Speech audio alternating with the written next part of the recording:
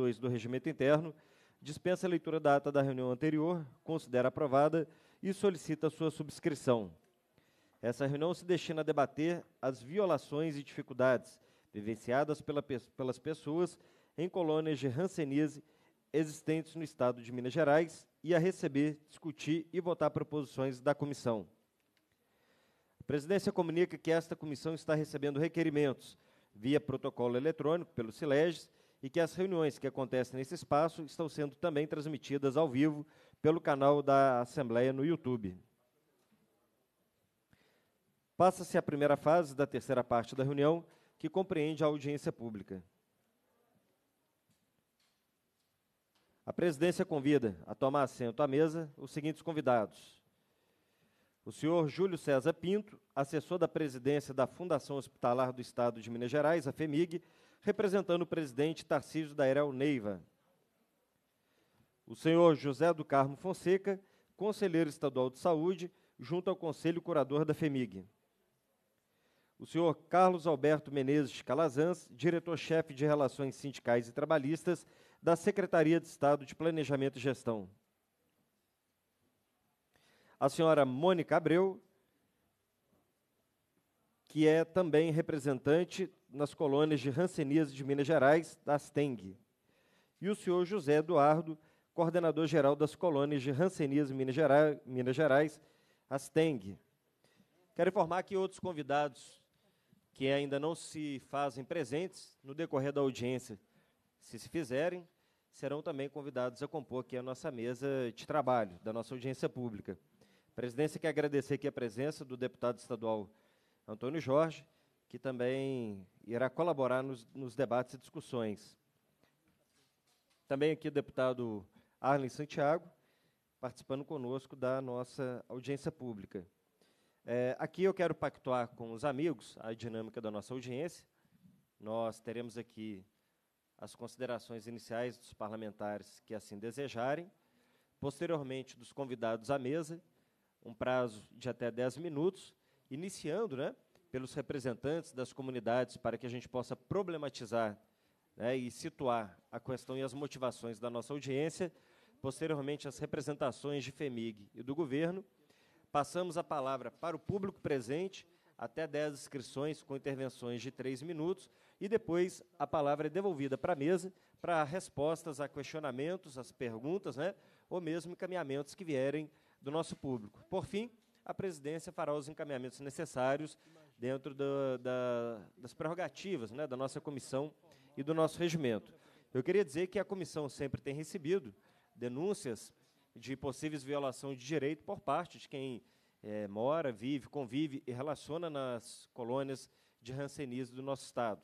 Então, acho que essa audiência é importante para a gente poder também ter mais uma oportunidade né, do diálogo, da compreensão dos problemas e tentar apontar para os caminhos que possam estar tá nos ajudando a colaborar nas soluções dos problemas que não são poucos e são diversos. Né? Não é uma questão específica em si. Nós temos aí uma série de conjuntos de dificuldades que, via de regra, a Comissão de Direitos Humanos tem recebido. Ok? Então, espero que a gente possa ter aqui o espaço oportuno para que o público possa se manifestar, possa trazer as suas considerações, suas reivindicações e tentar construir aqui no âmbito de governo também as, a, os encaminhamentos necessários. Pergunta aqui aos nossos parlamentares, se desejam fazer suas considerações iniciais. Deputado Arlen. Passa a palavra para o deputado Arlen Santiago. Obrigado, Cristiano. Obrigado, deputado Antônio Jorge, a todos os membros da mesa e principalmente a essa turma que nos trata tão bem, com tanto carinho, a turma das colônias de Hanseníase, de Betim, de Três Corações, de Bambuí, de Ubá. É, nós visitamos Ubá e visitamos também a Três Corações. E agora, em outubro, nós queremos visitar Bambuí e Betim depois.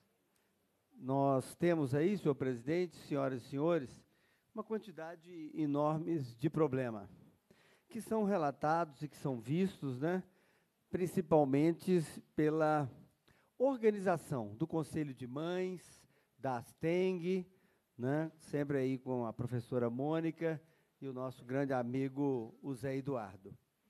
Os problemas, eles são crônicos, eles são muito graves, e lá em Ubá, por exemplo, nós vimos uma série de fatos que nos deixaram estarrecidos. Por exemplo, a direção da FEMIG quis cortar o leite das crianças com hanseníase que tinham que tomar os remédios. Queriam cortar e cortaram etapa crua e etapa cozida né, da alimentação de algumas pessoas. Inclusive, eu não estou vendo aqui hoje ah, estou. Aquele, como é o seu nome? Hã? Wesley. Wesley, ele, como ele tinha, tem pessoas lá em Ubá, ele, como vocês veem, ele é paraplégico, né? E a etapa da comida cozida está sendo negada a ele até hoje. Então, realmente, são situações muito pontuais, senhor presidente, mas que impactam demais a vida das pessoas. Uma outra questão, presidente, que eu queria muito o apoio do senhor, é que nós estamos aí no final do terceiro ano de um governo. E aí estamos sabendo que a FEMIG está querendo realizar agora uma reforma fundiária nas colônias. Tem gente que vive lá há 40 anos, ou acho que até mais, né, Zé Eduardo? Zé Eduardo mesmo tem 50. Então, eu acho que no final de governo é bastante é, grave a gente cuidar desse tema. Deveria ficar para o próximo governo, qualquer que seja o governador, para a gente ter tempo para debater, porque as injustiças, elas com certeza é, irão ser feitas se isso for feito de afogadilho. Então, a questão das colônias, nós temos aí a série de denúncias que foram feitas para o Ministério Público, algumas perseguições muito graves, como, por exemplo, foi o caso da Michele, lá em Três Corações, que foi por uma questão de uma via judicial, né? e a tentativa da municipalização das colônias, né, no meu entendimento e pelo que eu tenho conversado com as pessoas das colônias, ela é inaceitável. Ela é inaceitável, porque o que nós vemos é que o governo, pelo menos a FEMIG que cuida, ela tem uma estratégia, que aí uma vez está melhor, uma vez está pior, mas o município é essas pessoas, elas com certeza a perseguição ela vai ser muito maior a umas pessoas que já são praticamente excluídas aí na questão da vida. Uma outra coisa que nós recebemos ontem através da Alessandra foi a questão de que é, há um entrosamento muito grande com relação aos assentados do INCRA, 49 famílias lá em Bambuí, com as é, com o, o, o, pessoal da colônia lá. Né? Então, nós já marcamos até uma audiência, senhor presidente, se o senhor puder, nós iremos convidá-lo, para com o superintendente do INCRA, para ver a possibilidade né, da entrega definitiva dos títulos para os assentados, que são também uma outra minoria, e também a questão da, da da condição de água aí desse assentamento que é vizinho à questão lá da colônia. Então, os problemas realmente são muitos. O senhor vai ouvir detalhes aí, né, de uma luta incessante, incessante, e é, algumas coisas que nós ficamos assim estarrecidos. O Marcelino mesmo, lá no Hospital Alberto Cavalcante, né, ele nos levou lá para mostrar que tem uma janela que não tem cortina ou onde o sol bate às duas horas da tarde e queima a pessoa que está no CTI lá do Alberto Cavalcante. E isso não se toma uma, uma, uma atitude. Nós vimos aí é, que o governador, ele acabou, depois de muitos pedidos da Asteng, do pessoal da colônia, o governador acabou é, fazendo a substituição do, do, do diretor da FEMIG, né, que ele tinha uma, uma atitude muito avessa à questão das colônias, e aí ele se recusava frequentemente a querer debater os problemas. Né? Foi, foi feita a substituição e a gente espera que o diálogo ele então seja restabelecido com as colônias e que pontos que às vezes nem tem gasto financeiro que eles possam ser resolvidos. Eu tenho certeza que qualquer diretor da FEMIG, qualquer presidente, se ouvir o pessoal das colônias e as suas lideranças, que trabalham muito, eu sou testemunha de que largam suas coisas todas, ficam aqui, e hoje a gente ouve falar, e eu quero confirmar em loco, por exemplo, que lá em Betim, o que a gente tem são pessoas que montaram verdadeiros comércios para explorar as pessoas que estão na colônia. Ontem mesmo eu vi a, a fala né, de Paulino, lá de Ubá, onde ele coloca, quer dizer, uma questão da reforma agora, tirá-lo depois de 50 anos lá. Um fala, não, não é para tirar ninguém. O que, que é para fazer? É uma questão que vai demandar muito tempo, porque cada caso é um caso. E eu queria aqui também pontuar que, do mesmo jeito que a Michele foi expulsa lá e depois acabou, é, mesmo com a questão judicial, né, Michele? É, o governo voltou atrás e, e não te expulsou lá da colônia de Três Corações, está tendo um, um problema de uma pessoa lá que deram já dez dias para ela poder ser colocada. Quem é? A Meire lá, né? É um caso, presidente, que o senhor vai ouvir e a gente tentar intervir para ter um prazo maior, para poder discutir e atender as pessoas. Nós temos também um outro problema extremamente grave, que é a questão dos filhos que foram tomados né, dos seus pais e foram feita internação compulsória. Né? É uma questão bastante dramática e que a gente te, é, poderia, senhor presidente, sob sua, sua orientação, da mesma, do mesmo jeito que teve a Comissão da Verdade no Brasil, para poder é, identificar, para poder identificar é, realmente aqueles perseguidos, torturados, às vezes até mortos né, pela ditadura militar, nós vemos também que esses filhos que foram arrancados da sua família, que a única convivência que eles têm na vida inteira, muitos que nasceram aí nas colônias, né, a gente teria que debruçar, nesse caso, poderia ser um tema da Comissão de Direitos Humanos, mas como ela é muito cheia, eu acredito que talvez num próximo governo, seria bom que a gente pedisse a um presidente para poder, ao próximo presidente da Assembleia, né, para quem tiver aqui dos deputados, porque com certeza os membros da colônia vão estar,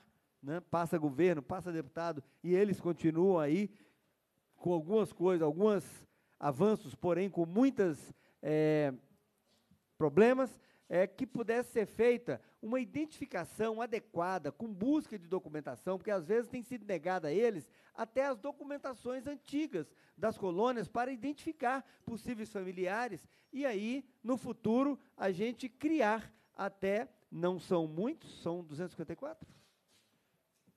São quantos? 254?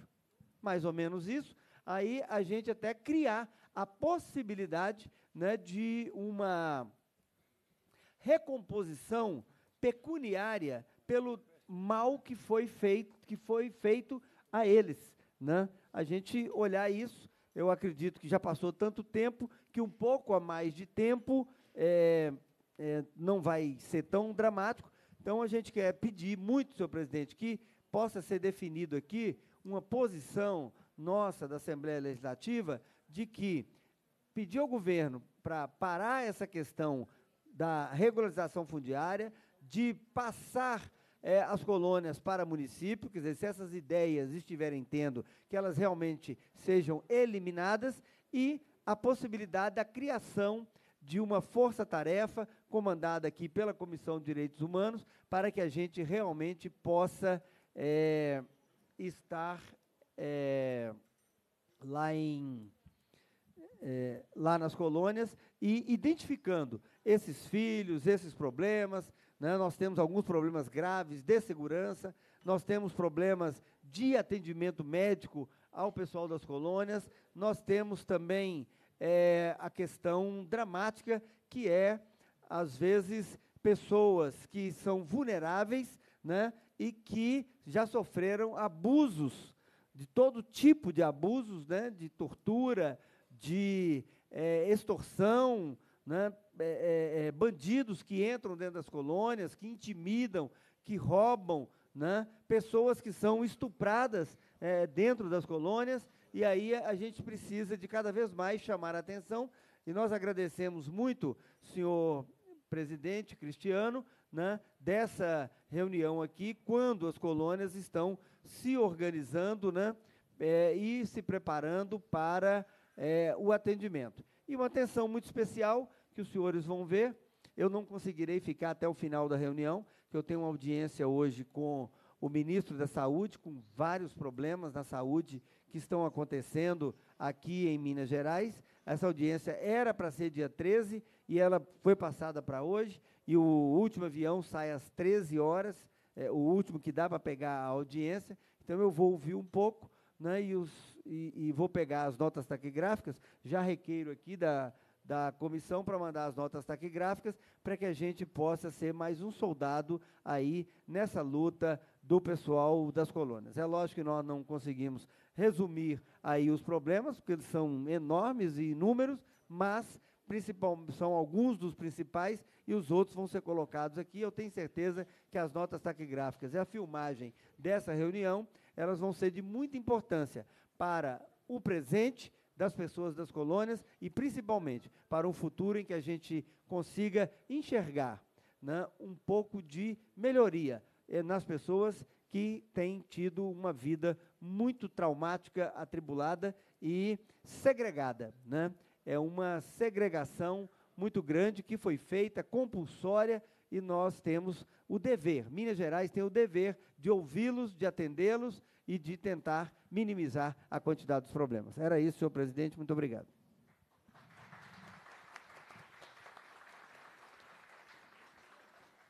Obrigado, deputado Arlen. Concedo a palavra agora deputado Antônio Jorge. Bom dia a todos e todas. Quero cumprimentar aqui o nosso presidente dessa mesa, dessa comissão, deputado Cristiano, cumprimentar o deputado Arlen Santiago, amigo Arlen. Através da Mônica aqui, peço licença a cumprimentar todas as autoridades que compõem essa mesa. Eu acho que nós estamos na questão das colônias, eh, todos nós, eh, a sociedade, os órgãos de governo, com um passivo muito grande com essas pessoas. É, há muitos precedentes na história, deputado Allen, Vossa Excelência tocou num assunto talvez crítico desse momento, mas há muitos é, é, fatos na história, acontecimentos e, e, situações em que a sociedade é, reconheceu dívidas com segmentos sociais Aqueles que lutaram contra a ditadura hoje estão indenizados. Aqueles que baixaram na guerra contra a ditadura. Há muitas situações, infelizmente, em que o Estado, no passado, e eu falo Estado, poder público, sem bandeiras partidárias, sem nada, o Estado, o aparato público, há muitas situações que o Estado é, cometeu verdadeiros crimes contra segmentos sociais.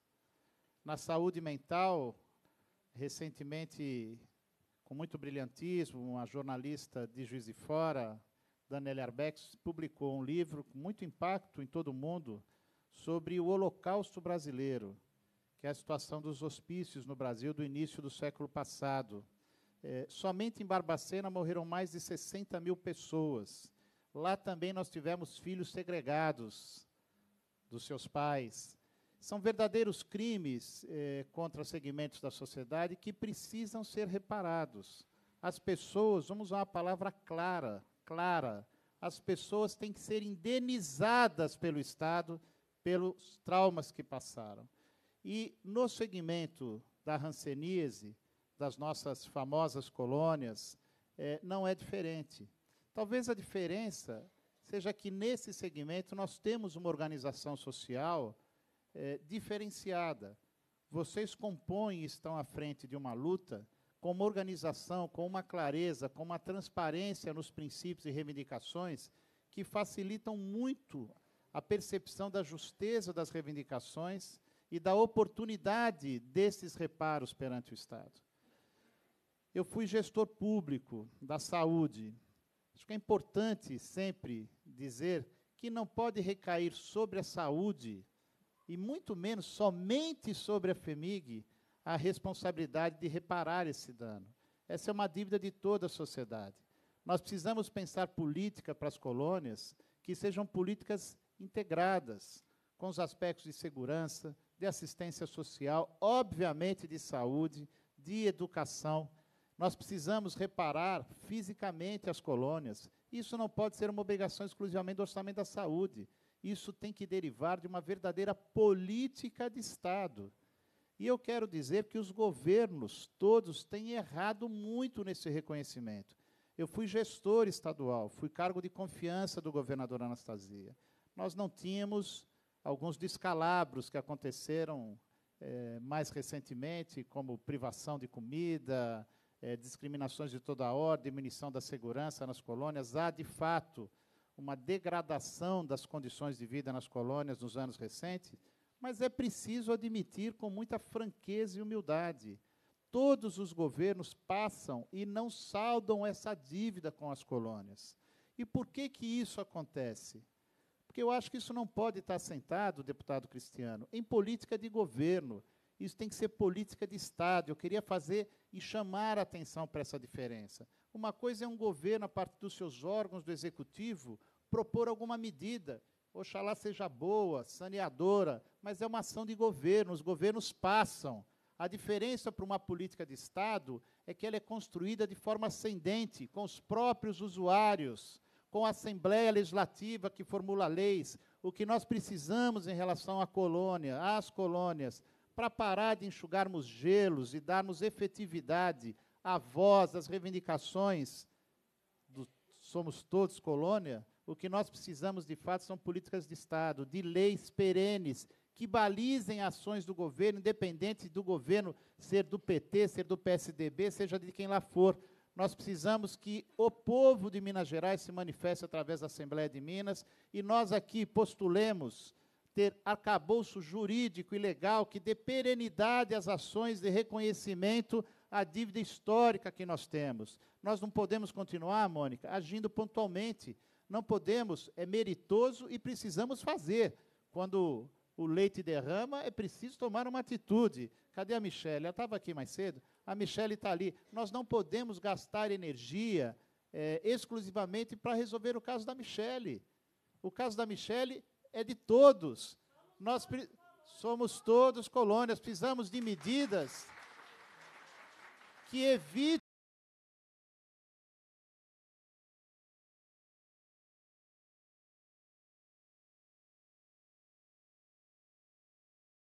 dessa casa, aquele que mais se destacou e abraçou a causa é, dos moradores da colônia, dizer para Vossa Excelência que, nesse momento, a nossa assessoria jurídica tem um projeto é, bastante avançado para submeter as representações é, dos moradores das colônias e também ao trâmite dessa Casa Legislativa, um procedimento legal para garantir o pagamento de alguma indenização aos filhos segregados. Isso pode ser uma política estadual. E é importante dizer que a segregação o economicista que se pode ter nesse ideário, a segregação não diz respeito somente àqueles que foram mandados para os educandários fora das colônias, mas àqueles que foram segregados em pavilhões ainda que dentro das colônias, porque sofreram a segregação de mesma espécie. Ficavam meses sem ver os seus pais, ainda que morando na colônia, segregados em um galpão em um asilo separado. Portanto, eu acho que não, não há de tardar mais o reconhecimento da dívida histórica. Existem desafios do ponto de vista legal. Isso não é uma medida simples, não há de se fazer demagogia com essa medida. Há os aspectos pecuniários e impactos orçamentários, mas é preciso iniciar.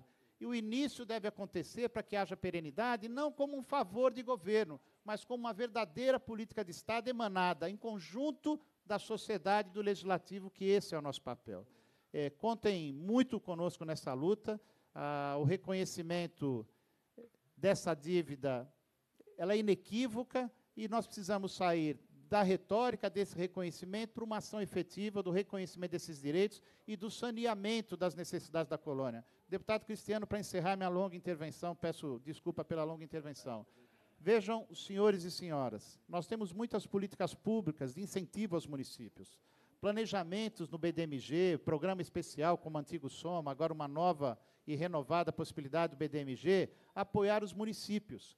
Eu quero dizer que, dada a vicissitude, as especificidades culturais, históricas da população das colônias, Getúlio, se nós somarmos as populações de todas as colônias, nós passamos de 10 mil habitantes. 10 mil habitantes, para terem uma ideia, hoje em Minas, mais de 400 municípios têm de menos de 10 mil habitantes. Portanto, nós somos uma cidade com especificidades, apesar do território não contíguo, que passa de 10 mil habitantes e que está no número minoritário em Minas Gerais, em termos de importância como população.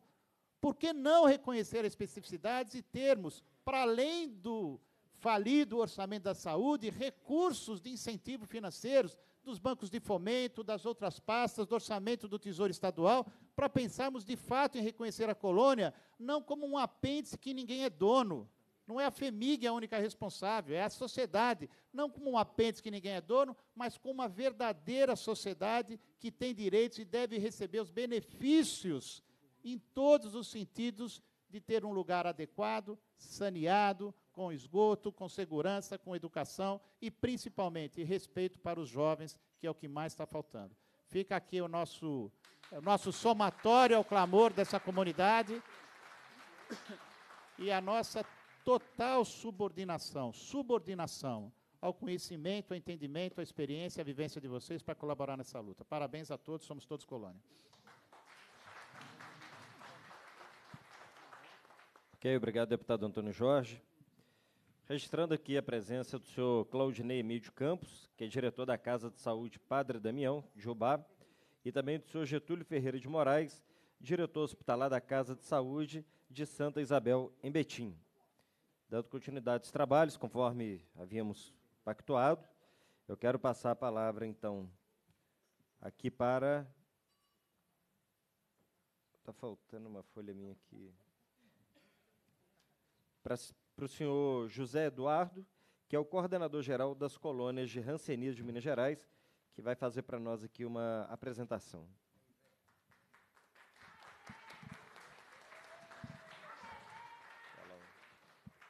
Queria saudar aqui o presidente aqui, Cristiano, e a todos da mesa aqui, e a todos vocês. Nós estamos aqui mais fazer uma avaliação também da FEMIG, do governo, desse governo aí que está aí agora, porque geralmente sempre no, a gente no terceiro ano de mandato de governo, a gente reúne para fazer uma avaliação do governo. Infelizmente, nós não temos coisa boa para falar desse governo.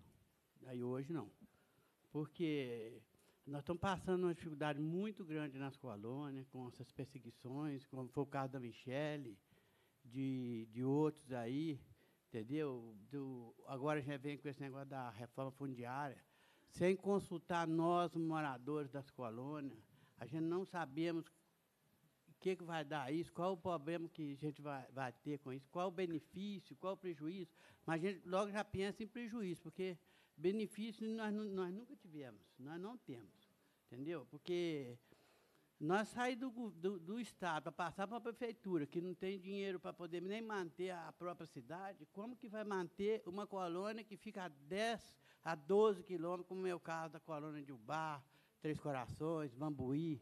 Então, a, gente, a preocupação muito grande nossa com isso. Porque nós hoje estamos nas colônias, nós não temos segurança. As colônias hoje não é só, não é só a preocupação da FEMIG hoje, as colônias, parece que se preocupa só com o rancianismo. A colônia hoje tem um problema, uma doença que eu acho é muito maior, que são os usuários de, de, de, de droga, alcoolismo, a violência nas colônias, por exemplo, de Bar teve um problema há pouco tempo, há um ano atrás, aí teve quatro mortes, entendeu? Tudo causado por quê? É, é, é a droga, entendeu? É o livre tráfico de droga dentro das colônias. Então, isso está prejudicando nós muito. Aí a gente pensa, nós, moradores, por exemplo, eu tenho 50, vou fazer 52 anos de colônia, eu fui internado naquela época na colônia, eu vivia preso dentro da colônia. Eu achava aquela época, se você for perguntar os, os moradores antigos, eles vão achar muito melhor naquela época do que hoje. Por quê? Porque naquela época nós tínhamos vida social nas colônias. Nós tínhamos um baile, nós tínhamos um carnaval, nós tínhamos um teatro, que nós mesmos fazíamos dentro da colônia, apesar que nós não podíamos sair, mas nós tínhamos essa vida social. Hoje nós não podemos fazer um baile na colônia, porque se vai fazer é, é tiro, é, entendeu? É, é violência. Então a gente não tem isso mais. Então, acabou com a vida social. Hoje nós estamos ficando presos dentro das nossas casas. Então nós estamos muito preocupados com isso. E apesar da. E hoje a gente está tendo muita dificuldade, a FEMIG não está pagando os fornecedores, a gente está com dificuldade demais para poder receber os mantimentos, o gás, entendeu? Até a luz, como o nosso carro lá, todo dia está lá ameaçando em cortar a luz, porque o FEMIG não paga. Quer dizer, essas coisas estão. Eu acho uma coisa muito pequena. Enquanto isso, você vê o governo, o governo de Minas aqui, o Pimentel, pega um helicóptero para ir pro, pro, lá para a Toca da Raposa, assistir treino do Cruzeiro, entendeu? Para buscar o filho dele que está lá, no, tá, tá lá no, no, no, no Réveillon, passando no Réveillon. Isso é uma coisa que, assim, para as colônias não tem nada, mas para o governo, isso aí tem tudo. Então, isso revolta muita gente. E aí a gente fica pensando, igual o caso dos filhos hoje, tem filhos hoje dentro das colônias, filhos separados, que estão lá, não têm direito a nada, esses filhos sofreram tanto ou quanto mais do que nós que ficamos confinados dentro das colônias. Porque foram tirados da, da, da mãe, não puderam nem ter o primeiro leite, entendeu? Foi levado para o educandário, entendeu? Vivi lá, muitos foram doados, que a mãe as mães das colônias hoje não sabem onde os filhos estão. Tá? Eles falaram que morreram, mas ninguém sabe onde está. Entendeu? Isso é uma coisa que fizeram com, com, o Estado. Acho que o Estado deve isso, nós e os filhos. Entendeu? Então, eu acho que tem essa dívida, igual o deputado Aro, o deputado Antônio Jorge falou aí, eu acho que tem que ser reconhecido, entendeu? Essa questão dos filhos. O Estado, acho que, eu acho que o Estado de Minas podia ser o primeiro Estado do Brasil a pegar essa causa aí e resolver isso, dar um, uma indenização para esses filhos, que eu acho que eles merecem, porque sofreram muito. Tá. Então, é isso que a gente a gente está pedindo aí hoje e vendo o quê? Porque eu acho que esse governo aí foi muito, judiou muito de nós dentro das colônias, entendeu? Porque nós não, não, aceitamos essa reforma fundiária agora, porque sem discutir com nós, porque nós já no passado, nós não tivemos escolha. Nós fomos julgados dentro da colônia, eles decidiram levar nós para lá, para confinar nós lá, para tirar nós da sociedade por causa da doença, porque tinha medo de nós ficar no, lá no meio da sociedade, que nós ia pegar a doença neles. Fomos levados para lá. Agora, hoje, você acha que será impossível que nós não temos condições de saber o que é melhor para nós, gente?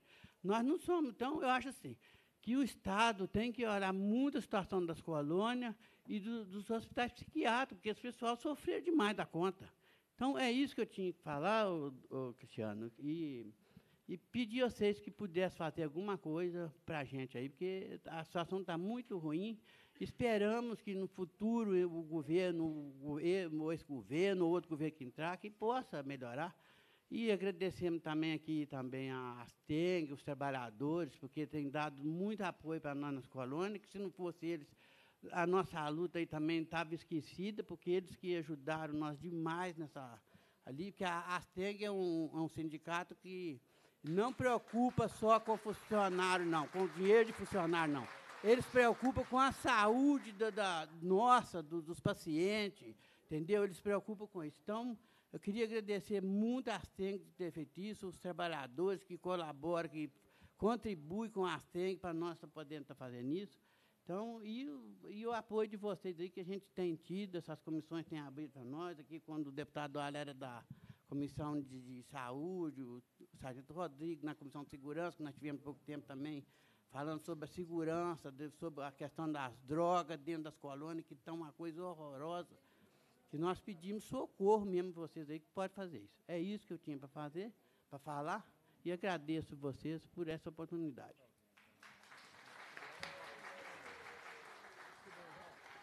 Obrigado, senhor José Eduardo. Aqui, ô, Cristiano. Sim. Dá licença, porque eu queria passar um, um filme assim, aqui dá, você pode passar de questão Pois não, pode passar. minutos. É só um minutinho, só para vocês verem aqui a luta que nós estamos tendo aí.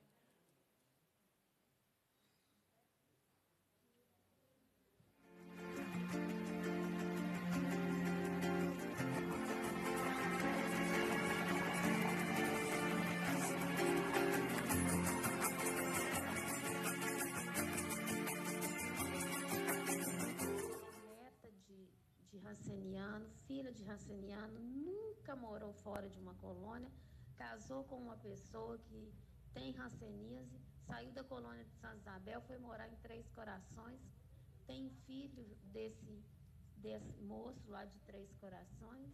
Aí a FEMIG, ti- de- to- ninguém tem posse de casa dentro de colônia, todas as casas são do Estado. O governo tirou a casa só da Michelle e pôs ela na rua. Os móveis dela são todos presos dentro de casa. A única coisa que ela tem é aqueles móveis simples, mas é que são os que ela gosta. Ela está na rua com a criança, com o marido, que foi preso porque resistiu. E ela está lá, na rua, na colônia, o povo todo mundo desesperado.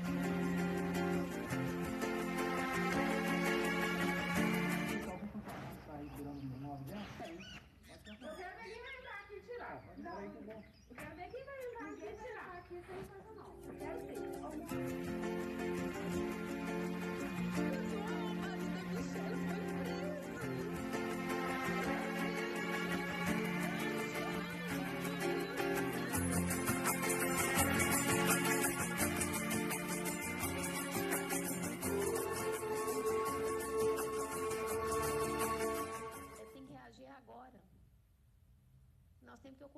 Gente. Por muito menos a gente já ocupou a FEMIG. Ela está lá, sozinha.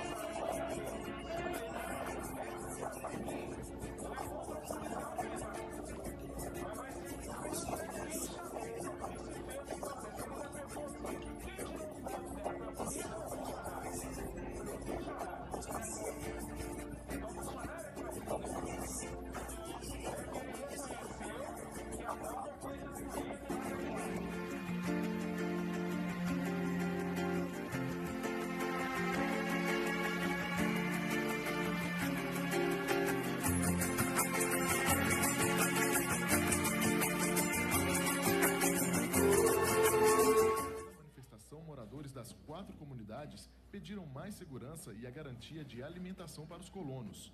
Eles se queixam de assaltos e também afirmam que o governo do estado não está fornecendo cestas básicas ou refeições nas comunidades de rancenianos.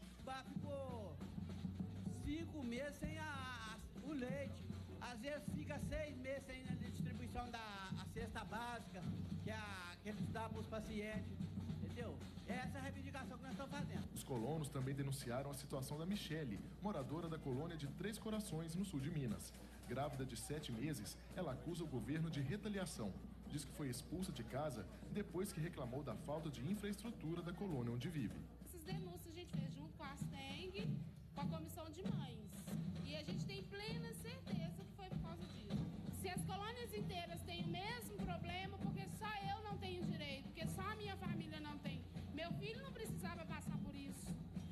Gente não prejudicou ninguém. A gente quer o que é nosso direito, que é uma infraestrutura, um lugar bacana para se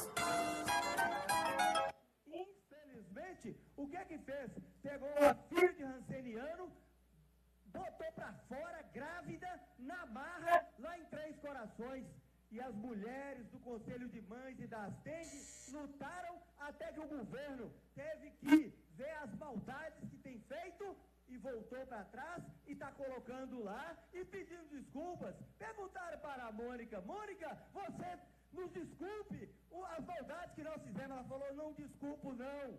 As maldades contra filhos, netos de rancenianos, nós não desculpamos.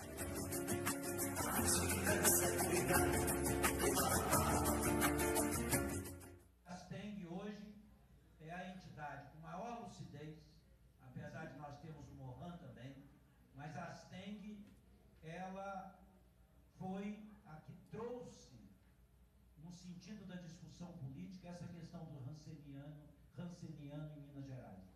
Inclusive, extrapolando até a visão imediata só da questão sindical.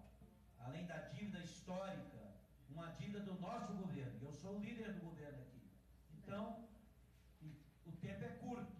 No final do ano que vem o governo termina. Né? O primeiro governo. Vamos ter o segundo, sim, a partir de 2019.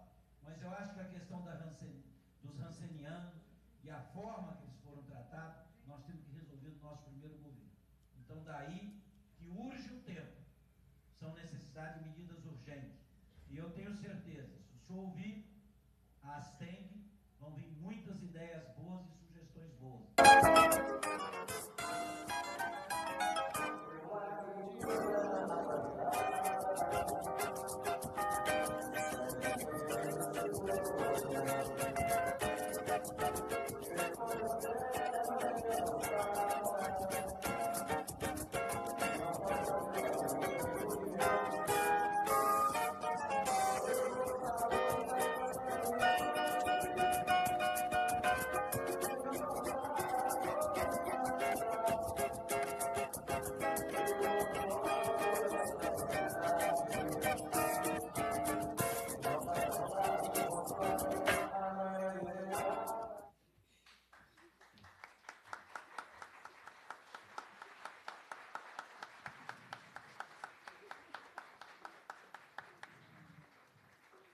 Bem, agradecemos o senhor José Eduardo, coordenador-geral das colônias de Hanseníase, pelas palavras, participação.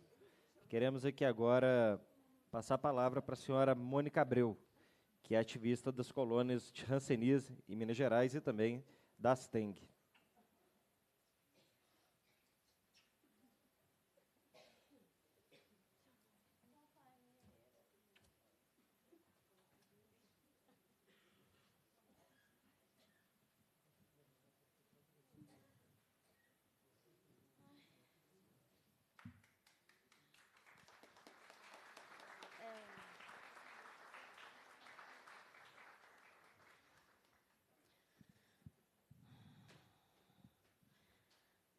O deputado Cristiano, que está aqui do meu lado, estava lá com a gente no movimento.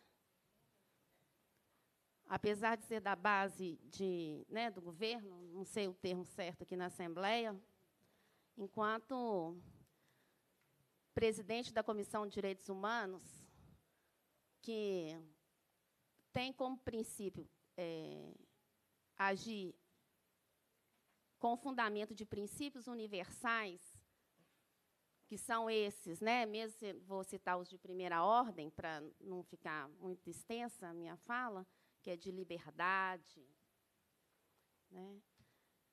De saúde, de vida, defender a vida, esses da desses que a gente entende a partir do marco da Revolução Francesa, mesmo sendo é, da base do governo, esteve do nosso lado, abriu a Comissão de Direitos Humanos para a gente, abriu o seu gabinete, foi para as reuniões e disse: o governo está errado.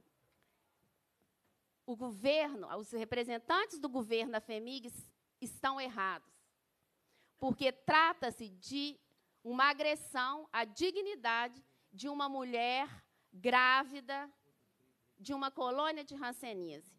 E eu vou estar do lado do movimento que defende os direitos humanos, porque há uma contradição nesse governo. E eu preciso dar esse depoimento, Cristiano, porque eu sei que é de- foi de muita coragem. Agradeço muito os deputados da oposição que nos apoiaram e merecem o nosso respeito. Mas os três da situação, apenas três dessa Assembleia Legislativa, optou em defender os direitos humanos, mesmo que fosse para mostrar um erro do governo. São esses deputados, o Durval Ângelo, que inclusive fez esse belíssimo pronunciamento, o Cristiano, que eu tenho a honra de estar aqui do lado, e o Rogério Correia. Infelizmente, nós procuramos outros deputados aqui na Assembleia Legislativa da, de base do governo, inclusive mulheres, para falar que havia uma agressão às mulheres. Esses não, não tivemos.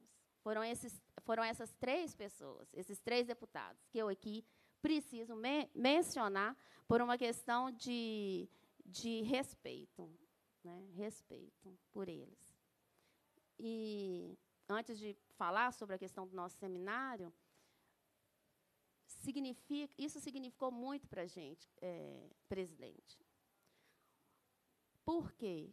Nós sempre tivemos assento aqui na Comissão de Direitos Humanos. Né? Nós sempre tivemos assento. No ano de 2014, o Zé Eduardo colocou muito bem, no ano de 2014, essa audiência aqui foi transferida para as colônias. Nós fizemos audiência na, da Comissão de Direitos Humanos nas quatro colônias de Rancenias do Estado de Minas Gerais, sobre a coordenação do deputado Durval Ângelo, o maior ativista de direitos humanos do Brasil. Assim é Leonardo Boff que fala. Então, o maior ativista dos direitos humanos esteve do nosso lado, nas quatro colônias de Hanseníase, discutindo com todos, comendo poeira, conversava com as crianças, com os que não podiam ir na audiência, foi, ele foi para os pavilhões, conversou com os idosos, conversou com o Ministério Público, conversou com os religiosos, conversou com os trabalhadores. Nós, a STENG, acompanhou o presidente da Comissão de Direitos Humanos nas quatro colônias e fizemos um projeto, Cristiano, que é isso que o deputado Antônio Jorge mencionou.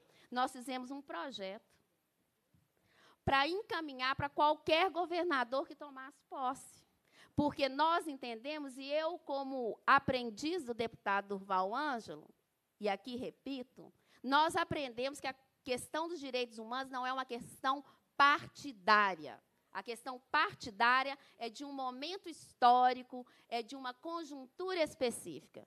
Mesmo que a, a própria concepção de direitos humanos tenha, a gente possa pontuar no marco da Revolução Francesa, nós entendemos que extrapolam a questão localizada e temporal. Então, nós fomos com a Comissão de Direitos Humanos discutir, elaborar, nos debruçamos 98 páginas de um projeto de direitos humanos para parar de enxugar gelo nas colônias.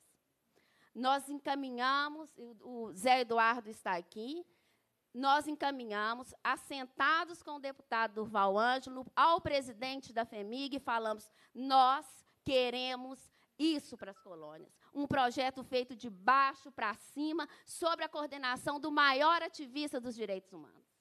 Eles rasgaram o nosso projeto. Eles rasgaram. Eles queriam nos corromper. O Zé Eduardo é, para falar de Revolução Francesa, é Robespierre da, das colônias. É incorruptível. Incorruptível. Foram feitas propostas indecorosas para o Zé Eduardo. Ele nunca aceitou. Nunca aceitou. Porque ele optou em defender as colônias, porque ele é morador de colônia, apesar de poder sair da colônia a hora que quiser.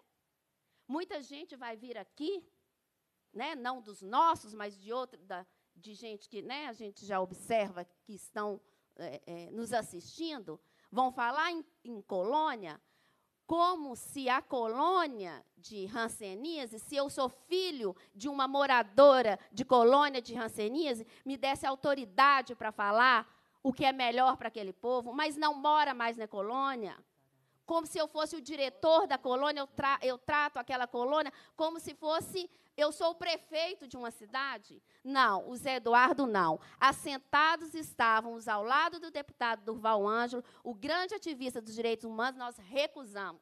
Nós não queremos sujar as mãos de sangue, nem queremos ferir a nossa dignidade, se não for para cumprir esse projeto. Infelizmente, e vamos contribuir do lado de fora.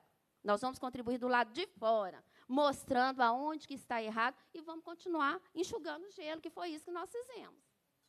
Então, nós ficamos do lado de fora, contribuindo para que as coisas não ficassem pior. Já pensou se eu estivesse sentado aqui, Cristiano, e falasse assim, ó, a Michele ainda está fora de casa. Ela teve um menino fora de casa. Não.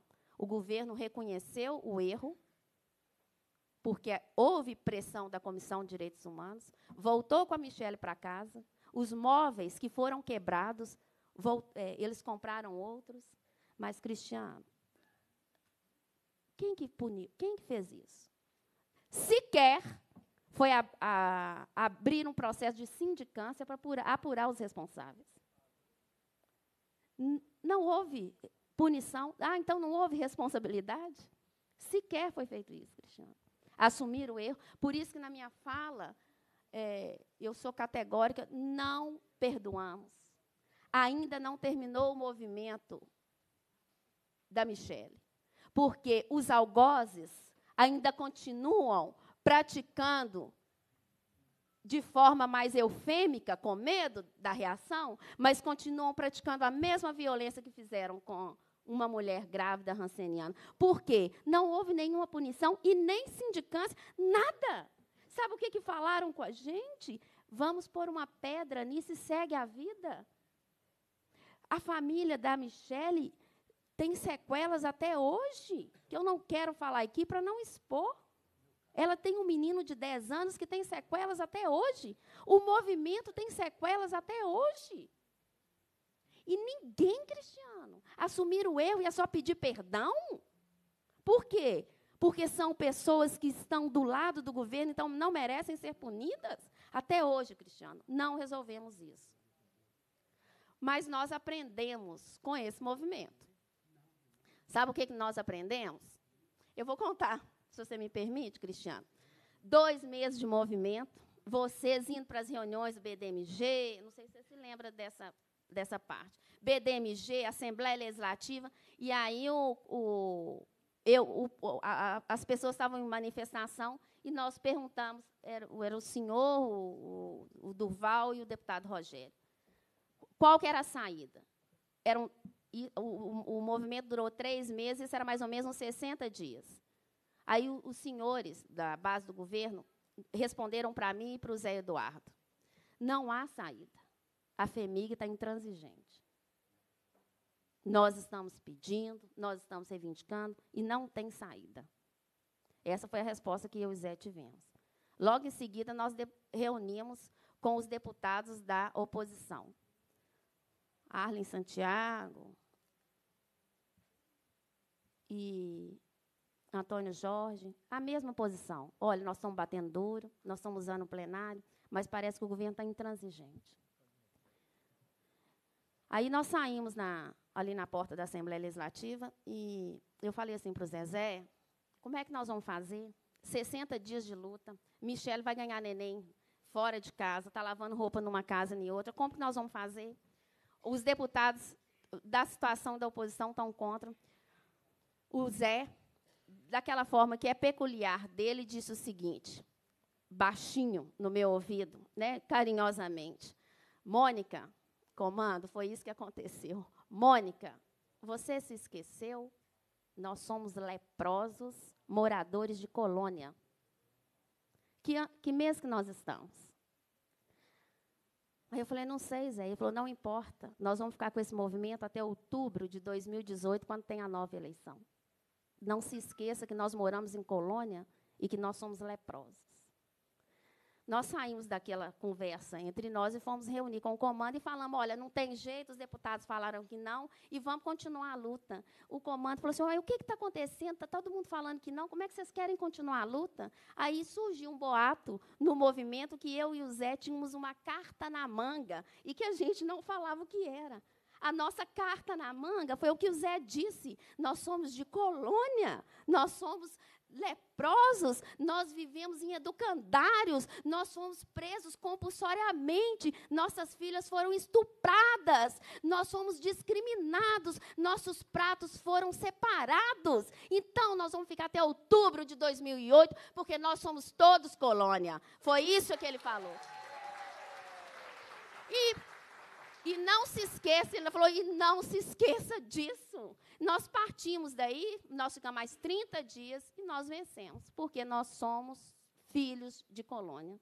Então, é, foi assim que surgiu no movimento a tal carta na manga que a gente tinha, que a gente não falava que não tinha. Em 90 dias, com o apoio aqui da Comissão de Direitos Humanos, nós conseguimos vencer a questão da Michelle. E falado isso, eu gostaria de explicar agora de forma mais, é, tentar explicar né, de forma mais didática o que, que aconteceu e quais seriam as nossas é, propostas para se a Comissão de Direitos Humanos, é, que já prontificou né, encaminhar as nossas reivindicações, eu é, gostaria de agora passar para essa fase. Olha só. É, então, esse projeto é, feito né, na comissão de, com a presidência do deputado Duval Ângelo, ele não foi implementado. Ao contrário, eles parece que sabiam do projeto e fizeram um oposto.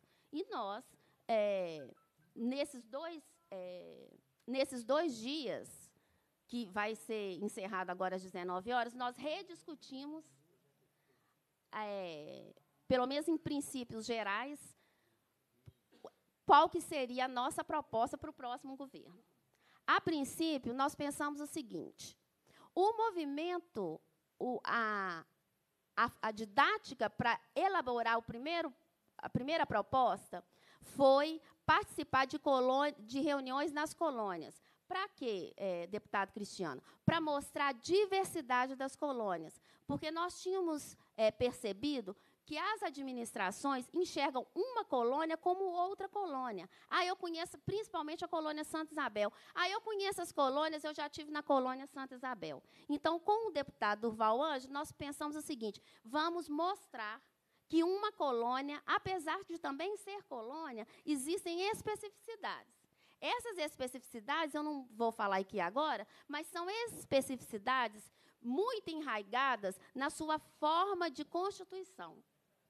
É, mais mulheres em umas e outras não, mais e isso são, e são fatores determinantes para uma ação, uma política do Estado mais jovens em uma e outras não, umas mais abertas e outras não, umas com é, outras com car característica de ter bastante idoso e poucos jovens. Então nós mostramos, nós elaboramos uma, é, uma proposta baseada nessas diferenças, porque a gente achava que existia esse erro grave de fundação de, da, da, de qualquer é, de avaliação das, das colônias. Esse seminário, Somos Todos Colônia, e não é à toa que colônia está no singular, e não é à toa que não tem o nome de cada colônia, nós queremos mostrar a unidade das colônias. Porque nós entendemos, Cristiano, que o governo que passou, o governo da FEMIG, da administração da FEMIG com sua assessoria, eles tentaram é, dividir, do ponto de vista de estratégia de ação política, que isso é, é é, jocosa essa proposta que eles fizeram, é lamentável, mas eu não vou me fal falar sobre ela aqui. Eles tentaram dividir as colônias é, como se é, não tivesse uma unidade entre elas. Então, o seminário de hoje e de ontem traz a perspectiva de somos todos colônia no singular para mostrar essa unidade. Então, nós fizemos esse, essa avaliação e atualizamos a, proposta nesse sentido. Né? Apesar da diversidade mostrada em 2014, nós queremos que a Comissão de Direitos Humanos é, pense hoje na questão da unidade, por uma questão de conjuntura e por uma questão de uma perspectiva teórica que a gente fundamenta e que não vem ao caso aqui dizer. Então, por isso que o seminário somos todos colônia, no singular, não é à toa. Né? Ah,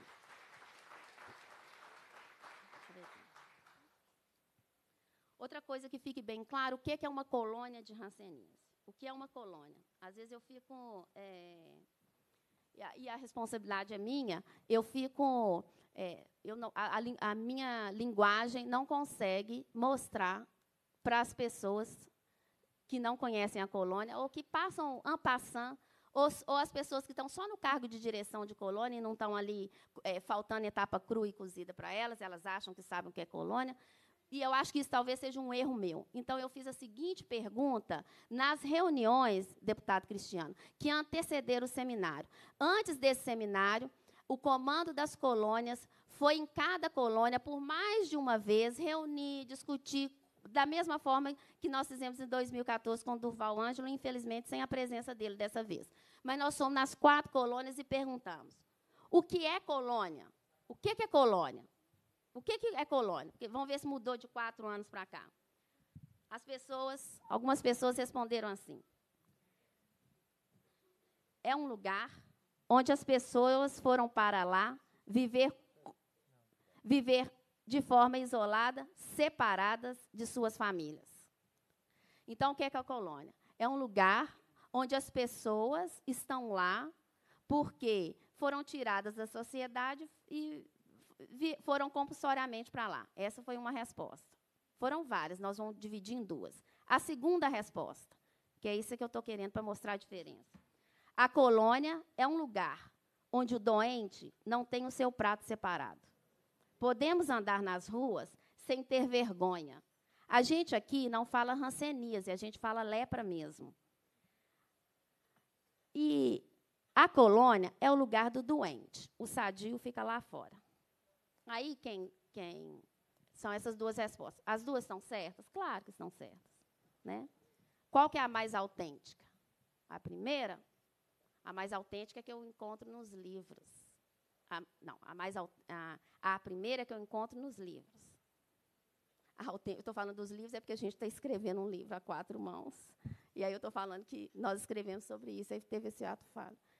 A mais autêntica é essa. A colônia é um lugar onde o doente não tem o seu prato separado do outro, podemos andar nas ruas e aqui a gente não é discriminado. Então, se a colônia é este lugar onde as pessoas se sentem bem, se sentem orgulhosas de serem moradores de colônia, nós temos que repensar a nomenclatura das, desses lugares. A nomenclatura desses lugares. Há uns 12 anos atrás, eu, eu, não, eu tenho aqui, mas está é, no meu WhatsApp, eu não, não vou procurar agora, é, foi mudado o nome de colônia para Casa de Saúde Santa Fé.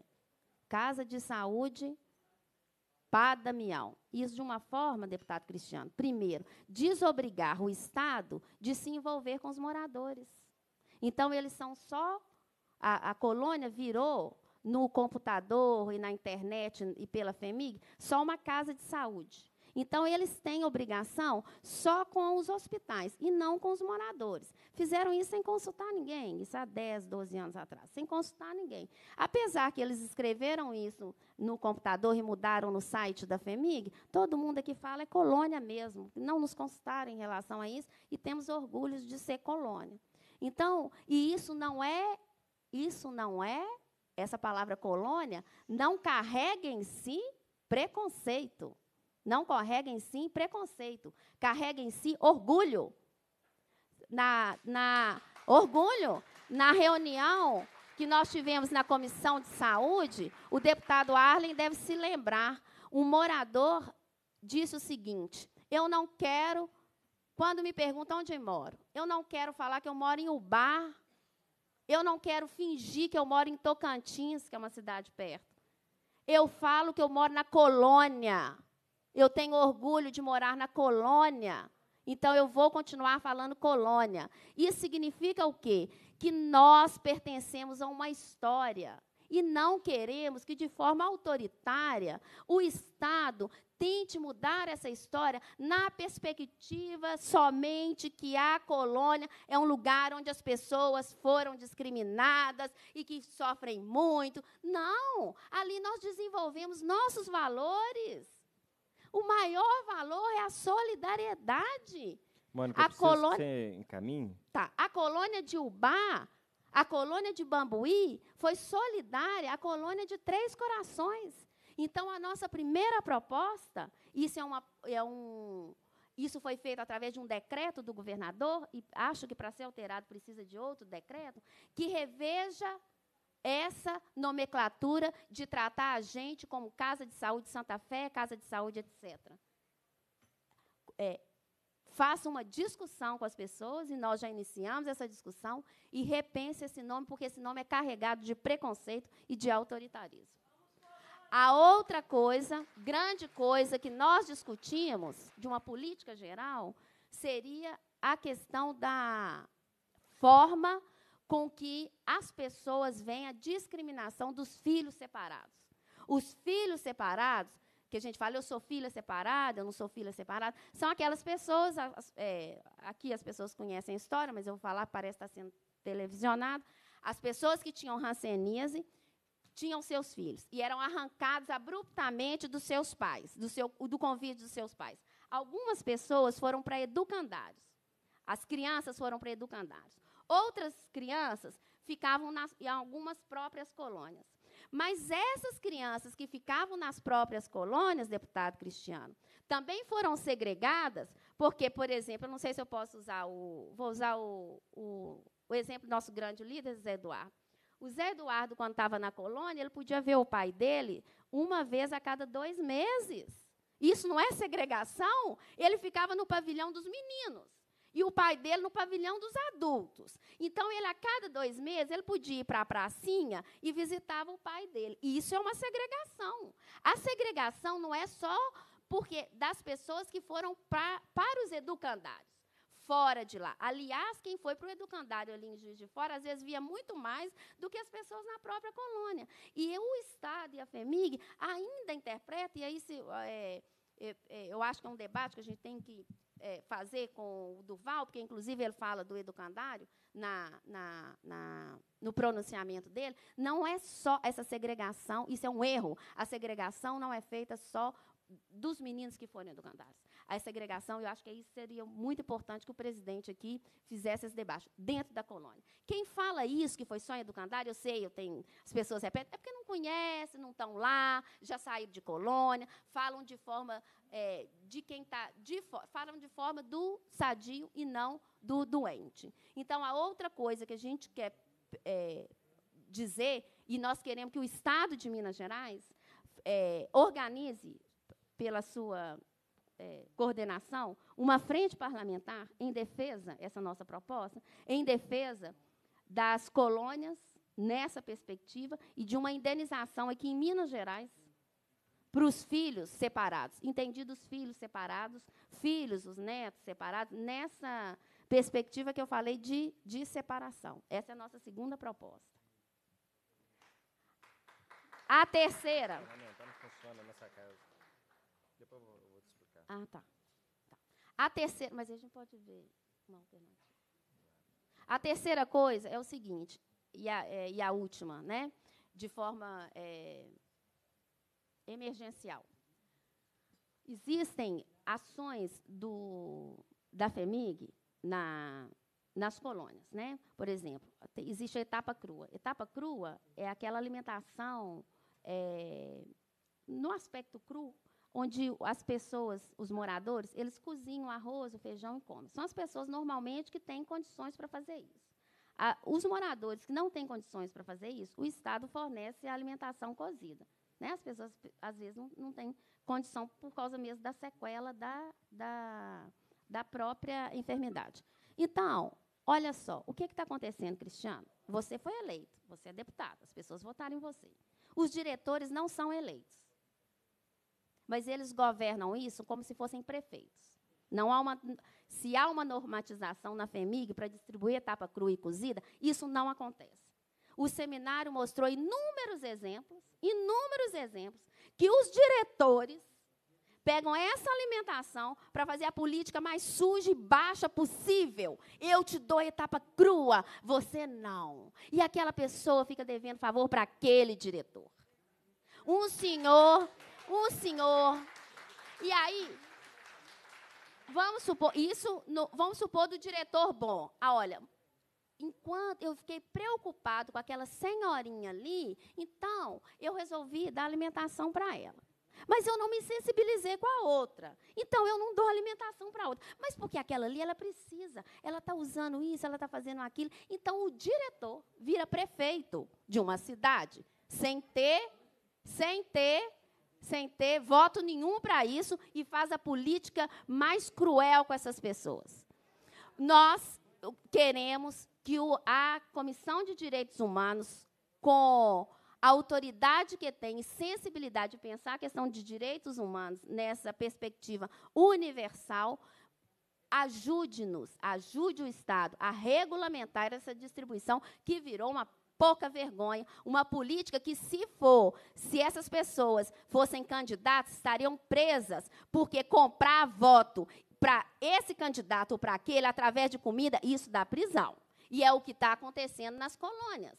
Elas negociam prato de comida para ganhar apoio desse ou desse morador. Claro que eu fico sensibilizada. Eu estava numa colônia no interior, um senhor de 74 anos chegou para mim e para o Zé e falou: Olha, eles cortaram a, nossa, a minha comida, e eu estou com muita fome, eu não tenho condição. O, a FEMIG fala: ele não é morador, ele já mora lá há quatro anos, a outra que não pode. Então, o que, que nós queremos? Acabar com essa politicagem baixa de, de, um, de um direito que nós temos desde a década de 60 ser usado dessa forma, uma política para distribuição da cesta. Mas você sabe por que, que isso aconteceu, deputado Cristiano? Eu vou falar.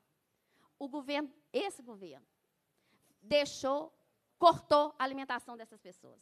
Seis meses a colônia de Ubá ficou sem alimentação. A colônia de Betim serviram lá feijão com bicho para cortar. Então, se cortou, e aí o movimento conseguiu reaver, inclusive com a ajuda aqui da comissão, aí reaveu desse jeito.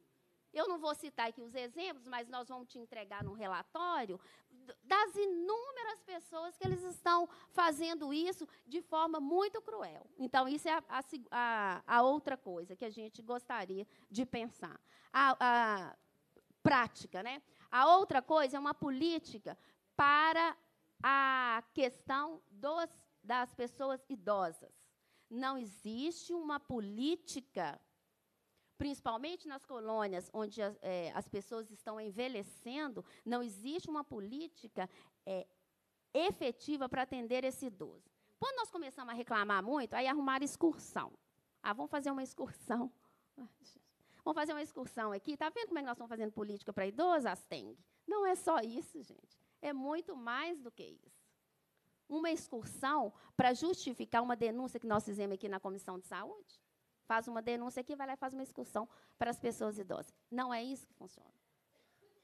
E isso a gente pode até aproveitar da, do primeiro projeto de 2014. Nós queremos uma política para esses idosos, que nos, nos, nos nos orgulha muito, né, que a, inclusive a, é, nos deixaram filhos, né, como a, os que são homenageados, Chico Otávio, etc. Então, a política para os idosos. A terceira coisa, uma política efetiva para as pessoas mais jovens. Eu me lembro muito bem quando o Durval estava na comissão, era presidente da Comissão de Direitos Humanos, e os jovens, e ele foi na, na colônia de Ubá. Os jovens escreveram para a gente o, o que, como que eles queriam que a colônia fosse. E colocaram da forma deles, da linguagem deles, de uma forma muito peculiar, que chamou a atenção de todo mundo. Nada disso foi implementado. E quando a gente fala de jovens, nós não estamos só falando de jogar uma bola para os meninos jogarem futebol, não, gente. Nós não estamos só falando que nós conseguimos uma, um, uma escola aqui para o nosso povoado aqui de baixo, não, gente.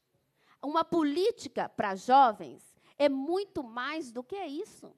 É muito mais do que isso. Ah, tá, nós reclamamos numa reunião com o diretor que não tem política. Olha, você sabe que eu arrumei curso profissionalizante para essas pessoas? Então está resolvido? Não, que bom que arrumou o curso profissionalizante. Mas o diretor que fala que arrumou uma política para entender um morador de colônia que tem essa especificidade, que é jovem, com uma apenas com uma escola profissionalizante, vai me desculpar, mas totalmente errado. Totalmente errado. Não é isso. E eu acho que aí a gente poderia aproveitar. Se eu estou falando de 12, eu falo de jovem, eu falo de crianças. O que que nós fizemos? O que que nós fizemos?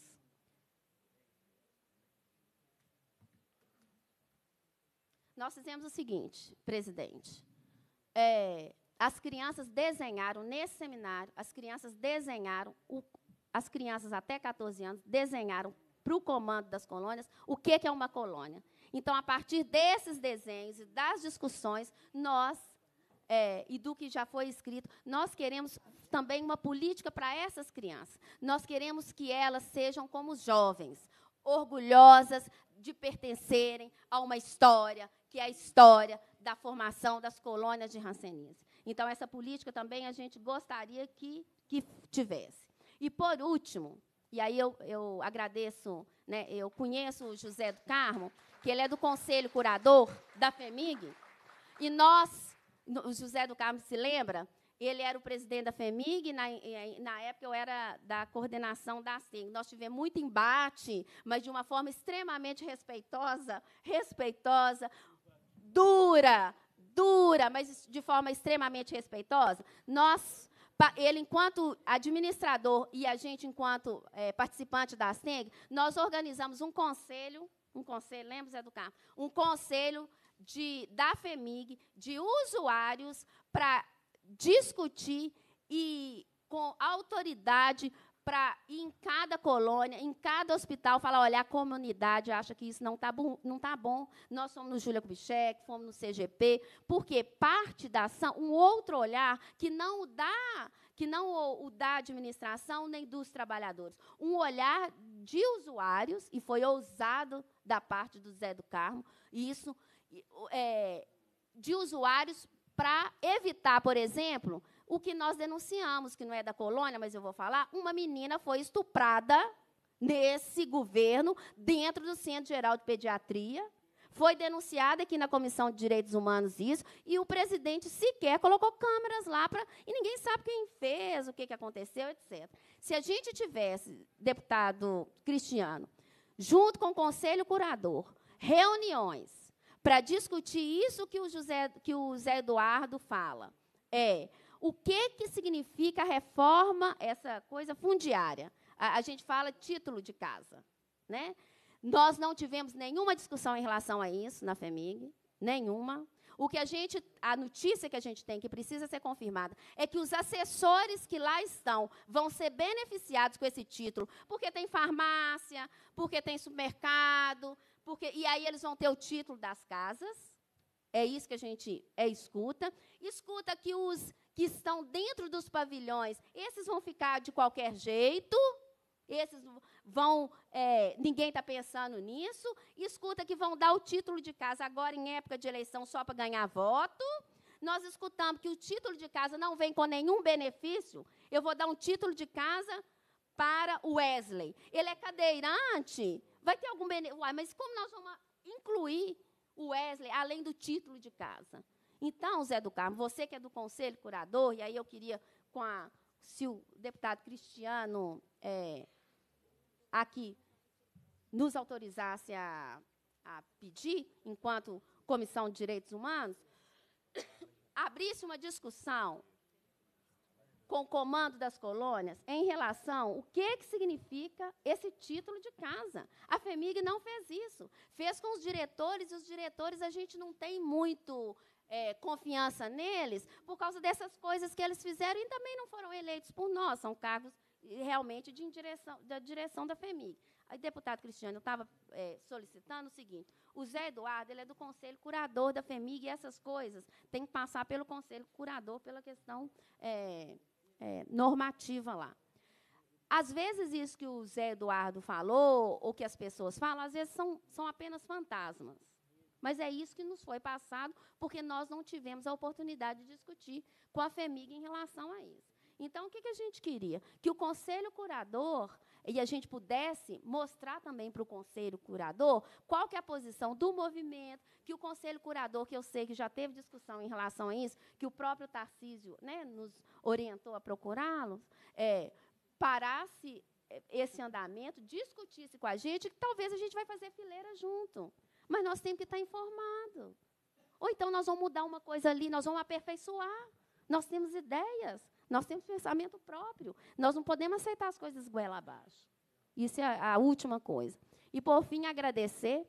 E, se eu tiver, evidentemente, eu esqueci muita coisa, né? eu fico muito emocionada de estar. Tá, eu me sinto bem em todas as comissões, mas a Comissão de Direitos Humanos é a que me toca o coração pelo, pela questão própria da sua Constituição.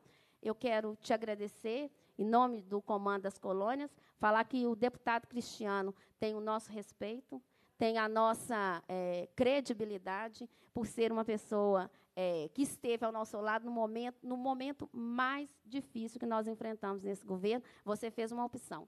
Você fez opção pelo movimento e pela dignidade das pessoas que moram em colônia. Eu agradeço a todos. Obrigada. Ok, agradecemos aqui as palavras da Mônica, as referências à Comissão de Direitos Humanos.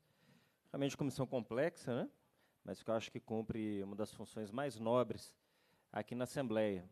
Nessa comissão não vêm os mais ricos, não vêm os empresários, não vêm os latifundiários, não vêm os poderosos. Sempre quem nós recebemos aqui são aqueles que, de alguma forma, podem estar tendo o seu direito violado. Né? Evidente também que eu tenho uma posição muito lúcida na comissão. Se tem uma coisa que eu não faço aqui é jogar para a galera. Né? A gente adora os aplausos. E eu, muitas das vezes, nessa comissão, já fui vaiado pelas minhas posições, que eu acho que a gente tem que ter também muita sobriedade naquilo que a gente diz. Porque o que eu digo aqui, eu direi neste mandato sendo base do governo e direi futuramente, se não for, na condição de oposição. Isso é a gente ter coerência na vida, né? coerência política né? no nosso caminho. Então, algumas questões a gente tem plena concordância, outras, às vezes, uma visão diferente. Agora, no final das contas, o que a comissão tem feito, e eu acho que tem sido um papel primordial, é muito mais do que atuar como um julgador, porque também não é nosso papel emitir, é, é, é, proceder julgamentos, que quem faz isso é o Poder Judiciário, mas ser um espaço da mediação do conflito, um espaço da, do, da criação do ambiente do diálogo, do espaço onde a gente consegue fazer com que os atores se encontram e a gente retoma a construção da, da possibilidade da boa política, que eu acho que é isso que, que é importante. Então, quando há violação do direito, e a gente recebe muito isso, quando parte, inclusive, por membros que compõem as instituições do Estado, não digo aqui é, especificamente a FEMIG, mas qualquer né, situação. Já recebi aqui denúncia de policiais, já recebi denúncias de outros órgãos, e sempre que há a denúncia da violação de direito, a comissão ela recebe. E olha que eu sou vice-líder do governo, né? Eu sou presidente da Comissão de Direitos Humanos, vice-líder do governo, mas a gente não abre mão das prerrogativas. Eu acho que essa comissão, ainda que eu não que eu seja deputado do primeiro mandato, mas eu sempre acompanhei, né, os trabalhos da Assembleia. E eu sei o perfil que essa comissão tem nos últimos anos nessa casa para a população mineira. E a gente tenta preservar então essa característica, né, dando continuidade nesse nesse aspecto. Então eu quero dizer que a comissão sempre vai estar à disposição dos movimentos sociais, dos movimentos de rancenise, de todos aqueles né, que entenderem que esse é o espaço legítimo para a gente poder debater, com concordâncias, com divergências, com alinhamentos, com proposições, com investigação e punição a quem mereça. E assim a gente tem trabalhado. Né? Então, estou fazendo essas referências aqui, um pouco dialogando com a fala é, da nossa companheira da Mônica. Dando continuidade, Tá, eu, eu antes do, dos requerimentos, eu só queria passar aqui a palavra. A deputada Rosângela se encontra. Queria constar a deputada se ela quer fazer consideração neste momento. Mais um pouco, né? Ouvir um pouquinho. Então, está escrito aqui. Ah, então, Ros, então eu quero aqui aproveitar a presença da deputada Rosângela Reis, que veio aqui nos socorrer, porque nós temos alguns requerimentos para serem apreciados. E a gente aproveitando aqui essa, essa oportunidade. É porque para a gente votar requerimento nós temos que ter o quórum de pelo menos três parlamentares. Né? Vocês conhecem aqui a dinâmica da casa, então eu quero aproveitar, faço aqui uma suspensão da, das posições para votar alguns que já se encontravam pendentes aqui na comissão. É, então passa-se a segunda fase da terceira parte da ordem do dia, que compreende a discussão e a votação de proposição da comissão.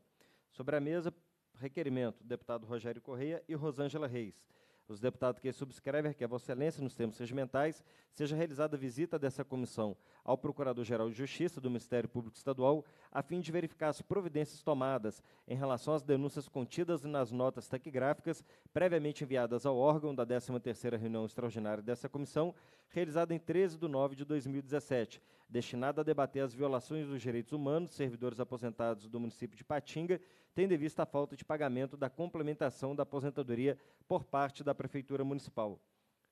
Outro requerimento dos deputados Rosângela Reis e Rogério Correia, os deputados que subscrevem requer Vossa Excelência termos regimentais, seja encaminhado pedido de providência ao prefeito de Patinga, solicitando evitar esforço para a retomada das negociações com representantes do Sindicato dos Servidores Públicos deste município, do Sindicato Único dos Trabalhadores em Educação, SINDIUT, e a Central Única dos Trabalhadores, a fim de regularizar o pagamento em atraso da complementação da aposentadoria dos servidores municipais, conforme demanda apresentada pelos participantes da 13ª reunião extraordinária desta comissão, realizada em 13 de nove de 2017. Requer ainda sejam encaminhadas as notas taquigráficas da referida reunião e a documentação anexa. Também dos deputados Rogério Correia e Rosângela Reis, requer que sejam encaminhados à Procuradoria-Geral do Ministério Público Estadual, ao presidente do Tribunal de Justiça de Minas Gerais e à, e à presidência do Tribunal de Contas, também a presidência da Câmara Municipal de Patinga, a documentação anexa e as notas taquigráficas da 13ª reunião extraordinária eh, desta comissão, realizada em 13 do 9, destinada a debater as violações dos direitos humanos dos servidores aposentados do município de Patinga, tendo em vista a falta de pagamento da complementação da aposentadoria por parte da Prefeitura Municipal, solicitando, em face das denúncias ali apresentadas, tomarem as providências cabíveis. Coloco em votação os requerimentos, cada um por sua vez, deputados e deputadas que o aprovam permaneçam como se encontram. Aprovado.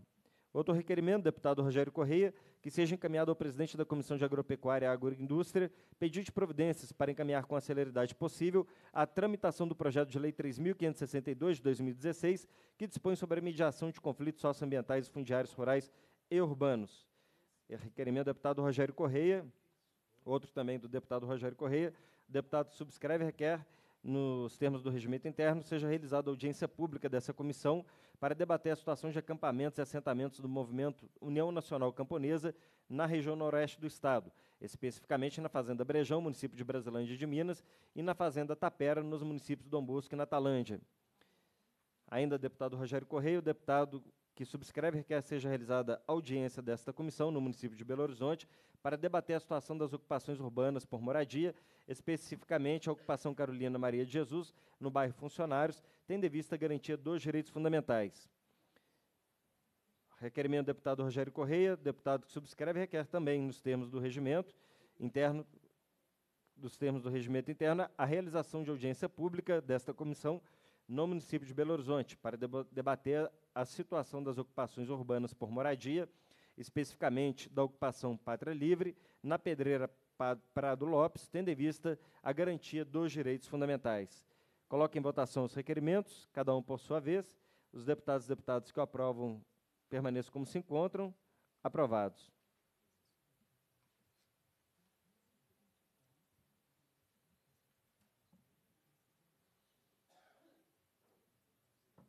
Aproveitando aqui ainda requerimentos, deputado Arlen Santiago, deputado que subscreve que a Vossa Excelência, nos termos do artigo 100 do Regimento Interno, seja realizada audiência pública da Comissão de Direitos Humanos para debater as questões de saúde, educação e assuntos de interesse da comunidade indígena do Brejo Mata Fome, em São João das Missões.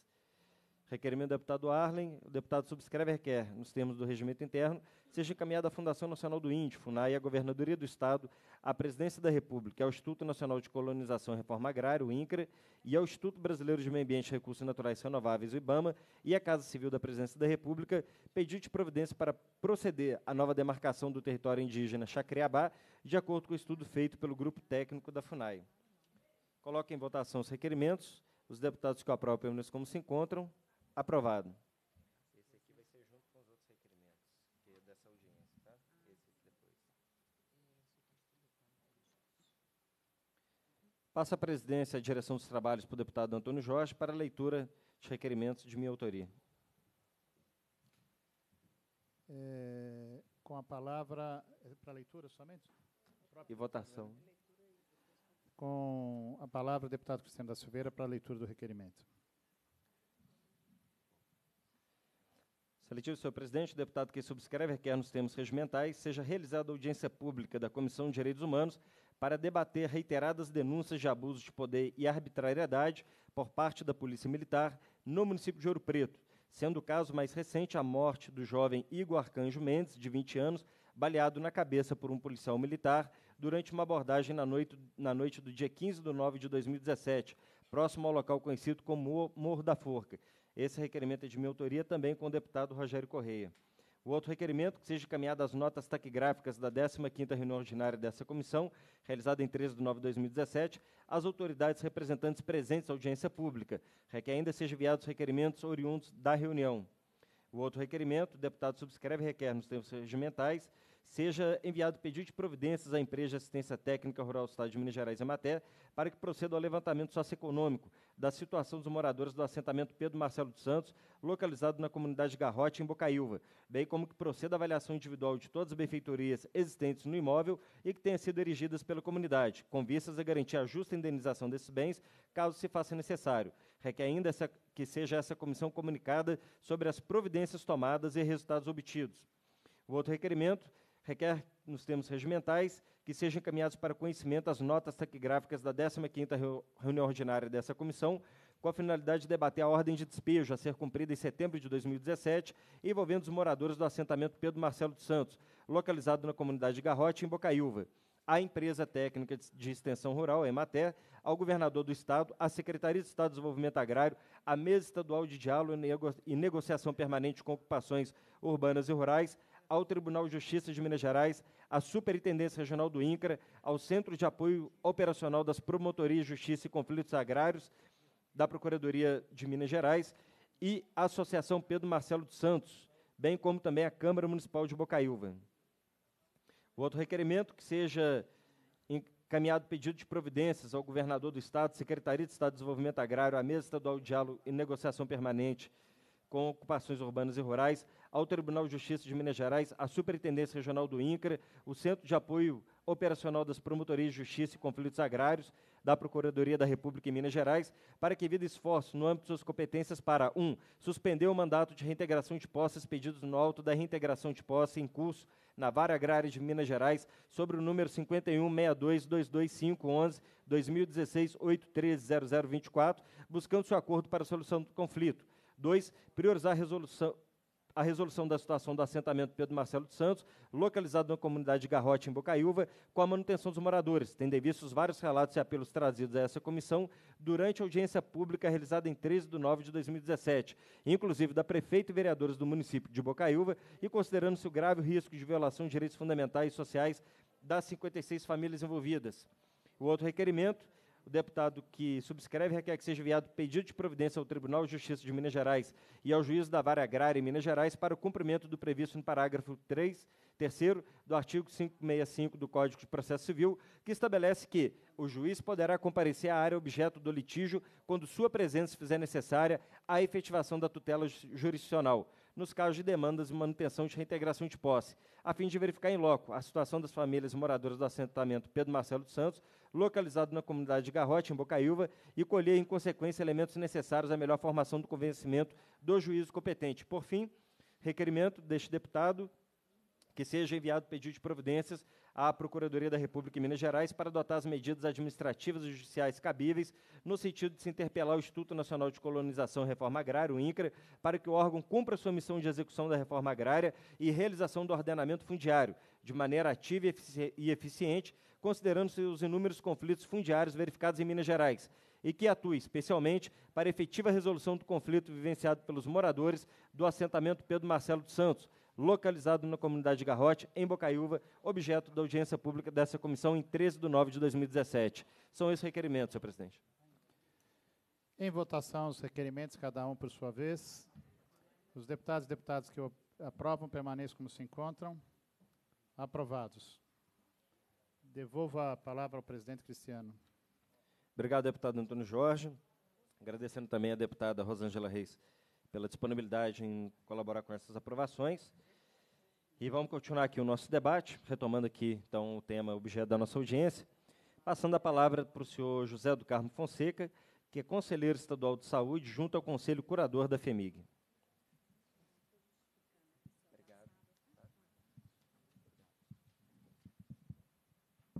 Bom dia a todos. Meu caro senhor, excelentíssimo senhor deputado Cristiano Silveira, eh, presidente dessa comissão, deputado Antônio Jorge, deputada Rosângela Reis, demais companheiros da mesa.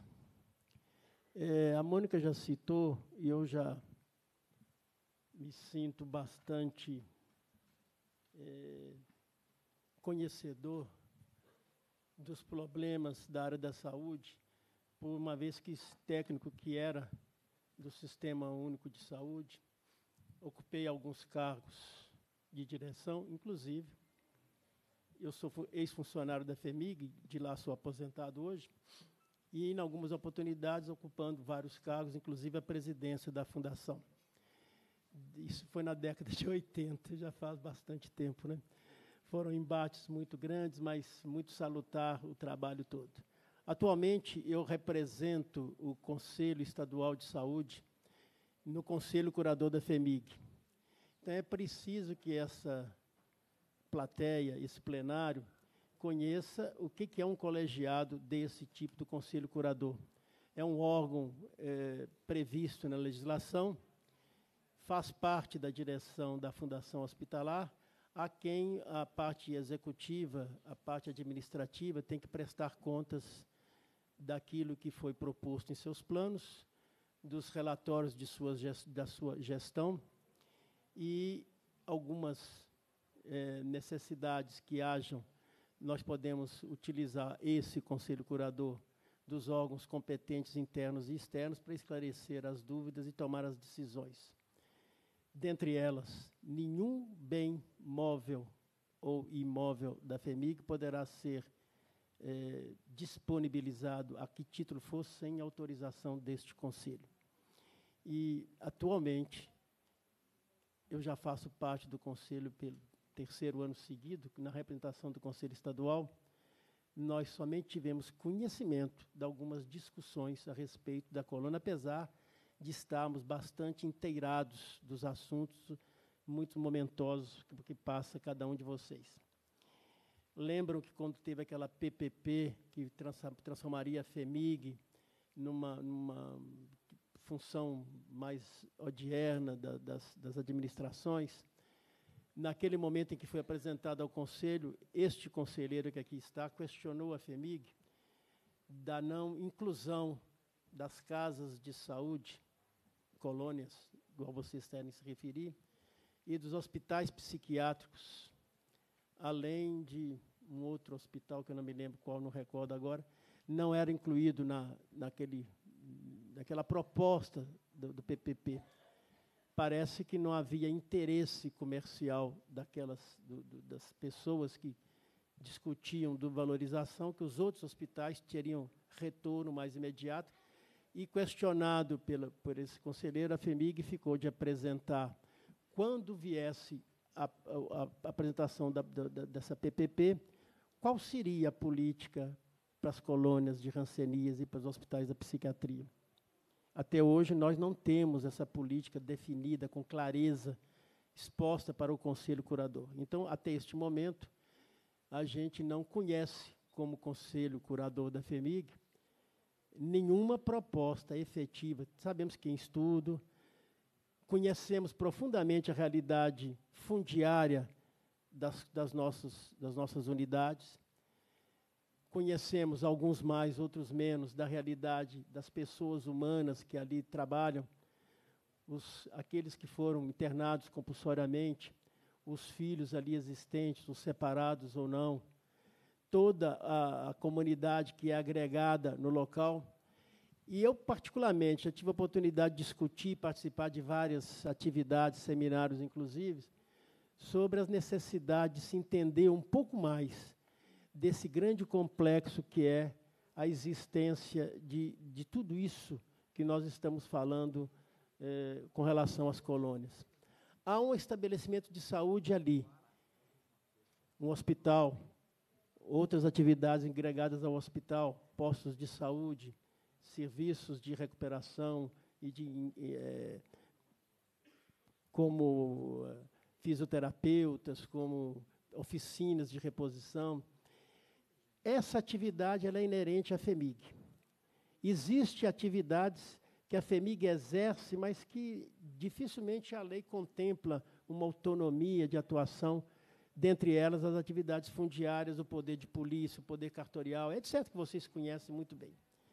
Acho que seminários igual esses que estão aqui são profundamente necessários para que todos esses assuntos, todos esses debates sejam esclarecidos na sua profundidade e ao se tomar uma decisão, tome-se a decisão que venha a ser colegiada, com, com gente a favor e gente contra, mas numa decisão madurecida e que tenha ouvido todos os, os, aqueles atores interessados nesse, nesse momentoso é, assunto.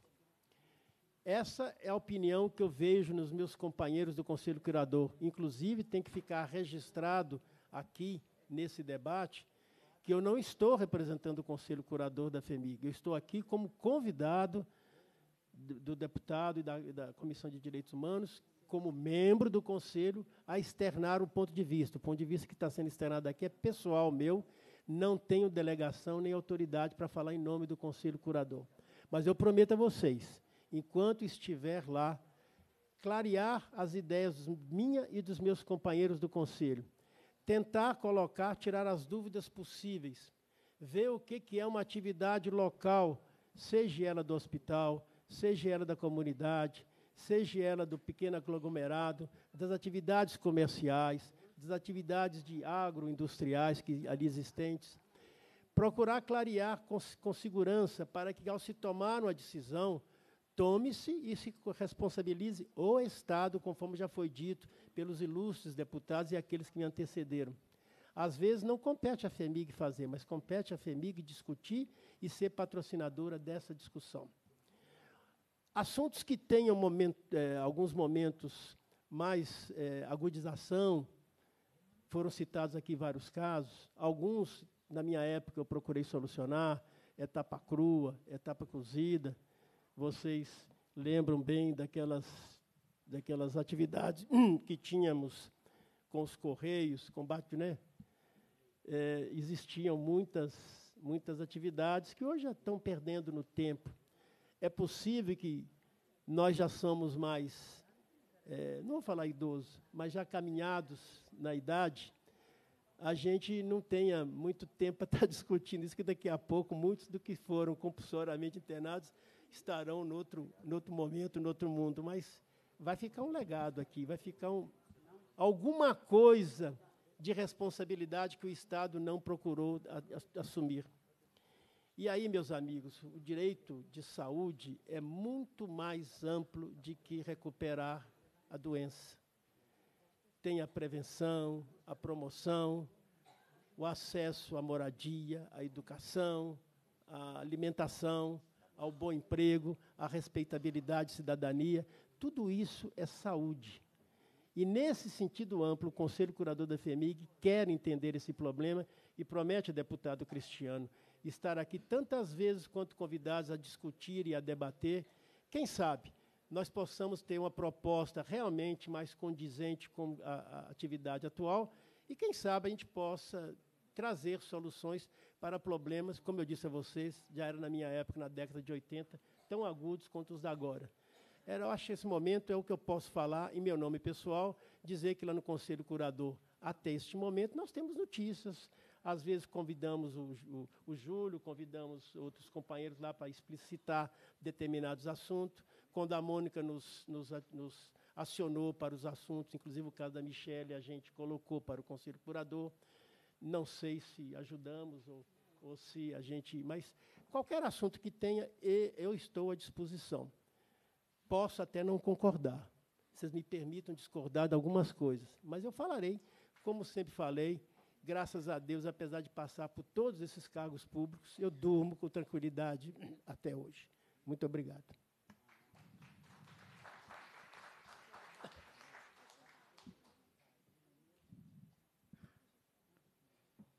Ok, queremos aqui agradecer então as palavras do senhor José do Carmo, que é conselheiro estadual de saúde, junto ao Conselho Curador da FEMIG. Passo a palavra em seguida para o senhor Carlos Alberto Menezes Calazans, diretor-chefe de Relações Sindicais e Trabalhista da Secretaria de Estado de Planejamento e Gestão. O senhor prefere? Pode ser. Ok, então o Calazans está pedindo para se pronunciar mais ao final. Combinei aqui então com o Júlio César Pinto, que é o assessor da presidência da Fundação Hospitalar do Estado de Minas Gerais, a FEMIG, representando aqui o presidente Tarcísio Dairel Neiva.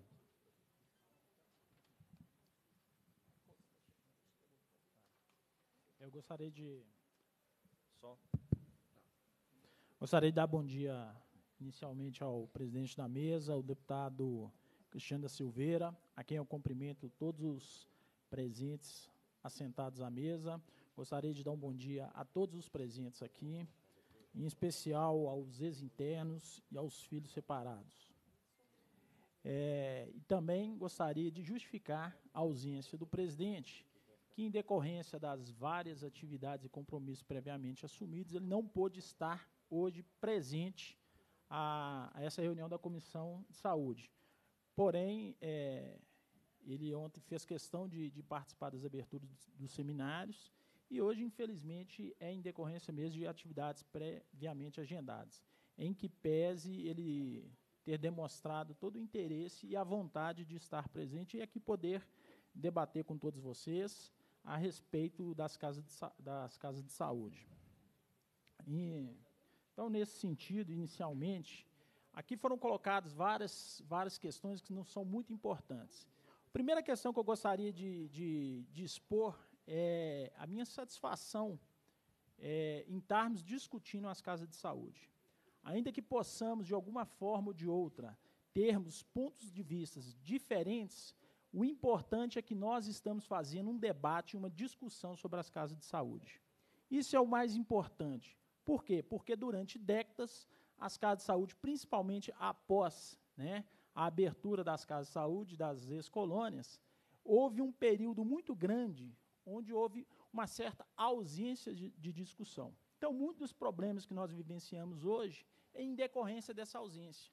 Inicialmente se acreditaram, muitos acreditaram, que com a abertura das colônias, os pacientes, né, os ex-internos, deixariam esses espaços. Mas aqueles que assim o pensaram à época esqueceram que as pessoas que para ali foram segregadas, elas criaram raízes naquela localidade.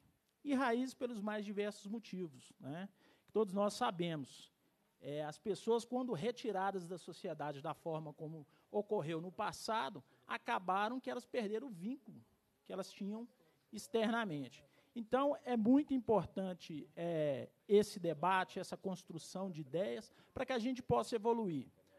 Há uma diretriz muito clara, ela já havia e muito reforçada hoje pelo atual presidente, o doutor Tarcísio, a respeito, que é o seguinte: sempre estivemos abertos para ouvir, estamos abertos para ouvir e vamos continuar ouvindo. Até porque a FEMIG, hoje, nós só somos os atuais gestores.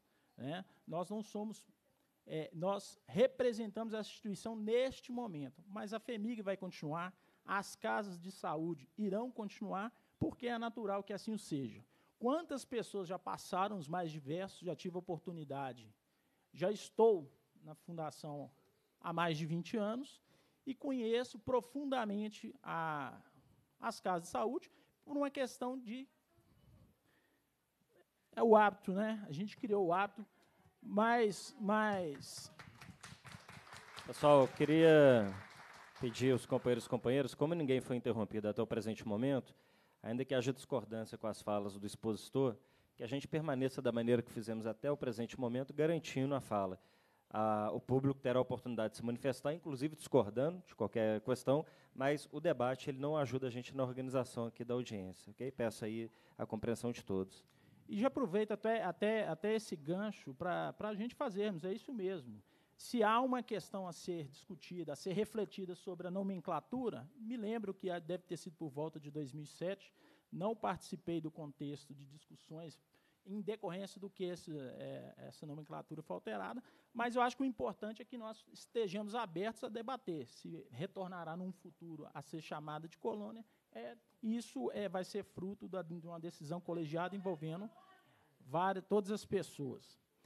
Então, em realidade, aqui várias questões foram levantadas. E uma delas é, diz respeito à regularização fundiária.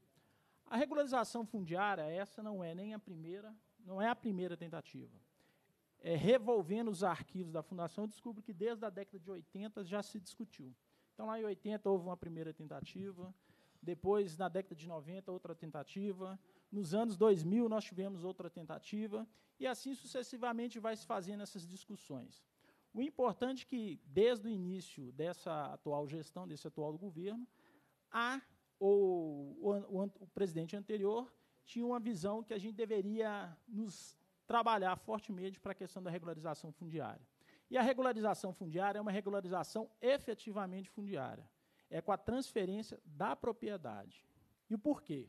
Ontem eu lembro seu, não lembro o teu nome, mas eu lembro da, daquela menina falando ali na, nas aberturas do seminário, e ela trazendo o caso do estado do Rio de Janeiro. Infelizmente, o Rio de Janeiro não fez uma regularização fundiária. Ele deu um título de posse por 100 anos, uma concessão de moradia por 100 anos. Aí, na, na realidade, é um exemplo que a gente percebe que não é aquilo que nós estamos pensando para, para as casas, é, para as atuais colônias. E pensando em qual sentido? A regularização fundiária que nós temos é o seguinte: não se faz regularização fundiária hoje em dia se você não tem um município. Regularização fundiária não é só entregar um título de propriedade do imóvel. Regularização fundiária é muito mais. Regularização, regularização fundiária você discute questões urbanísticas, a questão da inserção daquela, daquela comunidade dentro da cidade formal onde ela se encontra, e uma série de outros elementos de, que têm aspectos jurídicos, urbanísticos e assim por dizer. Então, o que a FEMIG, quando senta com os municípios para fazer essa discussão, é porque o município é um partícipe, ele é uma parte importante desse processo. Não é uma transferência, estamos passando para o município. Isso não é realidade. Quem tem esta fala, eu acredito que é pelo desconhecimento.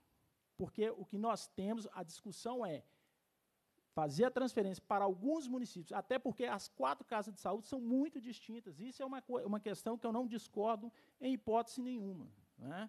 As quatro casas de saúde, cada uma tem uma peculiaridade. Nós vamos olhar Santa Isabel, são 10 mil, são 10 mil pessoas que atualmente ocupam aquele espaço. Na hora que eu vou olhar o bar, ali eu vou ter algo em torno de 3 mil pessoas. Na hora que eu vou em Bambuí, deve ser entre 600 e 800 pessoas. Na hora que eu vou em Três Corações, eu estou falando de 180 moradores. Então, a distinção dessas, dessas colônias é muito grande. Né? As colônias, cada uma tem uma peculiaridade. Então, o que nós temos são as parcerias que nós chamamos. Agora, não haverá nenhuma transferência, o, o deputado, que não seja, um, discutido com o Conselho Curador, que não virá nesta casa, que não deixará de ser feita as discussões dentro é, de audiências públicas. O que exige é um norte inicial. Né? O que a FEMIG tem muito claro é o que é o seguinte: nós pretendemos a transferência da propriedade a todos aqueles que ocupam aquele espaço que já está ali ocupando, porque aquilo já está consolidado. Dois, que haja prioridade em qualquer processo de tramitação, porque quem lida com regularização fundiária sabe que isso é um processo demorado, que a prioridade seja para, para o ex-interno e o filho separado. Entendeu? É prioridade na tramitação. Ou seja, mas nós estamos resolvendo aquela questão daquela realidade. Então, é essas as discussões que são feitas. Não haverá nenhuma transferência para o município que não esteja cercado por lei dentro daquilo que é o objetivo, que é a regularização fundiária e uma série de outros investimentos naquelas áreas remanescentes que possa haver. Então, assim, há um norte inicial que é uma discussão, porque envolve muitos aspectos técnicos. E lógico que tudo pode ser muito bem enriquecido nesse processo. Ou seja, isso não é um processo que está afim. É, peço vênia aqueles que falam que é de afogadilho. Não é. É só igual eu já vi, essa questão de discutir regularização fundiária na, FEMIG é de muitos anos. Nós, desde o início atual, do atual governo, já se faz essa discussão. Então, assim, nós já nos reunimos. Pode-se questionar metodologia, forma, alguma coisa, mas, na realidade, isso é uma questão que tem sido debatida e conversada com todas as pessoas. Então, a esse respeito, a esse respeito, eu gostaria de deixar é, é, é, bem claro essa questão. Lógico que nós temos aqui, também foi levantada uma questão, e aí, deputado, eu acho muito importante, nós precisamos fazer uma reflexão muito profunda, e acredito, e aí pessoal, né, não falo em nome da instituição, mas é pessoal, precisamos fazer uma reflexão com a questão do filho separado. Conheço história de colônia por uma questão pessoal, né, tenho ligações pessoais com isso. E te digo, um dos grandes aprendizados nesses dois últimos anos, a que eu me dediquei um pouco mais ao tema, é de realmente nós. Aí. Companheiros, cê... nós estamos indo bem na audiência. A manifestação do companheiro não, colabora com o nosso entendimento, o nosso forjo de entendimento. Os companheiros são muito bem-vindos e depois terão a oportunidade de se manifestar. Mas o, esse bate-boca ele, ele, não ajuda a gente chegar no, bom termo para o final da audiência. Então, eu quero de novo pedir né, a colaboração de todos, de todas. Volto a dizer, todos foram respeitados nas manifestações até agora. É extremamente possível, legítima a divergência de opinião, né, a não concordância, mas ela tem que ser feita no momento oportuno e de maneira respeitosa. Faço o apelo novamente para que a gente possa dar aqui sequência. Então, é, nessa questão, acho muito importante, porque realmente é, houver alguns avanços, principalmente na questão do ex-interno compulsório, que foi a Lei 10.520. Mas eu também penso que nesse, nessa perspectiva, o governo do, então os governos, a política de Estado, o Estado brasileiro também tem essa dívida. Porque, avaliando a questão dos filhos separados, a gente percebe que a situação para esse grupo ela foi tão mais dolorosa quanto para o, o próprio ex-interno. E aí falo, é porque conheço profundamente. Né? Não quero trazer aqui questões da minha vida pessoal. Isso não é parte. Aqui agora eu estou representando uma instituição. Mas aqueles que não conhecem, depois eu tenho o maior prazer de desnudar a minha história. Então eu não sou, né, eu ali não é em decorrência de nada. Então acho muito importante, fico muito feliz da gente estar fazendo esse debate, aquilo que eu já falei desde o início Ainda que possamos, de alguma forma, divergir de algumas coisas, na essência nós não temos divergência. O que nós queremos é fazer uma discussão profunda e buscar soluções para os diversos problemas que se vêm se arrastando há anos. Né? Desde a década de 80, nós tivemos uma abertura dessa, desses espaços, e esses espaços ainda, nós temos questões que ainda nós não conseguimos evoluir. Né? É, também foram tratadas algumas questões aqui específicas. Eu, eu gostaria de trazer a balha, a título apenas de constatação, não vou entrar em detalhe, nem quero abrir uma divergência, mas é o seguinte: sempre tem sido colocado muito a questão da reintegração de posse. Acho que é, a reintegração de posse específica que ocorreu, ela, tem, ela é dentro de uma característica específica do caso. Pode-se divergir, concordar ou discordar de uma série de questões. Eu não vou entrar. Mas essa questão, e aí eu gostaria só de registrar, deixar registrado. Um, existe procedimento interno na FEMIG que está apurando isso. Então, isso existe, está lá. E outra coisa, essa questão como outras questões foram levadas em decorrência das várias audiências públicas realizadas nessa casa, na Assembleia, ao conhecimento do Ministério Público. E o Ministério Público, em inquérito civil que foi instaurado, e aí o Ministério Público é algo externo de controle da administração pública, ele arquivou o procedimento no sentido de não encontrar alguma irregularidade. Não estou aqui discutindo a questão de legitimidade, como vai se fazer isso. Tanto é que hoje há uma orientação, e eu com, com, e votei favorável a essa orientação, no sentido que todos os casos hoje que estão dentro das, das colônias se discutindo a reintegração, que a gente tenha isso suspenso. Por quê? Nós estamos fazendo uma discussão muito maior, que é uma discussão de regularização fundiária. Então, gostaria de deixar registrado aqui essa questão. O Ministério Público, e dentro disso também, o Ministério Público investigou várias outras questões. Então, existe o procedimento, e isso foi instaurado lá na cidade de Três Corações. Né? Uma questão que eu realmente já vasculhei, é, procurei lá dentro dos, dos, guardados da fundação, não encontrei, é este projeto que é sempre muito falado em audiência, que tem um projeto, que tem um projeto. Aí, na realidade, eu procurei. Neste governo, nós fizemos um ofício dirigido a, às pessoas pedindo uma cópia desse, desse, desse documento, eu não encontrei. Eu só estou querendo deixar pontuado isso porque há uma fala, e eu não, não, nós não retiramos nunca a legitimidade daquilo que é discutido.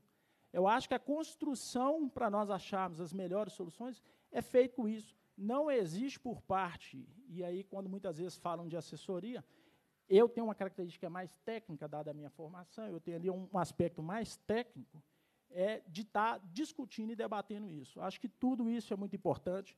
O doutor Tarcísio está extremamente, é uma ordem, é uma determinação dele, no senti sentido que a gente tem que ouvir e buscar soluções. Acredito que desse seminário irão sair novas ideias, é isso mesmo, nós temos que fazer a discussão.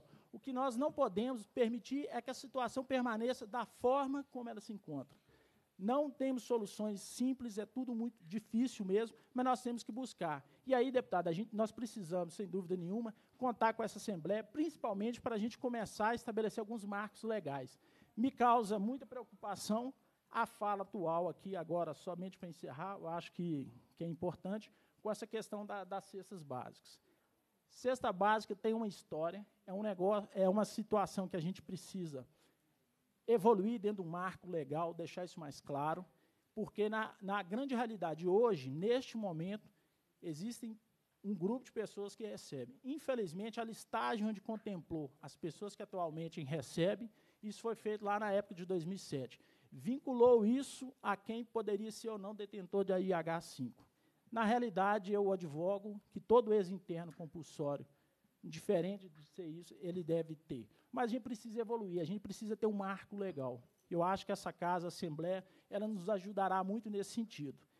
E é lógico que havendo, aí pode-se fazer outras discussões de ampliar esses direitos a também aos filhos separados, outras pessoas. Agora, nós precisamos dessa casa normatizando, precisamos de uma política dentro das limitações que tem hoje, orçamentárias e financeiras do governo, a gente tentar ampliar. O que a FEMIG existe é que ela está aberta a receber todas as sugestões e o presidente, isso é muito claro, ele está aberto e ele, a intenção é poder atender tudo aquilo que for dentro da, né, nós legalmente estivermos autorizados.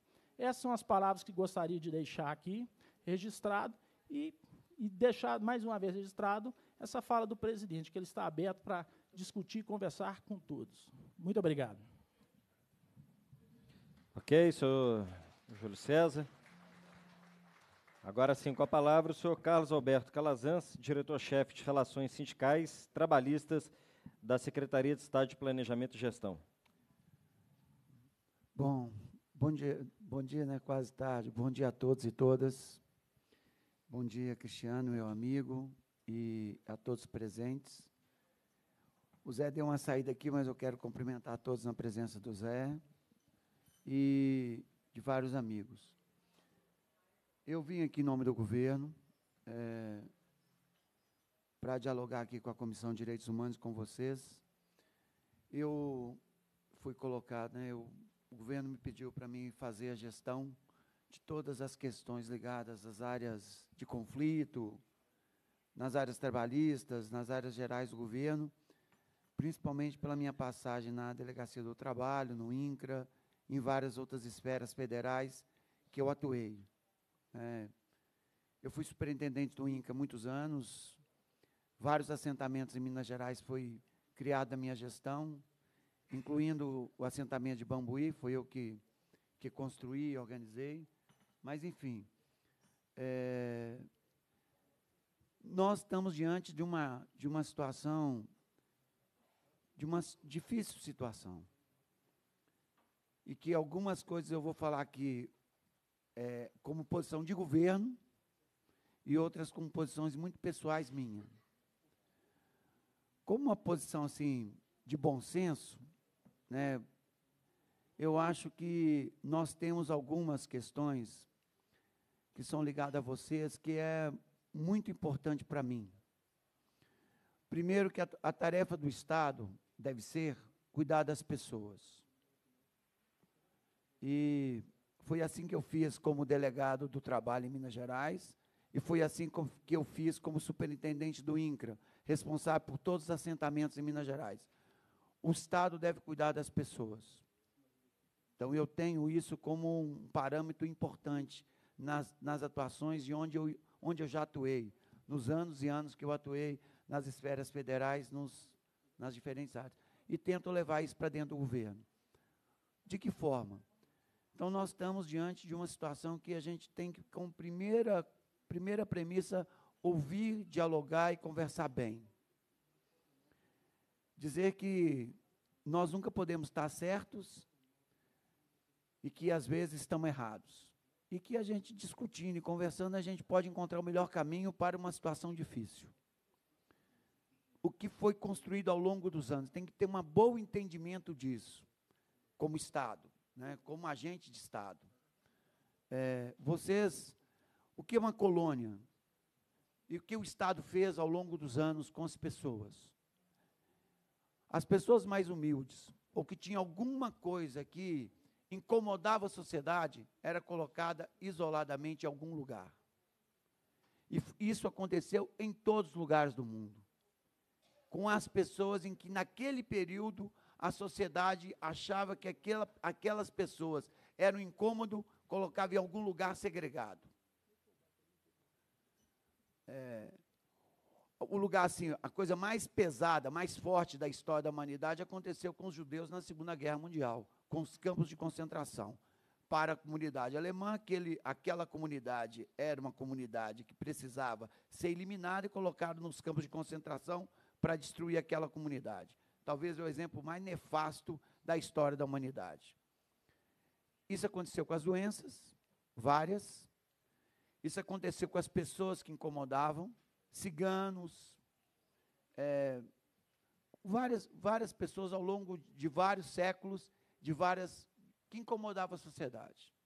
Isso aconteceu também com uma, com, no Brasil, e os exemplos assim, mais, mais fortes são com as, as, as doenças mentais, Ou seja, tudo era um motivo que aquela pessoa incomodava aquela pessoa e colocava segregada em algum canto, em algum lugar.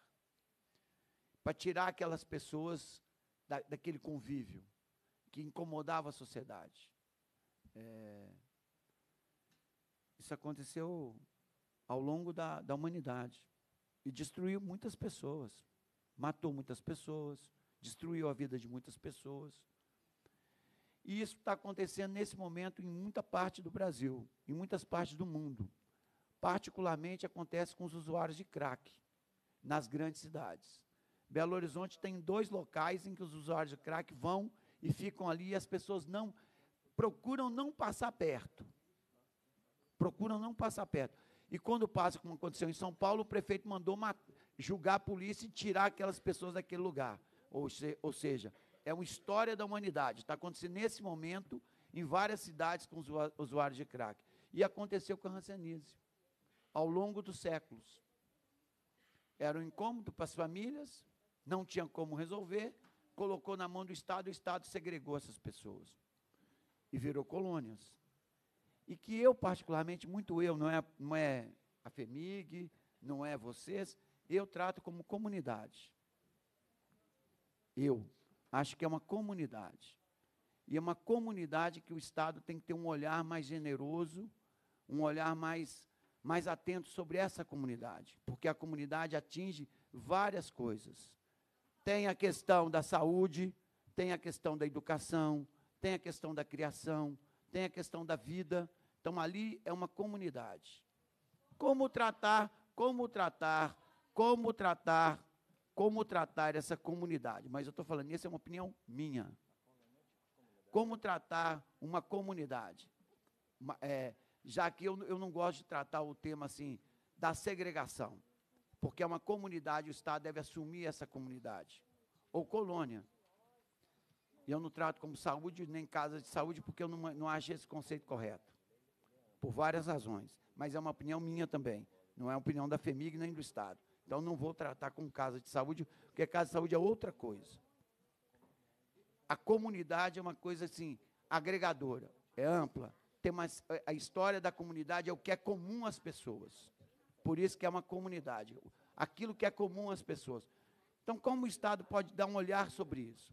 Pois bem, é, mas isso é só um conceito. Pode, pode também ser colônia, mas é um conceito. O conceito que é comum é um conceito mais generoso. Mas isso é um debate. Como nós estamos no seminário, é bom discutir. Primeiro é tratar que as pessoas nunca são o porta-vozes da verdade. E você tem que ouvir as coisas e ouvir os argumentos. Então, se o Estado segregou como política de Estado, ao longo, da, ao longo dos séculos, as pessoas, como que o Estado pode resgatar essas pessoas?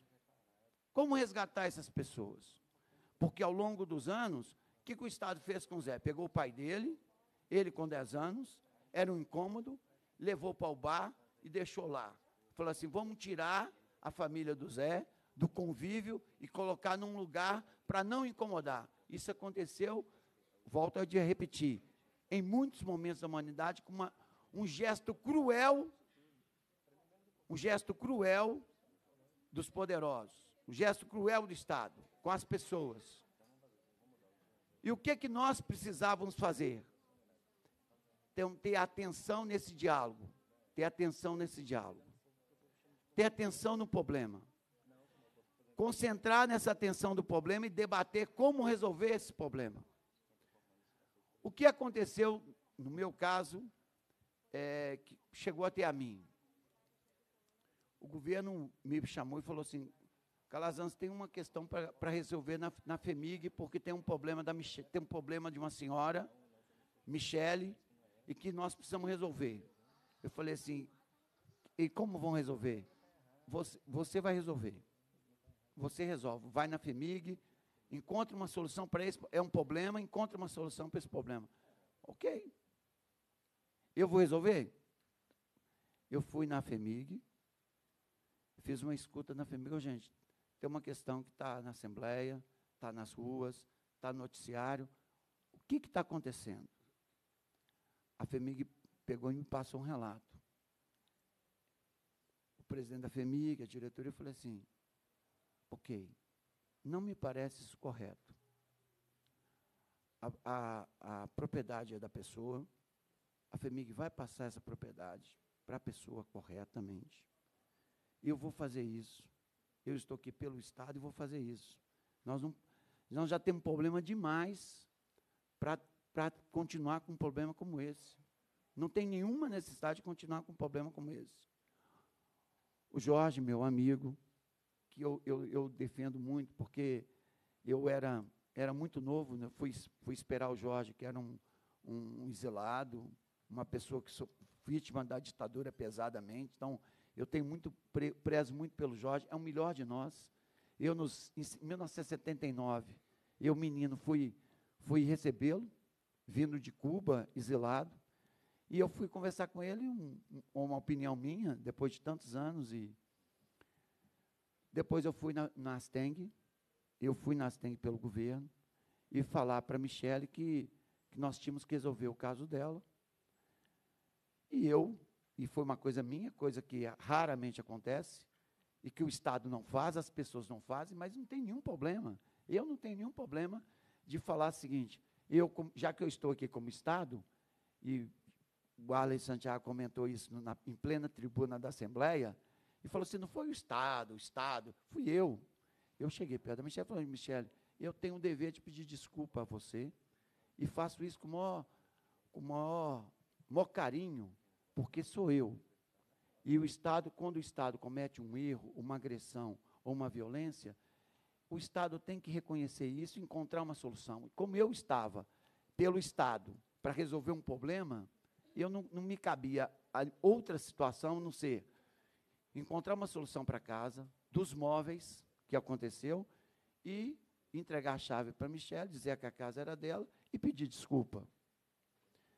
Esta agenda da colônia, dos problemas da colônia, esta agenda dessas comunidades, dessas pessoas, eu, eu não voltei a tratar diretamente.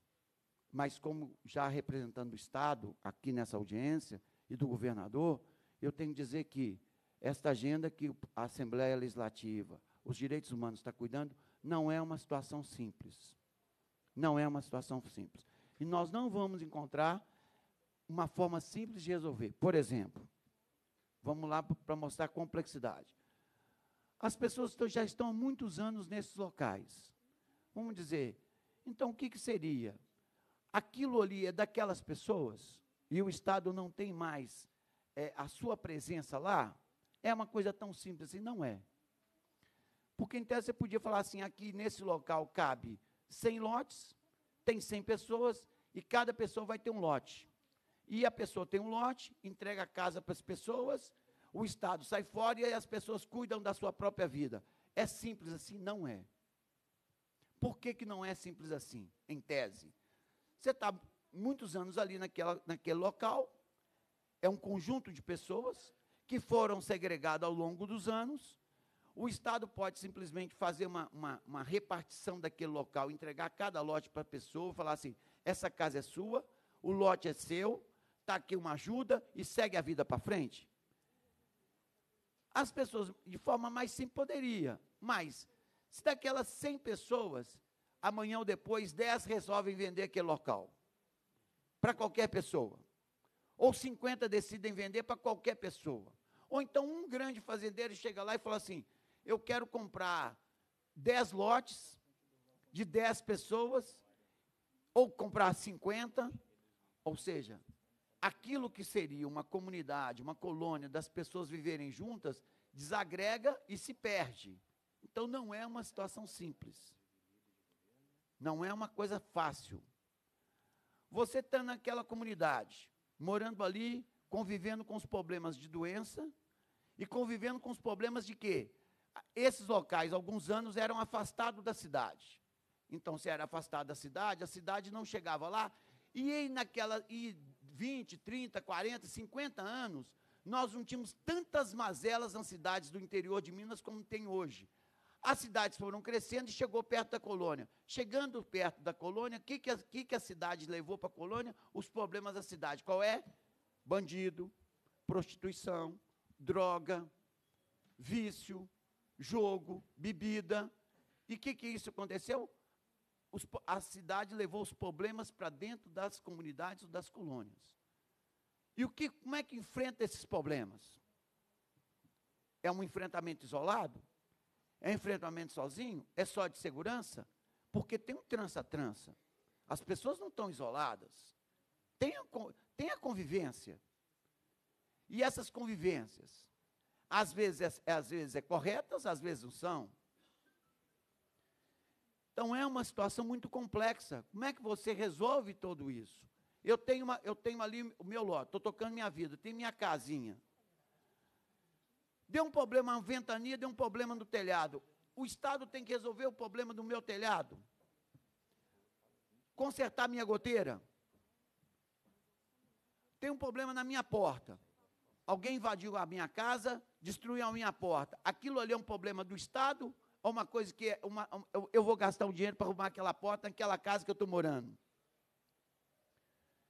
O fato é que nós temos muitas, ques- muitas questões e que só vamos encaminhar com bom senso, inteligência, com cuidado, principalmente o Estado conversando com as pessoas, conversando com as pessoas. Não pode, não pode isolar e separar as pessoas. Não pode virar as costas. Por quê? Isso aconteceu ao longo dos anos. Foi muitos anos. E aí o que, aconteceu? Os mais idosos, os mais idosos foram passando, os filhos foram chegando, que é o caso do Zé, que é o caso do pai dele, os netos foram chegando e vivendo naquele momento, vivendo naquele ambiente, foram vivendo neste ambiente. E como melhorar esse ambiente? Como dialogar com esse- esses, ambientes? Você faz dizer, é correto o Estado reconhecer o seguinte: o que nós fizemos com a família sua foi uma violência. O que nós fizemos com a sua família foi pegar a sua família, levar para um local e julgar vocês nesse local. O Estado reconhece isso? Então, isso vale quanto? E nós vamos pagar uma indenização porque o, o Estado fez isso ao longo dos anos? Fez isso com essa família? Então, separou as famílias, separou filhos de mães, separou mães de pais. E o que, que o Estado vai fazer? Vai reconhecer e pagar uma indenização para isso? É correto isso?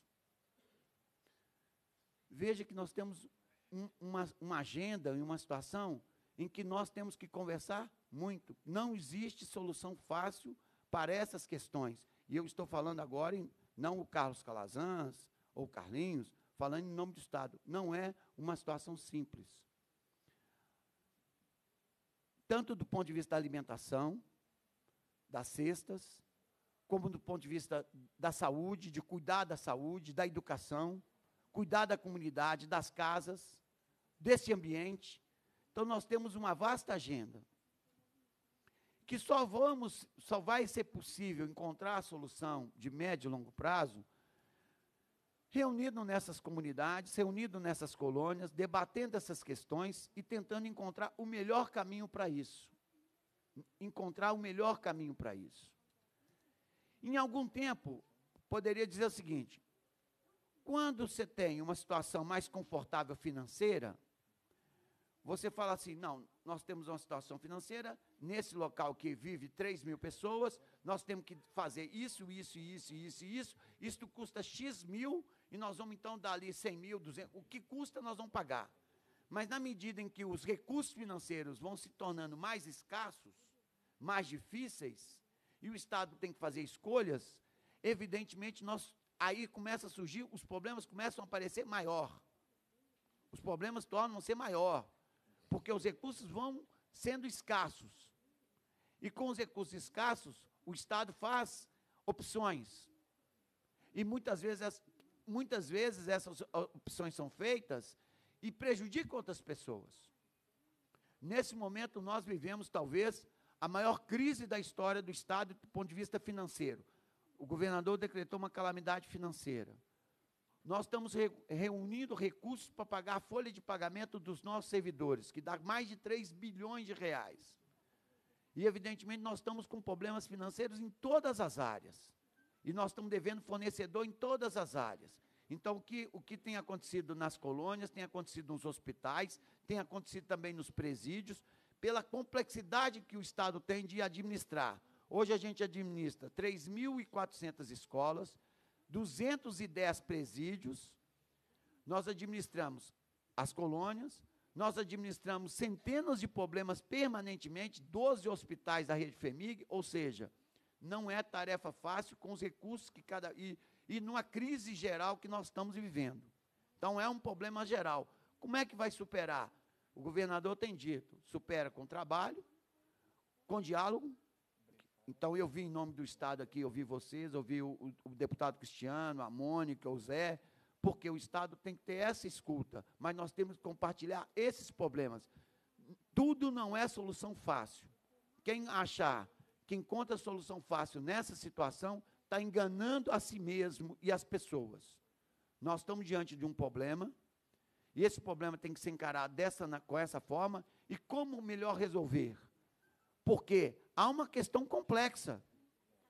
Porque nós não estamos vivendo há 30, 40 anos atrás com a sociedade brasileira de, uma, de um jeito. Nós estamos vivendo uma situação completamente acelerada. Os jovens hoje têm outras, outras prioridades, tem outras, outras motivações, os, inclusive os que estão vivendo nas colônias, tem outros, outro, outro padrão de ver as coisas, os, os mais velhos têm outra visão, isso gera choque, a cidade está chegando perto da colônia com todos os seus problemas, então nós estamos diante de um problema muito sério.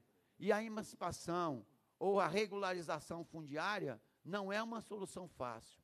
Eu, como superintendente do INCRA, tentei fazer algumas emancipações e alguns assentamentos, que os, os assentados chegavam para mim e falavam assim, doutor Calazans, nós estamos ali no assentamento há, há 40 anos, o, tudo que nós queremos é o títulozinho da nossa propriedade. Eu falei, não tem problema, eu vou organizar quantos vocês são? Nós somos 100, eu vou dar 100 títulos de propriedade.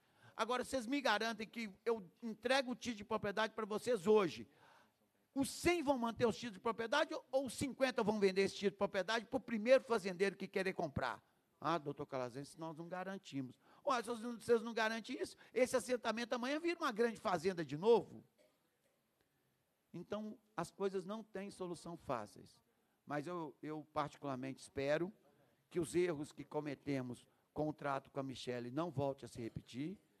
Essa situação nós não vamos resolver com arrogância e nem com petulância.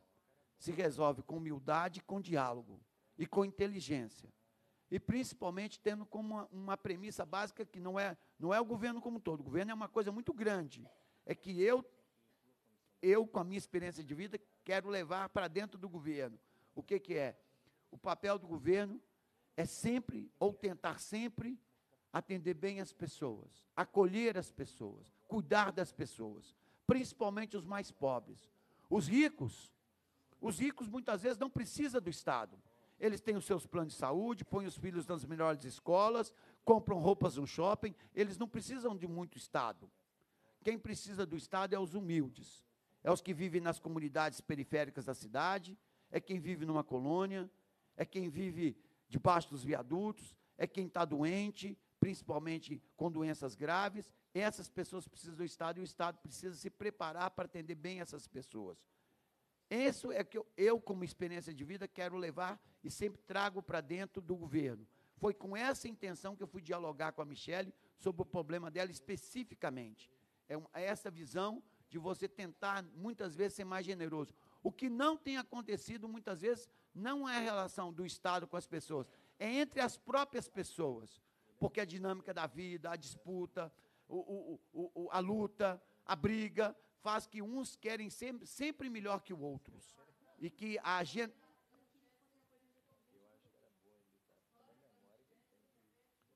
Então, então, então, o que nós temos que fazer é sempre ouvir e tentar encaminhar bem as questões. Eu, eu como Estado, é sempre ouvir as pessoas e sempre encontrar solução para as coisas. E, e, eu sempre faço isso. Todos que me, todos que me conhecem sabem disso nesta minha luta. Eu, eu, particularmente, na minha vida, só não encontrei uma solução até hoje. Uma. E que eu não tive apoio do Estado, não tive apoio de ninguém. Ou seja, eu não consegui colocar os assassinos do meu pessoal do Ministério do Trabalho ainda na cadeia, porque em tese, eles são muito poderosos e mataram meu pessoal, não consegui colocá-los na prisão até hoje. Mas um dia eu ainda coloco o, Antero Mânico, o Norberto Mânico, que mataram meus auditores fiscais na prisão. Mas é o único caso que eu ainda não. Os outros a gente sempre consegue, em como Estado, a gente consegue ouvir. Então, teve esse caso, a gente foi lá, ter atenção, ter o cuidado de tentar encontrar a solução, etc. Como é isso? Um seminário é feito por quê? Você tem um grande problema, pelas contas que o pessoal me passou aqui, nós somos o quê? 14 mil pessoas. É muita gente. Né? 14 mil pessoas. Em que pese o Zé tem falado comigo, que a, a colônia Santa Isabel, hoje, assim, tem, é, é, os números são controversos da colônia Santa Isabel pela complexidade que envolve lá. Ou seja, é a cidade, né, a, cidade é colônia. Né, o Zé tem alertado isso. Mas, de qualquer forma, você tem 14 mil pessoas com muitos problemas, né, com muitas coisas complexas. Como é que o Estado vai lidar com isso cotidianamente? Com recursos, com finanças, com atenção, com conflitos dentro das próprias comunidades. Claro que tem conflito. Claro que um quer mais que o outro, claro que tem briga. Lógico que tem briga. Onde tem ser humano tem briga, tem confusão. É, isso sempre aconteceu na história da humanidade. Claro que deve ter conflito, claro que deve ter confusão em muitos lugares entre as pessoas. Como é que o Estado vai administrar isso e essas questões complexas? Então, tudo é muito difícil. O que não pode acontecer é ter a paciência de ouvir, ent entender o problema e tentar encontrar uma solução. Porque se a gente tiver essa paciência e inteligência como Estado, a gente sempre tem que encontrar uma solução, principalmente isso não é sempre, não é com todo mundo, inclusive dentro do próprio governo, mas, no meu ponto de vista, deve sempre que, já que, te, é, historicamente, a tendência é sempre falar assim, ah, mas o barco sempre pende por mais poderoso, por mais forte. Se a gente é Estado, a gente tem que fazer, tentar fazer o diferente. O que, que é? O Estado tentar fazer que as coisas pendem para o lado mais fraco, por mais humilde. Por isso que eu, como Estado, e eu acho até que algumas pessoas do próprio Estado, do governo, pode não ter gostado, eu, como Estado, chegar perto de uma pessoa humilde, perto de uma simples mulher e falar assim: o, o governo está pedindo desculpa. Isso nunca aconteceu, porque o governo é muito arrogante, nunca erra, é poderoso. Eu não tenho problema nenhum disso. Eu não tenho problema nenhum disso. Então, eu acho que é com essa, é com essa capacidade e inteligência é que a gente deve dialogar com a comunidade, com a colônia, tentar, tentar entender, inclusive, isso que a Mônica disse, e eu escutei com atenção. O que, que é? Cada lugar é um lugar diferente. Para concluir, companheiro? Cada lugar é um lugar diferente. Todos os lugares não são iguais. Cada pessoa é diferente da outra, porque as pessoas também não são iguais. Então a gente tem que tratar isso com muita atenção. Então, tendo isso como premissa, tendo essa ideia geral como base, como nós vamos enfrentar esse problema das colônias? Como nós vamos construir uma, um, um, uma, uma, uma agenda mais positiva em que as pessoas, as pessoas, elas ao mesmo tempo ganham autonomia, ganham maior autonomia, ganham maior capacidade financeira, ganham maior projetos. Então é claro que o Estado tem que entrar nisso como Estado e dialogar com, com a organização de vocês, com as TENG, com as, as comunidades, com as organizações, de que forma? Criar, mo, criar meios, viu, uh, viu, Cristiano? Colocando isso como uma premissa básica.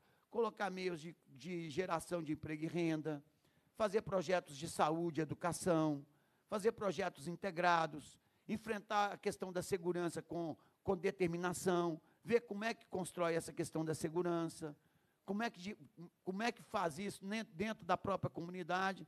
Então, nós temos uma agenda grande, que nós só vamos resolver se não ficar assim. Ah, tem esse pessoal do governo aí, e esse pessoal só quer nos, nos lascar. E tem nós aqui, e nós temos que enfrentar esse pessoal aqui. Eu não trabalho com, esse, com essa ideia. Eu trabalho com a ideia de que existem nós do governo que queremos solucionar um problema que é grave, Existem vocês que necessitam, que precisam, por isso que nós temos que encontrar um bom caminho para a gente fazer um melhor trilha e o melhor caminho, sabendo que nós somos passageiros e o que nós plantarmos agora, outro governo vai colher. E aí nós temos que agir como Estado, porque eu quero construir um projeto junto com a Assembleia, junto com a Asteng, junto com vocês, um projeto para a colônia que seja permanente, que seja de longo prazo. E eu estou falando isso em nome do governador, em nome do governo de Minas Gerais.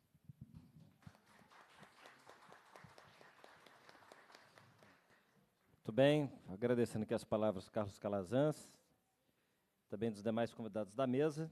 E agora nós vamos passar para a fase das inscrições. Né?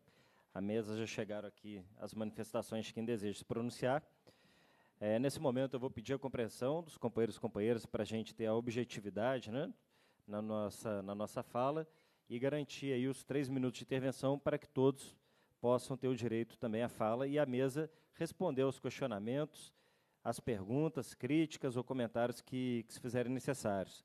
A primeira escrita é a senhora Marilene Gomes de Melo, que é da colônia Bambuí. E, em seguida, o senhor José Donizete Correia, da colônia Três Corações. Senhora Marilene, Marilene pode usar aqui o microfone. Cadê o microfone? Aqui, nós temos aqui o microfone aqui, ó. Boa tarde. Já tá, ah, já chegou? Ótimo. Obrigada. Ok, Marilene. Boa tarde a todos. É, eu sou da colônia de Bambuí. Eu gostaria de questionar em relação à etapa cozida, que foi me te dar o direito, porque a ex-diretora me deu o direito, porque eu convivo com a renda mensal de 450 reais por mês. Aí ela me deu o direito à etapa cozida, mas sem nenhum documento.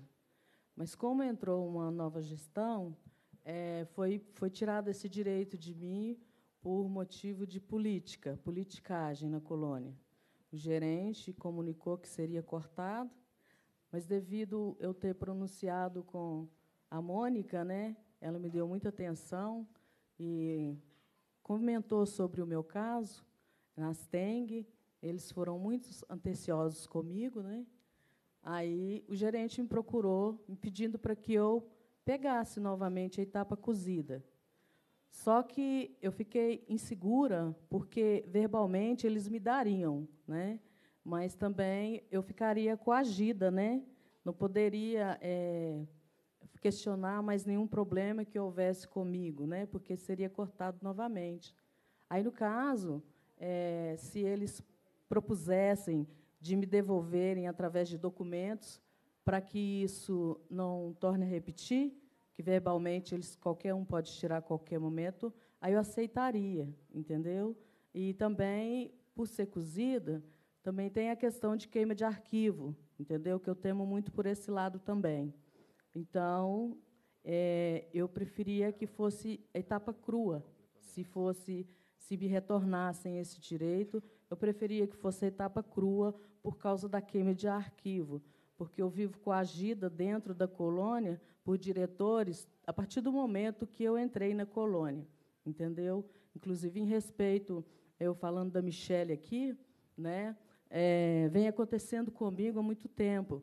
A primeira oportunidade que eles podem, eles fazem de tudo para me pressionar para que eu desista de estar morando no local, entendeu? Inclusive é, está havendo a construção de um asilo é, na minha área lá, e eu fui conversar com o diretor, né, ele falou para mim que, é, se precisasse o projeto da obra ocupasse o espaço que eu moro, que eles me tirariam de lá e que eu, entrasse na justiça e fosse brigar com o governo por esse direito e que o governo me indenizasse depois, sem pensar na minha situação e até que, que fosse provado que é, eles teriam direito de fazer isso, como eu continuaria a, a minha sobrevivência no local.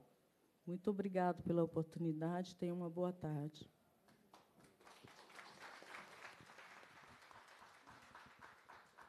Ok, Marilene.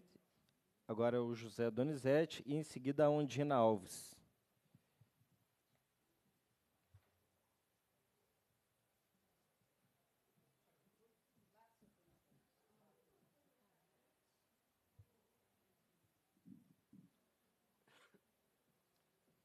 Quero agradecer ao excelentíssimo deputado estadual, doutor Cristiano, por essa oportunidade, presidente da Comissão de Direitos Humanos, essa oportunidade. Meu nome é José Donizete Correia, sou de Três Corações. Eu, na verdade, não sou nem interno, nem filho. Mas o meu irmão Luiz Antônio, que está aqui, trabalha na colônia em Três Corações, enfermeiro lá, técnico de enfermagem, há praticamente 30 anos. Está sofrendo ameaça de morte. Já mandei fazer o boletim de ocorrência por um morador lá que está sendo induzido, é, quiçá, por pessoas. Nós vamos pedir a investigação do Ministério Público. Ele está ali, já mandei fazer o boletim de ocorrência, está sofrendo ameaça de morte, porque ele intervém nos assuntos da colônia, lá de Santa Fé.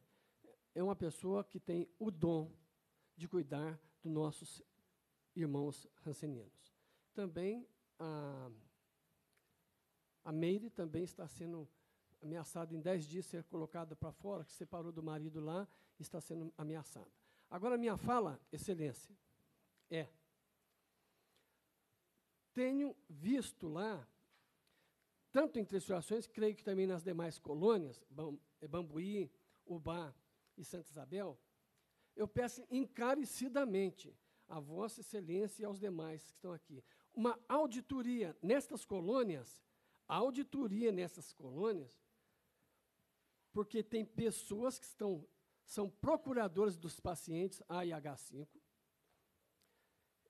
é, estão recebendo por eles e duvido se estão prestando conta do erário que estão pegando desses pacientes que são A e H5, não tem condição alguns de gerir. Aquele que não tem condição, obviamente, tem que ser curatelado uma, pela justiça.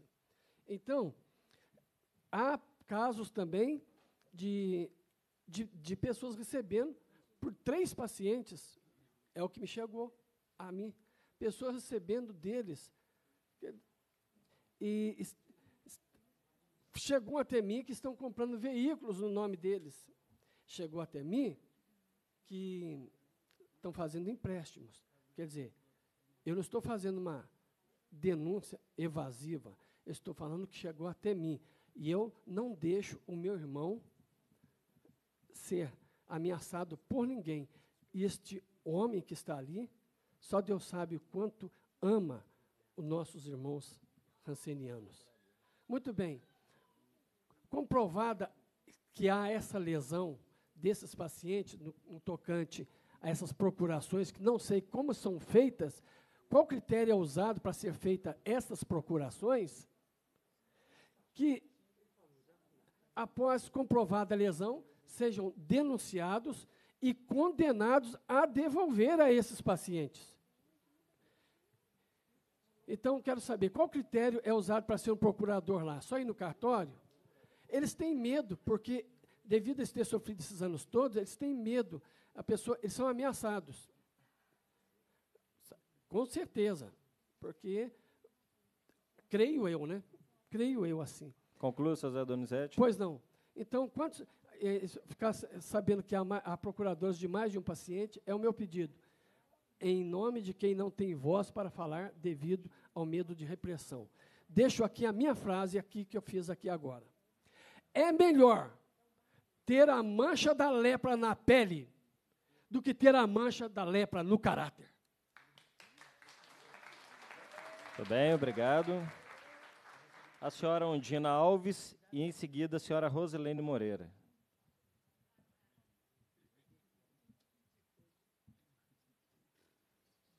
Boa tarde a todos. Meu nome é Ondina, eu sou enfermeira na colônia Padre Damião de Ubá, mas eu, estou, vou estar falando em referente à assistência, mas eu quero que se estenda não só a questão de Ubá, porque, pelo todas as falas aqui, essa questão da assistência estão nas colônias. Como o lema é a colônia é nossa, somos todos colônia, então que seja visto né, a questão da assistência em relação a todas as colônias. Na colônia de Ubá, que eu estou né, atuando, eu quero estar falando o seguinte: nós estamos, os nossos pacientes estão tendo muitas dificuldades referente a atendimento, assistências de consultas especializadas, exames, dificuldade de marcação, porque são, são pactuadas alguns, algumas consultas, só que através da Policlínica Regional da cidade, e que todos conhecem né, como funciona. Muitas vezes, quando se consegue, o paciente já não está mais precisando, ou precisava tanto que já não está mais presente. Então, nós precisamos estar melhorando isso. Então, e uma questão que eu quero estar colocando é o seguinte: nós temos esse conflito de, né, dessa necessidade, mas que não está tão difícil de ser resolvida. Por quê? De um lado, nós temos nossos pacientes prejudicados. Do outro, nós temos a sorte de termos, lá na colônia Padamião, na área externa, o Sim Saúde, que é um consórcio, né, onde tem toda essa assistência que nós precisamos, mas nós não temos acesso a ele. Então, o que a gente quer pedir é o seguinte, aos gestores da FEMIG, juntamente com a direção, que esteja, né, que pegue as rédeas dessa situação e veja uma possibilidade de estar resolvendo essa questão, que seja através de, de convênio, alguma coisa, mas de uma forma direta, onde a gente pode estar tratando esses, essas questões dos nossos pacientes diretamente no consórcio e que possa ser resolvido, porque é um tremendo absurdo a gente ter a consulta, né, como diz outro, no terreiro de casa e os nossos pacientes ficarem à míngua necessitando dessa assistência. Então, a nossa colocação referente lá é nesse sentido. Queremos que seja né, atuado, não dessa forma via policlínica de municipal, mas sim direto, FEMIG com consórcio, que a gente possa estar resolvendo essa questão de forma direta na instituição, que vai estar resolvendo para os nossos pacientes, para os nossos moradores. Então, a gente precisa disso. E eu quero reforçar também sobre, sobre a questão da, da né, só da, né, que está sendo falado sobre essa questão das casas, que nós temos prioridades melhores do que isso. Né? Precisamos de escolas, de melhorias na comunidade, e não dessa questão de estar tá, é, dando título para os moradores. Nesse momento, não é o mais importante para, para os moradores isso. Então, que seja visto as necessidades internas das colônias e não a questão de títulos, como todos já estão falando aí. Eu reforço a nossa defesa contra isso neste momento, que seja melhor avaliado e melhor discutido. A colônia é nossa. A colônia não é do diretor, não é da FEMIG, não é do governador. Então, que sejamos vistos da melhor forma uma questão mais humana para resolver as questões dos nossos moradores, dos nossos pacientes da colônia, de todas as colônias. Obrigada. Obrigado, senhora Ondina. Agora escrita a senhora Rosilene Moreira e depois a senhora Raquel Aparecida.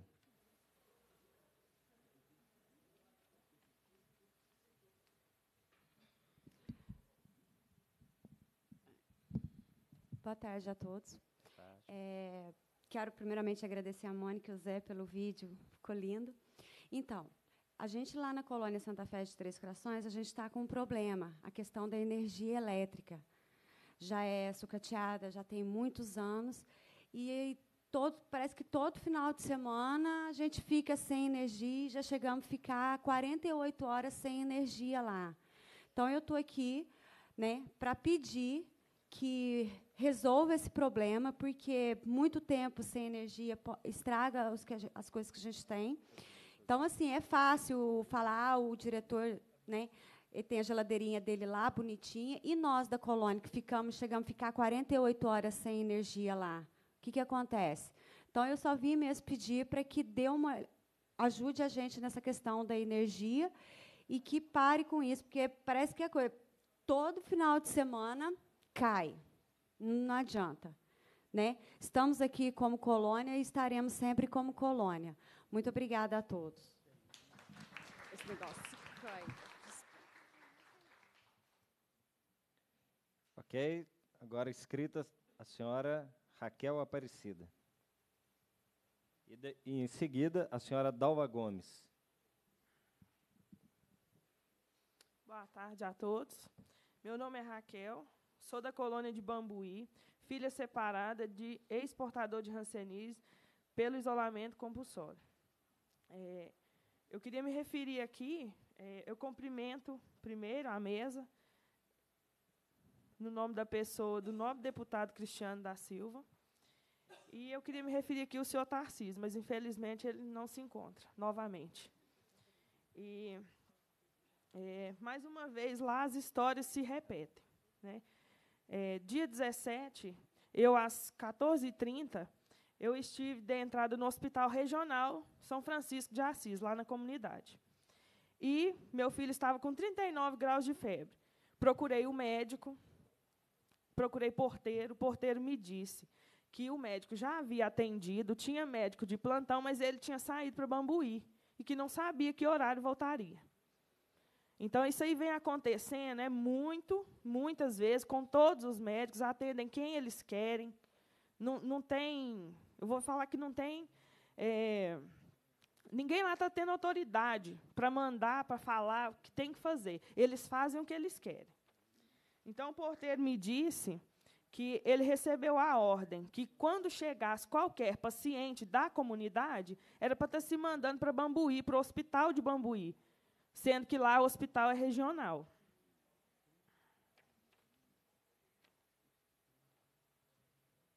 Porque eu, no momento, eu tive a condição de me deslocar da comunidade para Bambuí, levar meu filho. Imagine as pessoas lá que não têm condições, não têm carro, têm que fretar ônibus para estar tá procurando uma, uma saúde, para estar tá procurando um médico. Sendo que os médicos estão em Bambuí, ou dormindo, ou passando um momento de lazer, sei lá, não sei o que, que eles estão fazendo, não. Mas somem. Você vai lá procurar, não tem ninguém.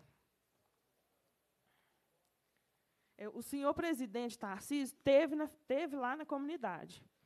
E tudo se piorou depois que ele foi lá. Ao invés de melhorar, tudo se piorou. Por quê? Estão fazendo retaliação, sim. Comigo, com o senhor Raimundo, com o senhor Dedé, que está aqui, o senhor Manuel. O senhor Raimundo, que esteve aqui com a gente na frente parlamentar da, da Segurança Pública, na outra vez que a gente esteve aqui, ele teve chegando lá na FEMIG, lá na comunidade, ele teve a sua etapa crua cortada. Ele já é um senhor de 83 anos. Ele foi cortado porque ele veio com a gente. Porque ele, ele não tem ninguém por ele. Então, eles cortaram a dele. Porque se fosse de, um, de uma pessoa que entende do assunto, ia lá, ia brigar, ia falar. E ele não. Ele, não, ele simplesmente aceitou, porque ele vai fazer o quê? Ele não tem voz. Ninguém ouve ele. É, e a perseguição política lá não para. É, minha mãe, há mais de 20 anos, vem implorando pela sua troca de etapa cozida para crua. Ela tem condições de cozinhar. Isso ela vem pedindo há anos e nada. E eu trouxe aqui hoje até um documento que o, o, a chefia do SND lá da FEMIG, eu procurei ele, ele simplesmente me falou assim, é, você pode me trazer um ofício, faz um ofício, traz ele, que eu vou mandar para a FEMIG, porque não sou eu que vou resolver esse problema. Eu falei, mas não é você o chefe? Ele falou, mas não sou eu, eu tenho que mandar para lá. Aí o que, que acontece? Ele não manda para aqui, não. Primeiro ele vai na direção. Se a direção gostar de mim, ele vai lá e manda trocar, porque já trocou várias. Aí, se não gostar de mim porque eu venho aqui e dou minha cara para bater e falo, que está errado, aí ele não aceita, como ele não está fazendo isso com a minha mãe. Não aceita. E tem mais cinco pessoas na lista junto que também quer a troca, só que não tem ninguém por elas. E ele pediu que eu trouxesse, que eu fizesse o papel, fiz uma segunda via, está aqui assinado por ele, o ofício dele, que ele pediu, pedindo para trocar, e dizer que ia demorar muito, que eu podia até né, desistir.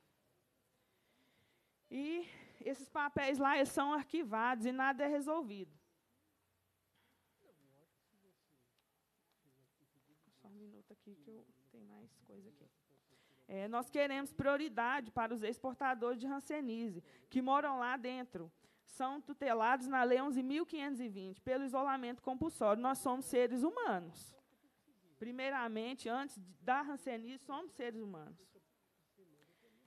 E eu venho aqui, eu queria expor rapidinho, é o, o caso do senhor Dedé. O que, que aconteceu?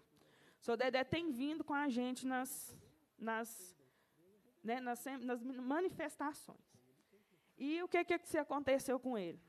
Eu fiquei sabendo por aí, né, que a gente sabe de muita coisa, que o senhor Tarcísio esteve falando que o caso do senhor Dedé, que eu vou acabar de falar, é, que ele, ele falou que o senhor Dedé lá, ele é, tipo que falou que ele é um bandido lá na comunidade, que ele invadiu a comunidade.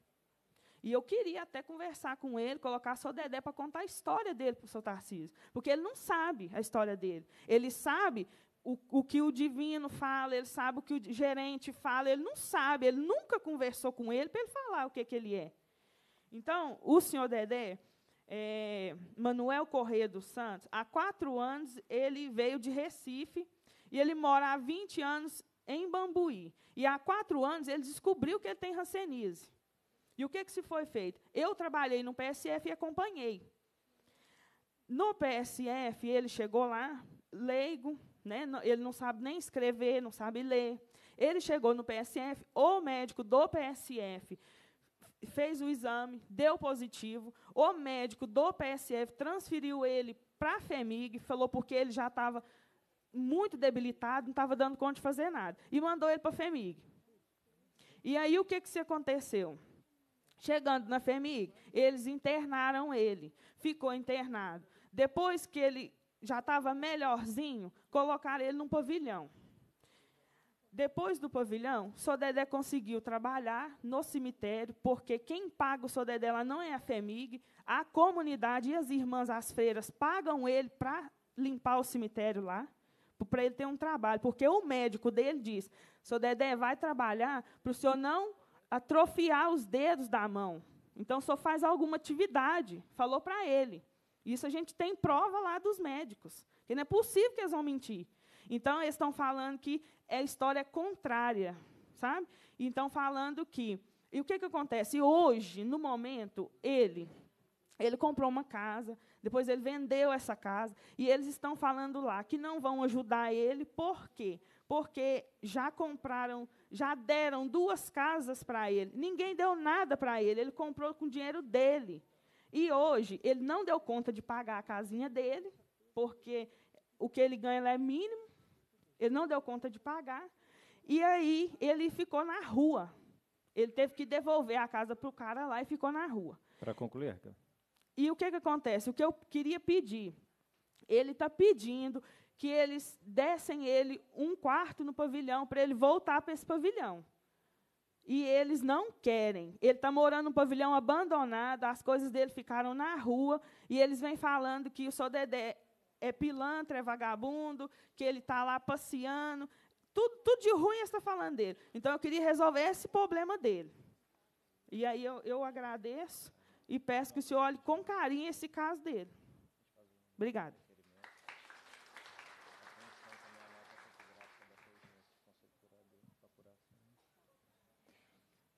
Agora sim a senhora Dalva Gomes e depois o senhor Carlos Augusto Braz.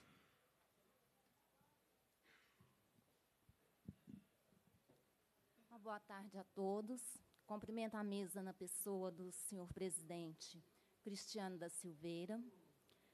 Senhor presidente, a minha pontuação aqui vai ser a questão dos filhos separados. Como todos sabem, a gente está nessa luta há anos. É, eu sou uma representante de filhos separados da comunidade São Francisco de Assis represento também a nível nacional, represento também o Conselho de Segurança Pública da minha cidade, CONCEP de Bambuí. Eu venho trazer aqui em mãos um ofício em relação aos filhos separados de todo o Brasil. Eu não estou colocando do Estado, não, estou colocando de todo o Brasil. Eu vou ler o ofício aqui agora. Senhor presidente Cristiano da Silveira, em cordial visita a esta casa, venho solicitar o envio do dossiê dos filhos separados pelo isolamento compulsório para a Comissão Interamericana de Direitos Humanos e denunciar esse crime hediondo ao mundo, às Nações Unidas, com o intuito de cobrar rigorosamente e respeito esses atingidos pelo mal do isolamento compulsório. E detalhe, fomos novamente injustiçados na Lei 11.520, que não reconheceu a bárbare sofrida pelos filhos separados dos, do país e pelo isolamento compulsório. Então, nós pedimos ao líder do governo, o nobre deputado Durval Ângelo, presidente da Frente Parlamentar de Direitos Humanos, esse apoio para enviarmos o dossiê e protocolarmos essa ação bem como a possibilidade de não de um agendamento da Comissão de Direitos Humanos junto ao Supremo Tribunal Federal, contando com a presença de uma comissão de filhos separados pelo isolamento compulsório, aliado à implantação de uma frente parlamentar que os ampare no estado de Minas Gerais. Sou grata a Vossa Excelência pela atenção que for dispensada a este pleito. Com a expressão da minha elevada estima, subscrevo. Dalva Gomes de Oliveira e vou passar o ofício à vossa autoridade. O meu muito obrigada.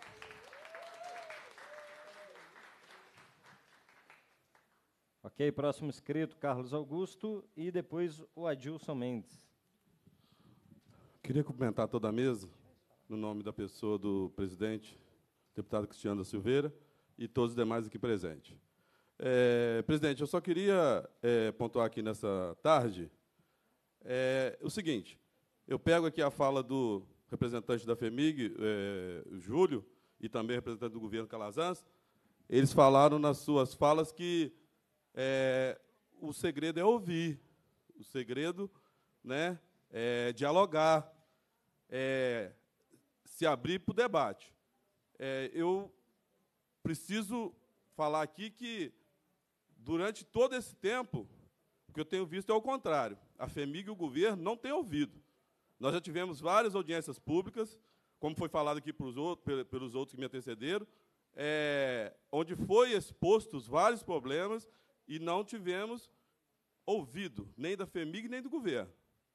É, nós apresentamos muitas questões e não fomos chamados para que nós pudéssemos cooperar com a solução dessas questões. Eu sou trabalhador da colônia Padre Damião e Ubá, e, como disse todos aqui, a situação das colônias, ela, ela, ela exige uma especificidade. A colônia não pode ser tratada é, de uma maneira linear, como se trata todas as outras demais unidades é, da rede FEMIG. Nós, trabalhadores ali em Ubá, nós temos uma dificuldade quanto ao acesso ao Vale Transporte. Enquanto aqui na capital e outras regiões é, que a FEMIG está presente, o, o trabalhador ele, ele consegue o direito ao vale transporte. Às vezes, o trabalhador lá de Ubá, ele mora a uma distância, às vezes, três vezes menos do que o trabalhador aqui da capital, é, da sua residência até o trabalho, da sua cidade até o trabalho, ele não tem acesso devido ao engessamento de uma lei que o Estado se baseia, que nem é uma lei feita pelo Estado. Nós sabemos que tem condição de conversar e atender o servidor. E como os nobres aí falaram, nós estamos querendo conversar, nós estamos querendo é, é, é, é, cooperar para que o servidor possa ser atendido no seu direito. Então, é, eu peço aqui ao presidente da comissão que isso seja olhado. Já que nós estamos falando de direitos humanos, nós não podemos furtar o direito daqueles que cuidam de humanos. Muito obrigado.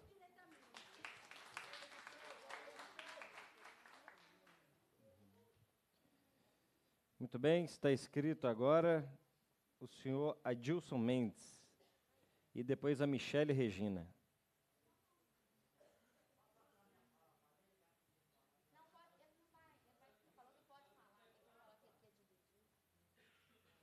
Não, Adilson pode falar, pode fazer a fala e depois a Michele. Aí está escrita a Sandra. A Neila não escreveu com nós, não. Você ia dividir com a Neila? Tá bom, então pode falar.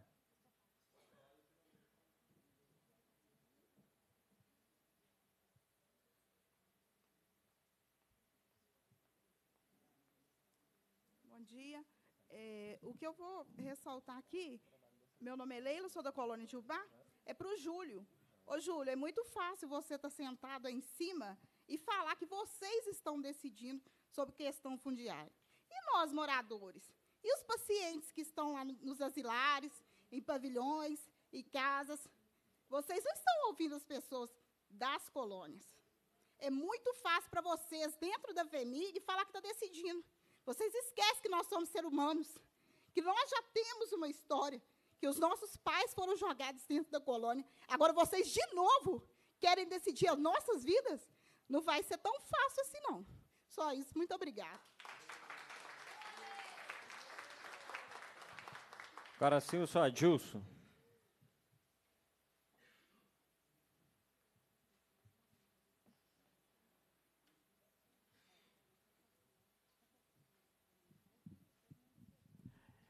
Gostaria de falar a respeito, a FEMIG, ao direito Claudinei, a respeito sobre a água, que está me preocupando muito, até ele também está preocupado sobre o respeito da água. Que isso é uma história muito crítica. Quantos tem muitas pessoas lá na colônia, está buscando água lá no campo. A água está sendo crítica. Isso está me incomodando muito. Eu e a todos os meus companheiros das colônias. Eu gosto de reivindicar que eu preocupo muito sobre isso. Entendeu? Porque é uma coisa que isso não está em mim, está todos. Porque é muito crítico isso. É só isso que eu queria gostar de falar a todos, entendeu?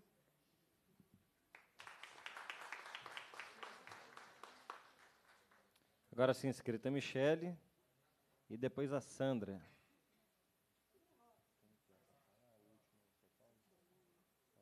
Boa tarde. É, eu gostaria de fazer uma pergunta para o Júlio Calazans, do governo, como representante do governo, Júlio como FEMIC.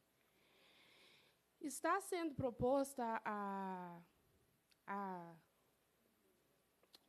a do, fundiário regularização fundiária, tá? Vai dar a terra, tá? Vai dar as casas. Como que, que, que a FEMIG propõe isso, sendo que a FEMIG não consegue resolver a questão de uma rede elétrica sucateada, de um, de um prefeito que está pegando a colônia de mão beijadas, que coloca cascalho dizendo que é asfalto. Como que estão querendo da casa, que é o grande, para uma FEMIG que não consegue simplesmente atualizar uma lista de etapa crua e etapa cozida? Estão querendo regularizar o fundiário lá das casas, sendo que nas colônias não se tem um projeto social para as crianças, para os idosos, para as famílias. Estão querendo regularizar a situação das casas, sendo que estão permitindo assistente social, diretores fazerem o que querem quando querem estão permitindo. Hoje a gente tem lá, infelizmente, que perdeu o seu lar, o Zé, que vinha, participava no movimento da gente, mas a dona Marlene, o prefeito foi lá, que ganhou as terras da colônia de mão beijada para se regularizar o diário lá, para dar as casas. Em troca, Fizeram um, um trem desse tamanho de diferença do calçado e o Zé tem dificuldade de locomoção. O Zé caiu, quebrou o fêmur. Hoje descobriu que ele tem um problemas no ossos. Foram operar, colocar pino. A cada pino que colocava, o osso ia quebrando. Ele vai ganhar casa para quê? Sendo que o prefeito, Cláudio, foi lá achando que é dono da nossa colônia, em julho. Vocês acham ótimo dar colônia para a prefeitura? E que está lá, vai ficar sem andar. Tudo porque vocês não estão dando ouvido a nossas colônias. Regulariza, dá mesmo, sabe por quê? Você, como filho, como conhecedor de colônia, está permitindo você jogar os seus parceiros ao léus. Parabéns. Eu queria perguntar também, Calazans, como governo, já tem quase dois anos que nós estamos pelejando para se regularizar a questões das nossas juventudes dentro de colônia, porque não se tem um projeto social, não se tem um, um, uma ação ativa dentro, principalmente da minha colônia que, que, que, que, que a gente pede. Estamos afastados da cidade, a cidade cresceu. Várias mães não têm condições de colocar seu filho num curso particular, num projeto social. Já há mais de dois anos que a gente está querendo. Aí estão querendo dar as casas. Algo que para nós já é nossa, nós não quer sair de lá. Não tem que dar porque é nosso. Foi meu pai que sofreu para estar lá. Foi o meu avô que sofreu para estar lá. É nosso, ninguém tem que dar o que já é nosso. A gente não está pedindo casa, a gente está pedindo dignidade, porque não queremos sair de lá, não temos intenções de vender nada. E, e se usa isso, se usa isso, Júlio usa muito disso, que é, é, a, a, vai regularizar isso como se fosse o evento mundial, vai dar as casas para todo mundo sendo que não dá dignidade social, sendo que não se compreende a fragilidade das famílias que estão lá dentro. Muda, muda a cartilha, porque essa está completamente equivocada. Era isso que eu queria falar. E você anota, porque você, como conhecedor de colônia, você está sendo muito falho. Muito falho. Não era isso que nós queríamos de você e Vila lá, não.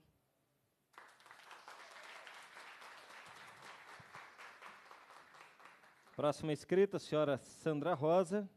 E o último, o senhor Paulo. Paulinho. Cadê o Paulinho?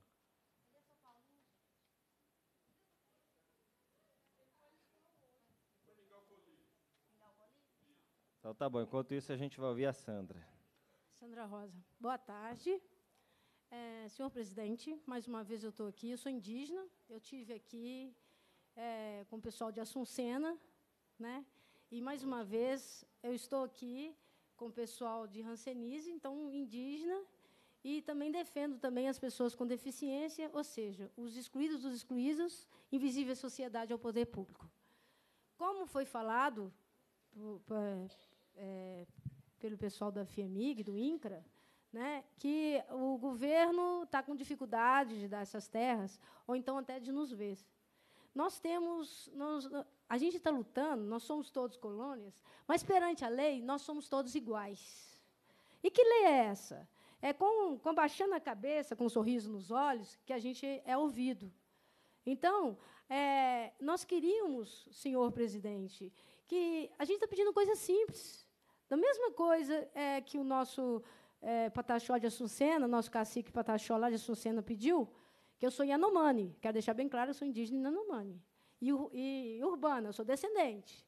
Eu venho sofrendo aqui determinados preconceitos. Então, em pleno século XXI, é, o Estado tem uma dívida com o pessoal da Hanseníase.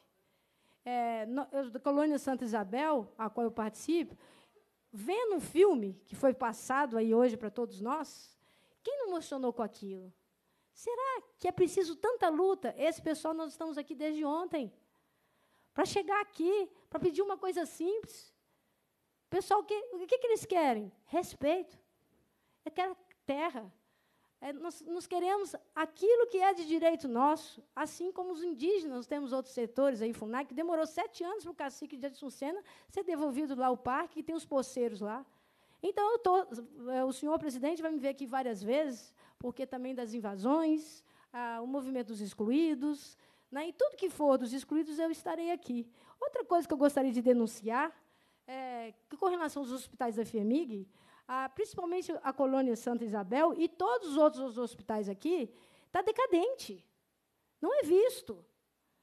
A gente vê lá, é, é, precisa de mão de obra, sim, precisa é, é qualificar, precisa de assistência social, precisa é, capacitar o pessoal, Precisa de escola na colônia, assim como precisa também nas aldeias indígenas, que os nossos dialetos já foram, já foram, sei lá, às vezes esquecidos e a gente precisa rever.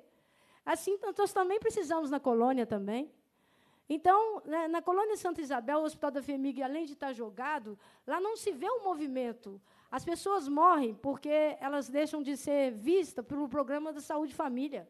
Não tem também assistente social que vai nas casas apesar que o presidente Getúlio está aqui, né? eu gostaria de colocar é, uma outra questão que fosse visto, em nome de todos aqui que estão é, necessitados, em nome de todos nós, nós queremos simples, uma simples coisa, respeita-nos, é colônia, não é casa de saúde. A gente precisa de dignidade, cidadania, que tanto é falado. Vem aí ano político, vem atrás da gente. Vá atrás, ah, que hora que você não tem informação, mas coloca escola na colônia. Fala, dá dignidade para a gente. Para que a gente não precise do ir e vir, estar tá aqui dois dias. Tem gente que saiu antes de ontem, três, quatro horas da manhã para estar aqui. E chegar aqui, ouvir as mesmas coisas que a gente ouve. Então, eu gostaria que, por participar também de conferências, de conselho, o conselheiro da saúde foi embora do Estado, que eu iria falar com ele pessoalmente. Porque quando tem conferência da saúde, eu não vejo falar de Hanseníase. Todas as conferências de saúde que eu vou. Agora, da assistência social também fui, vai ser montada aí é, uma questão de usuário a nível Minas Gerais, que vai ser ótimo. Eu estou na frente dessa conferência também. Mas, para tirar esse pessoal, para resolver o problema, de, eu acho que vai ser uma bela solução, se montasse uma CPI, quem está governando agora é, é, as colônias. Eu falo colônia, eu, porque eu estou falando colônia a nível Brasil, porque existe uma pessoa com Hanseníase em todo o Brasil. Existe a Hanseníase, está faltando remédio agora para a Hanseníase. Essa questão aí, será que não é mexido no coração de vocês quando corta uma dieta? Será que não é mexido quando vocês veem um filme desse aí? Assim também eu falo do meu povo indígena, eu falo de todos aqueles que estão na rua, a ocupação, eu falo de tudo questão de terra, eles têm direito sim. Eles têm, eles têm os, os filhos que não estão recebendo as pensões, têm 45 anos, não conseguem arrumar em, emprego nos educandários. Sim, eu vou concluir, senhor presidente, e já, e já agradecendo a participação de mais uma vez estar aqui na sua frente, né? É, mas eu vou concluir dizendo é, que por essas e por estas coisas pedimos que o presidente dessa mesa que crie uma CPI de investigação de tudo dentro das colônias. Pedimos a intervenção do Ministério Público nas colônias. E também, por todos, e também, assim como a gente elege presidente, elege deputado, nós pedimos que, que todas as colônias deveriam votar para eleger sua própria direção, pois nós elegemos todos vocês. Então, nós precisamos de dignidade, respeito e todos os pedidos que faça valer para que a gente não tenha essa canseira. E outra coisa, só mais a última coisa, ao invés de estarmos aqui, era vocês que tinham que estar lá para ver como que a gente vive um dia na pele. O que, que é isso? O meu muito obrigado e obrigado principalmente ao José Eduardo e a todos vocês. O imenso todo, todos vocês. Todos somos colônia. Todos somos colônia. Com a palavra agora, o nosso último inscrito, o senhor Paulino.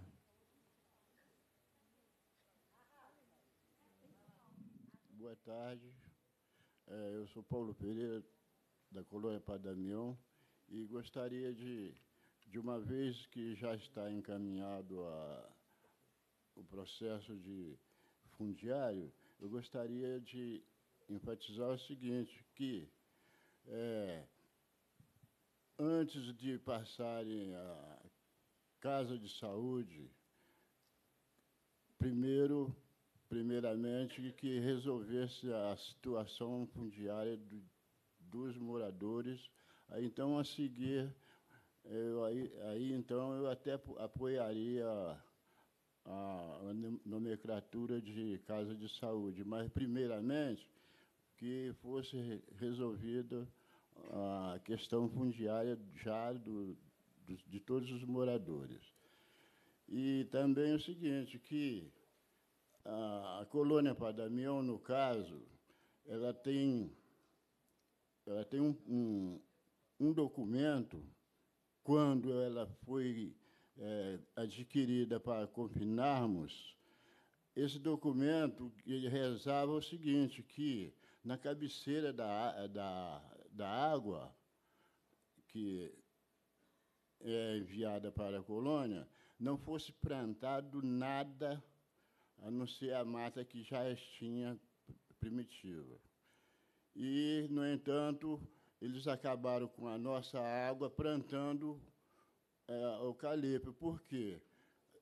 É, esse contrato foi passando de compradores para outros e para outros, até que chegou o momento que esse atual plantou é, o, o eucalipto em toda a cabeceira e a nossa água secou. Exatamente por isso. E esse documento, eu acredito que, se procurarem dentro da FEMIG, vão encontrar, porque é, o contrato de quando foi adquirida é que ninguém plantasse é, nada, nada da, na cabeceira para exatamente não comprometer a água. E então é esse o meu questionamento e o meu pedido, mais uma vez, sobre o, a questão fundiária, que depois que resolvesse o problema da, da comunidade, então poderia até mudar a nomenclatura de colônia para casa de saúde. É esse o meu questionamento e, e o que encaminho a minha vontade que a mesa resolva. Obrigado.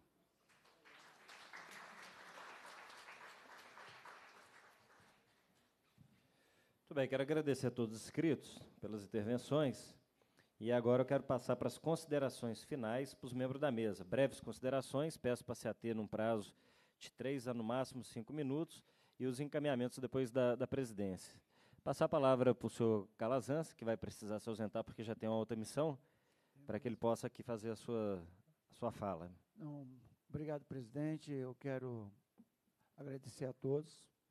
Eu tenho um compromisso agora, eu tenho uma reunião com todo o setor prisional do Estado de Minas Gerais, uma negociação difícil, com complexo, né? Toda, todo o complexo presidiário de Minas Gerais, eu estou negociando várias questões com, com os agentes penitenciários de Minas, são cerca de 20 mil. É, de qualquer forma, a fala nossa aqui do governo foi uma, uma coisa específica, por isso que eu, eu quero, quero crer que fui bem entendido, ou seja, não tem nenhuma agenda fechada do governo, não tem nenhum projeto definido para o governo. Nós estamos reconhecendo que tem um problema, que esse problema deve ser enfrentado para tentar melhorar esse encaminhamento com vocês. Falando em nome do governo. Nós temos muitos problemas. Cada, cada local tem as suas especificidades, seus problemas.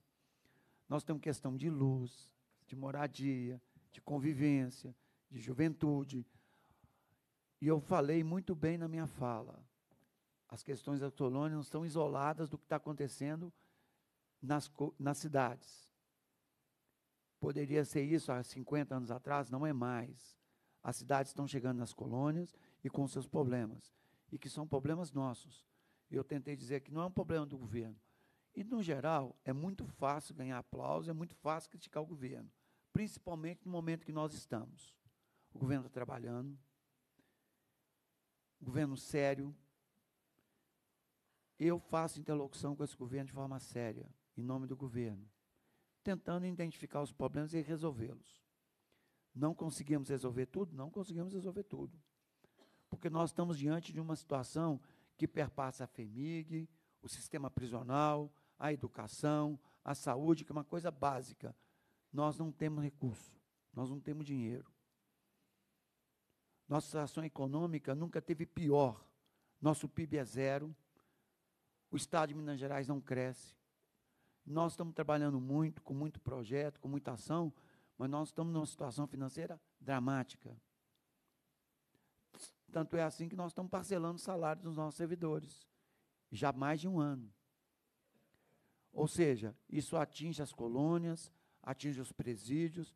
Nós estamos com fornecedores sem receber há vários meses, em vários lugares, merenda da escola, transporte nos presídios é, a situação dos hospitais, João 23, é, enfim. Isso, a colônia está separada disso? Não está. A FEMIG gostaria disso? Claro que não. A FEMIG gostaria que o orçamento dela estivesse correto, em dia. Eu gostaria de chegar com recursos na FEMIG para resolver cada um dos problemas que tem dentro da colônia, mas a, a, vida real não é assim. Mas é muito fácil criticar o governo. Ganha aplauso, mete o pau no governo, a pessoa, oh, sujeito tal, questionou o governo. Mas as coisas não são simples assim. As coisas não são fáceis assim. Com o reconhecimento de todos os problemas que tem aqui. Por isso que eu acho que, é a minha opinião, mas é a opinião também de todo o nosso governo, em função dessa situação, que as coisas não são resolvidas de forma fáceis, é que nós temos que fazer e eu tento fazer isso permanentemente. Mas nem todo mundo é igual. infelizmente. Mas a nova gestão da FEMIG tem procurado fazer assim, reunido com a Asteng, reunido com os outros sindicatos, ouvido, ter feito agenda e tentado encaminhar as coisas. Cada uma das colônias tem os seus devidos problemas. Qual é uma orientação do governo? Que os diretores que estão nos locais tentem fazer uma boa escuta dessas questões. Que as questões cheguem da melhor maneira possível para a FEMIG. E que a FEMIG tente encaminhar essas soluções. Os problemas, chegue a, os problemas que a FEMIG, por acaso, não conseguir encaminhar, chegue até a mim, para que eu possa acionar o governo e tentar encaminhar isso da melhor maneira possível. Ou seja, as questões fundiárias, regulamentação fundiária, que o lote é de cada um, isso, isso o governo sabe. E eu falei muito bem isso. Nós não estamos com nenhum pacote pronto. Nós não estamos com nenhuma agenda pronta. Pelo contrário, nós viemos aqui conversar com as mãos abertas. Eu sou assim. De que forma?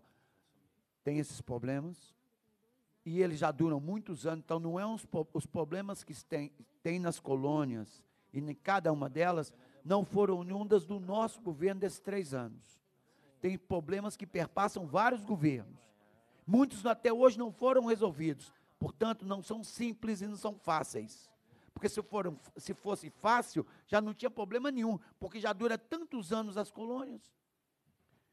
Portanto, o que nós temos que fazer é, diante das questões complexas, diante de tantos problemas e diante da falta de recursos, como encaminhar as coisas? Como resolver cada, cada uma das coisas? Então, envolve parcerias, envolve ações gerais nas comunidades, nas colônias, envolve um diálogo permanente, o apoio da Assembleia. Portanto, o governo quer tratar dessas questões da melhor maneira possível. Porque nós queremos encontrar uma solução mais definitiva. Não é coisa paliativa. Tem uma porta quebrada, vai lá e troca a porta. Tem um telhado trebado, vai e troca uma telha. Tem um problema de um, de um menino lá, e tem um problema de escola. Não. É como nós, governo e colônia, como a comunidade, como o pessoal da colônia, como vocês e o governo, encontrem soluções mais definitivas, mais permanentes, é um desafio para nós e é um desafio para vocês. Porque nós temos que encontrar soluções mais permanentes, mais, mais duradouras, soluções duradouras. De que jeito? De que forma? Por isso que nós estamos aqui sentados e ouvindo e discutindo. Portanto, não tem decisão fácil, não tem nada definitivo. Os projetos têm que ser analisados, têm que ser discutidos, têm que ser negociados. E eu, quando eu era sindicalista, eu até, em função principalmente do meu vínculo com os metalúrgicos de Betim, eu ia muito lá, na, e eu, de vez em quando eu ia na colônia, porque tinha alguns metalúrgicos que tinham acesso, principalmente alguns colegas meus da Fiat. Eu já falei com o Zé, eu particularmente agora, tendo essa interlocução com o governo, algumas colônias eu nunca fui, mesmo eu, eu sendo do INCRE, fazendo o, o assentamento junto com o MSD lá em Bambuí. Então, tem algumas colônias que eu faço questão de ir, conhecer melhor essa realidade, que eu acho que nós devemos, para falar coisas mais concretas, mais corretas, nós devemos conhecer a realidade, eu particularmente. Então, já falei com o Zé que eu, viu, Cristiano, quero, até a Assembleia, a Comissão de Direitos Humanos, voltar a fazer esses encaminhamentos que o Duval fez, recuperar esse projeto, ver qual, qual o diálogo desse projeto com os, os, as propostas do governo, como é que casa isso com o seminário que foi realizado aqui. De qualquer forma, eu estou aberto e quero, junto com o Zé e junto com os outros colegas, conhecer essas colônias, ver de perto essa, essa realidade, para ajudar essa boa gestão da, nova, da, da, da FEMIG, para ajudar a encaminhar isso. Na palavra de ordem do nosso governo, aqui, em que pese alguns duvidarem, alguns não concordarem, etc., é nós queremos resolver as coisas de forma conjunta.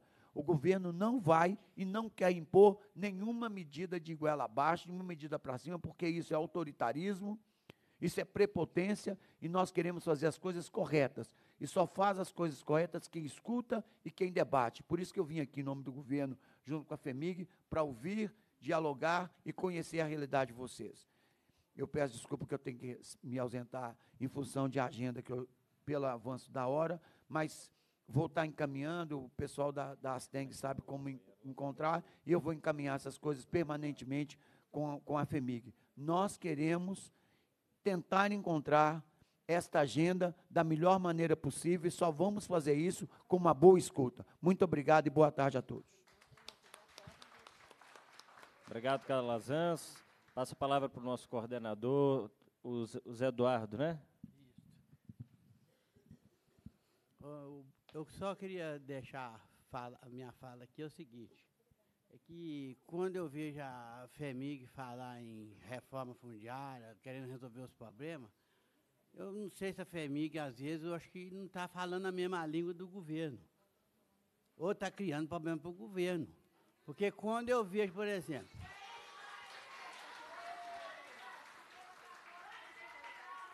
que quando eu vejo, por exemplo, pessoal aqui reclamando, aqui a dona ali reclamando, para trocar uma cesta básica de cozida para crua, poxa, por que, que o bar não tem esse problema?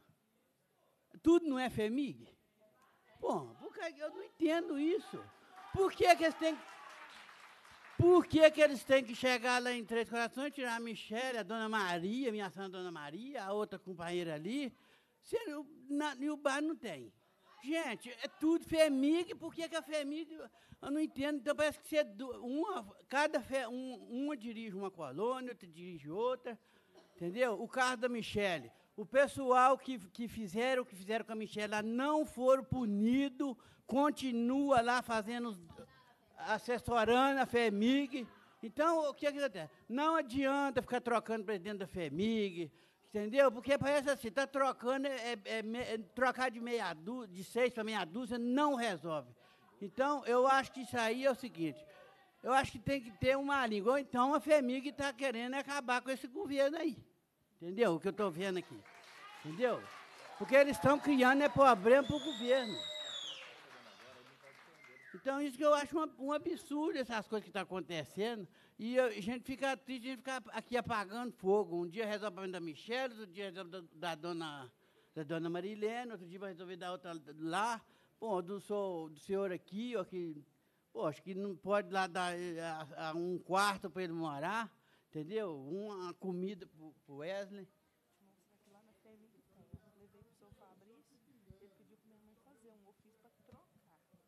Pois é, que é um absurdo isso aqui, ó, pedindo para trocar uma, uma cesta básica de cozida para crua, gente, é um absurdo.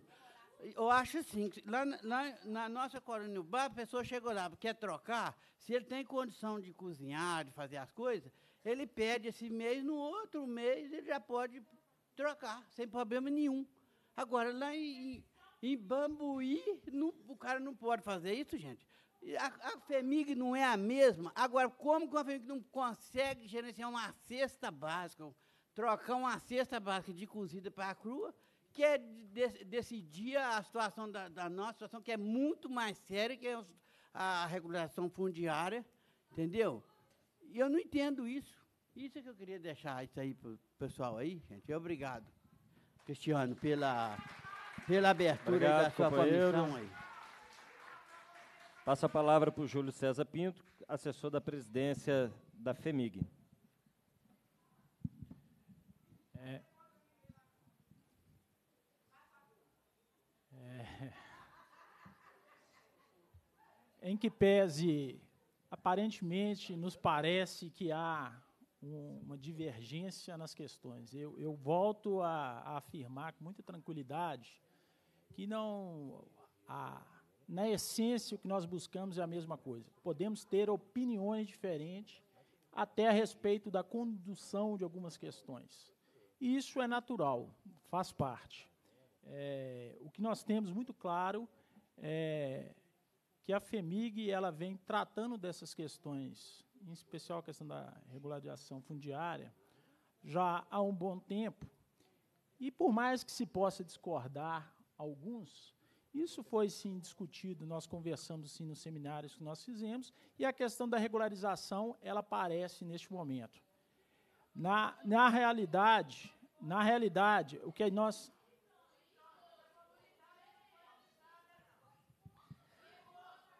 Vamos lá, eu vou repetir de novo. Senão, senão oh, gente, vou, de, deixa eu dizer uma coisa para vocês. Se a gente não conseguir estabelecer aqui um ambiente, eu vou encerrar a audiência sem encaminhamento. Sem encaminhamento. Não, vejam bem, vejam bem. Não houve desrespeito da parte de ninguém. Se não houver, se não houver o ambiente aqui civil, civilizado, para eu poder concluir o trabalho, eu encerro a audiência sem encaminhamento. Senhor Júlio. Então, continuando. Então, na realidade, isso também foi uma demanda que surgiu dentro dos seminários que nós fizemos, que agora nós temos que entender, eu gostaria de reforçar mais uma vez, regularização fundiária são diversas etapas. São etapas que você tem discussões internas de ordem técnica, operacional, de qualquer processo de regularização fundiária. Você tem uma etapa que você vai levar alguns pontos para o conselho curador. Você vai ter uma etapa que chama audiência pública, que naquele momento que você estabeleceu algumas premissas, deixo claro, algumas premissas, na audiência pública que envolve todos aqueles que são os interessados, eles serão chamados a opinar sobre isso. Então, o que nós estamos vivendo, regularização fundiária, são várias etapas. Nós estamos dentro de algumas etapas ainda. Não se fará nenhuma regularização fundiária sem fazer audiência pública. Nem se pode fazer regularização fundiária sem audiência pública. Não se fará nenhuma regularização fundiária sem ouvir esta casa, sem ouvir, ouvir a Assembleia. A Assembleia é quem determina. Não se fará nenhuma regularização fundiária sem ouvir o Ministério Público, sem ouvir a Defensoria Pública. O que nós vivemos são várias etapas. Nós estamos em uma das etapas. Não vejo, eu continuo a falar, não é porque se discute regularização fundiária que não se possa discutir as várias questões aqui postas. Fico muito extremamente chateado, Zé Eduardo. Quando você fala, e está aqui o Claudinei, é o nosso diretor da Casa de Saúde, Padre Damião, é uma dificuldade para trocar uma cesta. Eu também fico boquiaberto com essas questões, porque não, não, haveria nenhum motivo. Lógico que aqui isso é muito claro, o doutor Tarcísio já deixou isso muito claro. Tudo que está sendo falado aqui, ele fez questão, ele fez questão de me pedir um levantamento de tudo aquilo que foi falado nas diversas audiências. Se eu não estiver enganado, deve ter sido realizado entre 2014 e até hoje, algo em torno de 16 a 17 audiências públicas. Então, eu fui ali, fiz esse trabalho e entreguei a ele. Então, ele recebeu isso e ele está fazendo as avaliações dele. Então, na realidade, o que a gente não pode, em momento algum, é achar que uma coisa vai interferir na outra. Lógico que nós temos que avançar na questão, nas questões relacionadas à, à, à segurança, questões relacionadas ao bem-estar da comunidade como um todo, as questões aqui que está sendo colocada, água potável lá na cidade de Ubá, isso é uma questão que realmente é, tem que ser solucionada. Já há tratativas e discussões para que a Copasa consiga perfurar os postos, assuma aquela rede lá dentro, tudo isso, e a gente quer deixar bem claro, acho que isso tem que deixar claro porque não haja dúvidas. Realizar essas questões não implica necessariamente em perda de qualquer benefício ou direito histórico do ex-interno compulsório. Realizar essas atividades não implica necessariamente em se buscar discussões para avançar nesse, pra, na questão de conceder outros benefícios a outros grupos que são importantes, que fazem parte da história. Então, na realidade, é o que a gente tem que fazer, ainda que possa ter alguns ataques pessoais, algumas denúncias pessoais, às vezes isso ocorre lá internamente, é, eu, eu realmente eu não levo nada para o campo pessoa, pessoal. Eu trabalho, eu faço um trabalho, eu tenho uma atividade, me é solicitado algumas questões e eu realizo isso no dia a dia. Né? Lógico que eu tenho uma relação histórica com casa de saúde. Não me sinto inimigo nem traindo ninguém. Agora, eu tenho uma visão, eu infelizmente nós não podemos fazer tudo da forma que nós queremos e da maneira que nós queremos. Nós que somos gestores, nós somos submetidos ao regramento legal. Eu gostaria muito de poder estender pessoalmente a etapa CUA para o filho separado, outros benefícios. Agora, isso não depende exclusivamente da minha vontade. Nós temos que avançar no campo legislativo. Então, essa casa é importante, é um importante instrumento. Não vejo nenhum problema de se fazer essas audiências públicas, ainda que você possa ter alguns ataques, faz parte do processo democrático de discussão.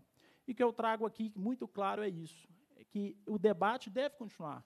Devemos Aqui as questões estão sendo postas. Eu acredito que depois desse seminário realizado dois dias, irá se apresentar à FEMIG e também ao governo de Minas a proposta que vocês retiraram. E não há problema nenhum em pegar isso, juntar tudo. Agora temos que sentar. Eu acredito que nós temos que desarmar.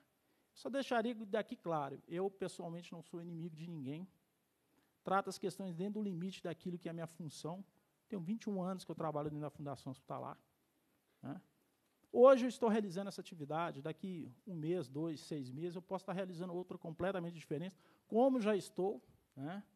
É, já vou tratar de outras questões internas dentro da fundação, tenho uma experiência larga ali dentro. Então, pra, eu, gostaria, concluir, eu gostaria muito de agradecer ao presidente da mesa, agradecer a vocês todos pela oportunidade de nós estarmos aqui debatendo.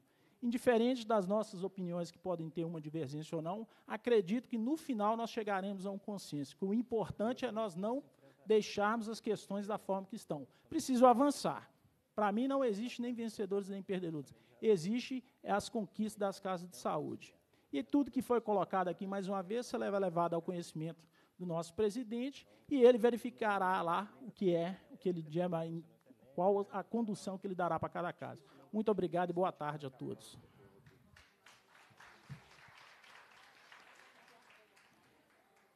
Muito bem, agora, para a consideração final, a nossa última escrita, a nossa companheira Mônica, que também representa aqui a Asteng. Ah, agradecer o deputado Cristiano e enfatizar que ele esteve conosco na prática, não está aqui só no discurso. No caso, é, que ficou em evidência pública, existem outros, no caso da Michelle. Né? Não é, não está aqui só no discurso, né? mas ele foi parceiro e determinante para que a gente tivesse sucesso. Agradecer de coração, em nome de todas as mulheres e de, todas as, de todos os moradores de Colônia uma mulher grávida. Né? Essa sensibilidade não precisa ser só é, de uma questão genética, nascer homem ou mulher, mas ele esteve do lado de, das mulheres e dos moradores de colônia, de fato, né? não só no discurso. Agora, eu gosto de falar aqui na Comissão de Direitos Humanos, muito, é uma comissão que eu tenho mais honra de, de, de participar, e dizer o seguinte: tudo que nós falamos aqui nós falamos na Comissão de Direitos Humanos, junto com a Comissão de Saúde, da qual o companheiro Durval Ângelo estava presente, logo que o governo Pimentel assumiu a, é, a, a responsabilidade de governar o Estado de Minas Gerais. Se a gente pegar os anais da Assembleia Legislativa, vai estar lá a colônia de Ubá, o diretor fecha a torneira por pra, e, torneira lá de cima da água e a comunidade toda fica sem água. Isso logo em 2015, quando assumiu o governo.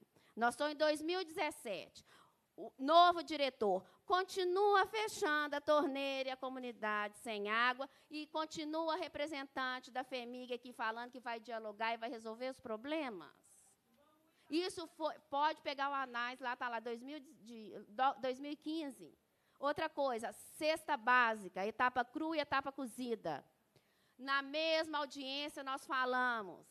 Eles estão manipulando a comida em troco de simpatia, não tem uma regulamentação. Cada colônia fala de um jeito. Na época do Val bateu duro que tem que regulamentar, não foi feito. Sou Dedé, quase 80 anos tem que sair lá de Três Corações. E a FEMIG pede paciência e fala que não tem ataque pessoal. Um senhor de 80 anos não está sendo atacado porque não tem comida? Uma grávida de oito meses foi atacada e alguém vem aqui sem poder de decisão falar que está sendo atacado? E as meninas do Adilson, e a menina do Adilson, com rancenias, que foi suspenso o leite dela. Ela não foi atacada para economizar para o governo? E nós tivemos que lutar para voltar? Eu estou dando três exemplos. Uma água que o, o diretor acha que é prefeito e fecha, porque a FEMIG não consegue fazer poço cartesiano. Um sodedé de 80 anos que não consegue ter uma alimentação, e uma mulher grávida que é tirada de sua casa. Isso não é agredir direitos humanos, não? É. E isso está lá Nós falamos em 2015. É o que o Zé Eduardo fala. Trocou meia dúzia por seis. Não adiantou tirar o presidente da FEMIG e colocar outro, porque os problemas continuam os mesmos. Os problemas continuam os mesmos. Mas, tudo bem. O movimento Somos Todos Colônia, nesse seminário de dois dias, decidiu que nós vamos lutar por aquelas duas coisas. Primeiro, a questão de, de valorização e reconhecimento dos filhos separados, dos filhos moradores de colônia. O preconceito, o autoritarismo da nomenclatura Casa Santa Fé, Santa Isabel, desresponsabilizando o Estado com os moradores.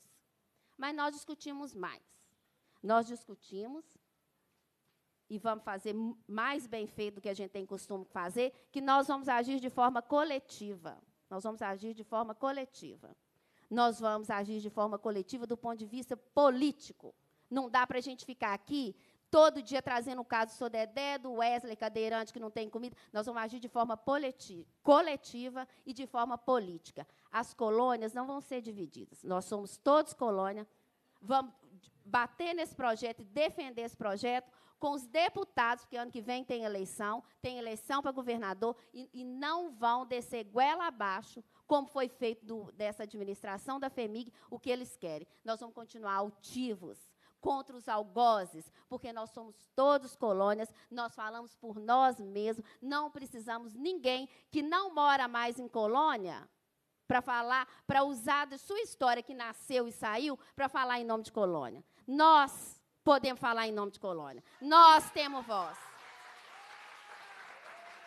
Sou Paulinho não tem curso universitário. Sou Paulinho não tem 25 anos de FEMIG.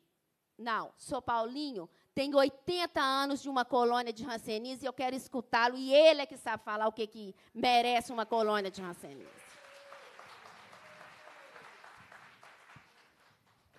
Ok, muito bem. O debate não é fácil, né, gente? Então, acho que nós estamos tentando, dentro do limite do possível, porque os problemas históricos e os desgastes que vêm decorrendo das tratativas acabam criando um ambiente dificultador. Agora, a busca da solução ela passa por, um, por uma postura de todos nós diante dos fatos, todos. Eu acho que cabe, Júlio, você representando aqui o novo presidente da FEMIG, cabe à FEMIG, dentro das suas prerrogativas, ter todo o carinho com as demandas que chegam. A questão da, do histórico, da trajetória, e até mesmo das circunstâncias de quem vive nas colônias, não é algo simples, né? Não é simples. Então a gente precisa, dentro, dentro da nossa competência quanto Estado, garantir esse direito. Também cabe aos grupos, aos companheiros companheiras do movimento Somos, Somos Todos Colônia, tentar também estabelecer o diálogo mais respeitoso possível. É claro, tem que ter uma postura proativa, firme, reivindicatória. É assim que funciona, nós sabemos disso. Mas que a gente tenta, então, re, é, retomar essa condição do diálogo dentro de uma mesa porque senão não vai ter outro caminho. Nós vamos acionar os mecanismos do Judiciário, do Ministério Público, do próprio governo, e ainda assim será um mecanismo que poderá ser moroso e com a eficiência que talvez não seja aquela que nós gostaríamos. Né? Então, o que, que eu quero? Eu quero propor aqui algumas questões dentro da, dos encaminhamentos. Eu percebi que o assessor da presidência tomou nota de uma série de comentários e falas. Aquelas que é possível que se já tenha resposta que seja dada, assim como foi, mas há uma série de outras situações que eu acho que pode receber um tratamento por parte da, da FEMIG. Né? Questão da alimentação, dessas mudanças, eu recebo aqui ó, da senhora Divina Paulina Rodrigues, que está pedindo que seja feita a troca da etapa cozida pela etapa crua, afirmando que tem a condição de estar fazendo a própria comida junto com outras pessoas, né? fazer um esforço para que isso seja garantido para essas pessoas. Né? Além de uma série de outros, outros questionamentos, reivindicações que foram colocadas. É, aqui passa pela questão do, do atendimento à saúde, é, da energia elétrica, desta carga, a gente dialogar com a CEMIG, saber o que está ocorrendo, da postura dos nossos diretores. Tudo bem, se às vezes há um exagero quanto ao comentário, à crítica que a pessoa faz ao, ao, à ação do diretor, mas pode estar ocorrendo excesso por parte de diretores. A reorientação, a reciclagem, né, o, o reposicionamento da postura do diretor perante os procedimentos, ele pode ser revisto a todo momento, não faz mal nenhum. Se o diretor acha que está bom, o bom não precisa ser inimigo do ótimo. Então vamos tornar isso um procedimento melhor. Agora, evidentemente, apurado, né, a denúncia comprovada que há algum, alguma irregularidade, é importante que a FEMIG ela faça, ela proceda é, as apurações pertinentes. Então, eu aqui, dentro de tudo que eu ouvi, eu quero propor um conjunto de requerimentos a serem aprovados pela comissão. E eu vou dizer para vocês quais, quais são. Então, logo, já na próxima reunião com o nosso coro, eles serão aprovados. Nós teremos um para que seja encaminhado à Copasa, pedido de providências para que a instalação das redes de abastecimento de água da colônia de Ubá seja realizada com a maior celeridade possível.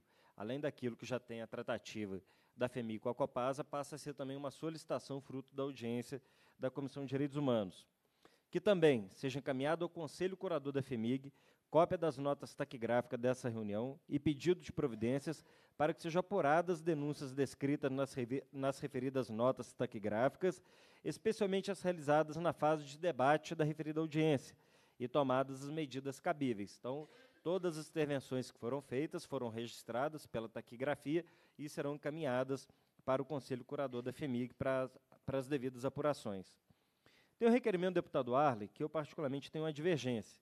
O requerimento do deputado é o seguinte, que seja oficiado ao governador do Estado, secretário de Estado de Saúde, presidente da FEMIG, solicitando que seja paralisado qualquer situação de reforma fundiária nas colônias de podendo haver, de, podendo, podendo haver debates, porém, sem conclusão em último ano de governo, voltando a ter o debate no primeiro ano do próximo governo, sendo ouvidos os moradores das colônias e não ocorrendo hipótese alguma a municipalização das colônias. Eu acho que se o governo ainda está em exercício, nós temos ainda um ano e meio de governo, paralisar essa discussão não colabora, já que está dizendo que ela vai ser retomada no futuro. É evidente que se ela não for contendo do que nós esperamos, ela não precisa se efetivar, mas é importante que ela ocorra, até para a gente ganhar tempo. Quanto mais tempo passar, menos a solução do problema ela vai se dar. Então, eu vou dialogar com o deputado Arlen no sentido de nós termos um outro caminhamento que eu acho que seja mais pertinente. Né? Um outro requerimento que nós aprovaremos, que seja encaminhada à FEMIG as cópias das notas taquigráficas dessa reunião e pedido de providências para que sejam apuradas as denúncias descritas nas referidas notas com relação à postura dos diretores da instituição na decisão de fornecimento da alimentação etapa crua e cozida, bem como na entrega das cestas básicas aos moradores das colônias rancenistas do Estado. Também vamos que formalizar que seja encaminhada à Secretaria de Estado de Direitos Humanos, Participação Social e Cidadania, a CETPAC, cópia também das notas taquigráficas e pedido de providência para que verifique a possibilidade de instituir uma comissão especial nos moldes da Comissão da Verdade, com vistas a proceder a devida indenização aos rancenianos moradores das colônias do Estado e a reparação da dívida histórica com essas pessoas, e que esta comissão, a nossa aqui de Direitos Humanos, seja a convidar a participar desta mesa. Uma outra, um outro requerimento, que seja também encaminhado à Secretaria de Estado de Direitos Humanos, Participação Social e Cidadania, CITPAC, pedido de providências para que se proceda à elaboração de estudos com vista à instituição de políticas públicas para os idosos e jovens moradores das colônias rancenias no Estado. E crianças. Aqui, especificamente, Mônica, eu estou dizendo do idoso e também do jovem, porque a CETPAC, quando foi criada, ela criou a Subsecretaria de Juventude e as Coordenadoria de Política dos Idosos. Então, ela vai ser a secretaria pertinente para nos atender na construção da, da, das políticas públicas para o público que aqui foi solicitado. Ok? Podemos fazer aqui uma emenda, né? Também as crianças da comunidade, né? a nossa consultoria vai, vai colaborar. Esse também será aprovado. Outro requerimento, que também seja encaminhado à FEMIG, as cópias das notas e pedido de providência para constituir uma comissão com a participação da mesa de negociação e diálogo do governo, que trata as questões urbanas e, e, e, e agrárias, de representantes das colônias, de representantes do Conselho Curador da FEMIG, com vistas a que se proceda um adequado processo de regularização fundiária das colônias de rancenismo no Estado. Então, nós queremos uma comissão mais ampla, com a participação também aqui da, do movimento, para debater e discutir como é que serão os procedimentos né, dessa regularização fundiária, qual o modelo que nós queremos.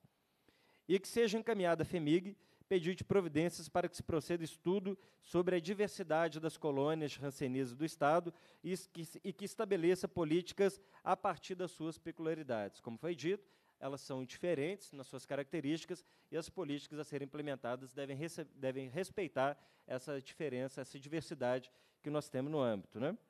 É, aqui. É... Ah, bom, sim. Os outros requerimentos foram o que eu acabei de ler. Então, acho que aqui nós temos um conjunto de propostas que partem dessa comissão né, e aprovados enquanto requerimento, fruto da audiência pública, que serão encaminhados aos órgãos pertinentes e competentes para as devidas providências. Normalmente, a comissão ela é informada quanto às providências adotadas a partir das provocações que aqui nós fizemos. Então, a comissão continua tendo essa tratativa. E acho que o que será fundamental será a constituição da comissão especial, como a que nós, nós temos, para poder fazer todo essa, esse estudo né, da indenização, da reparação dos danos sofridos pelas famílias e pelas comunidades, pelas colônias pela comunidade de colônia de rancenistas do estado de Minas Gerais. Ok? Pois ó.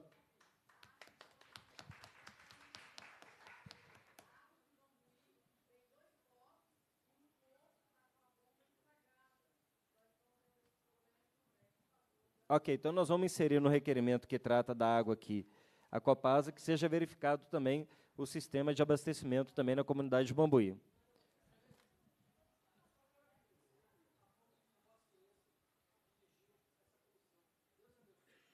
Obrigado, companheiro. Até peço desculpa se em algum momento a gente tem que ser mais duro, mas é porque a gente está na coordenação, a gente precisa fazer com que as audiências sejam produtivas, que elas gerem encaminhamento.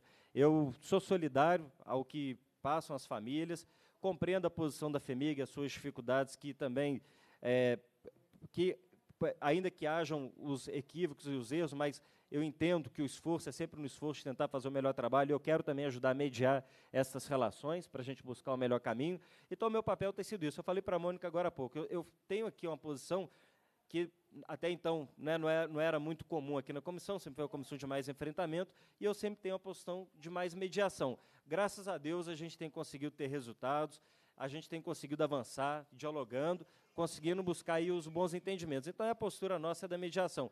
E eu, porque sou professor, às vezes a gente chama um pouquinho a atenção para poder, igual a sala de aula, né, ter uma ordem para a gente poder concluir aqui os nossos trabalhos.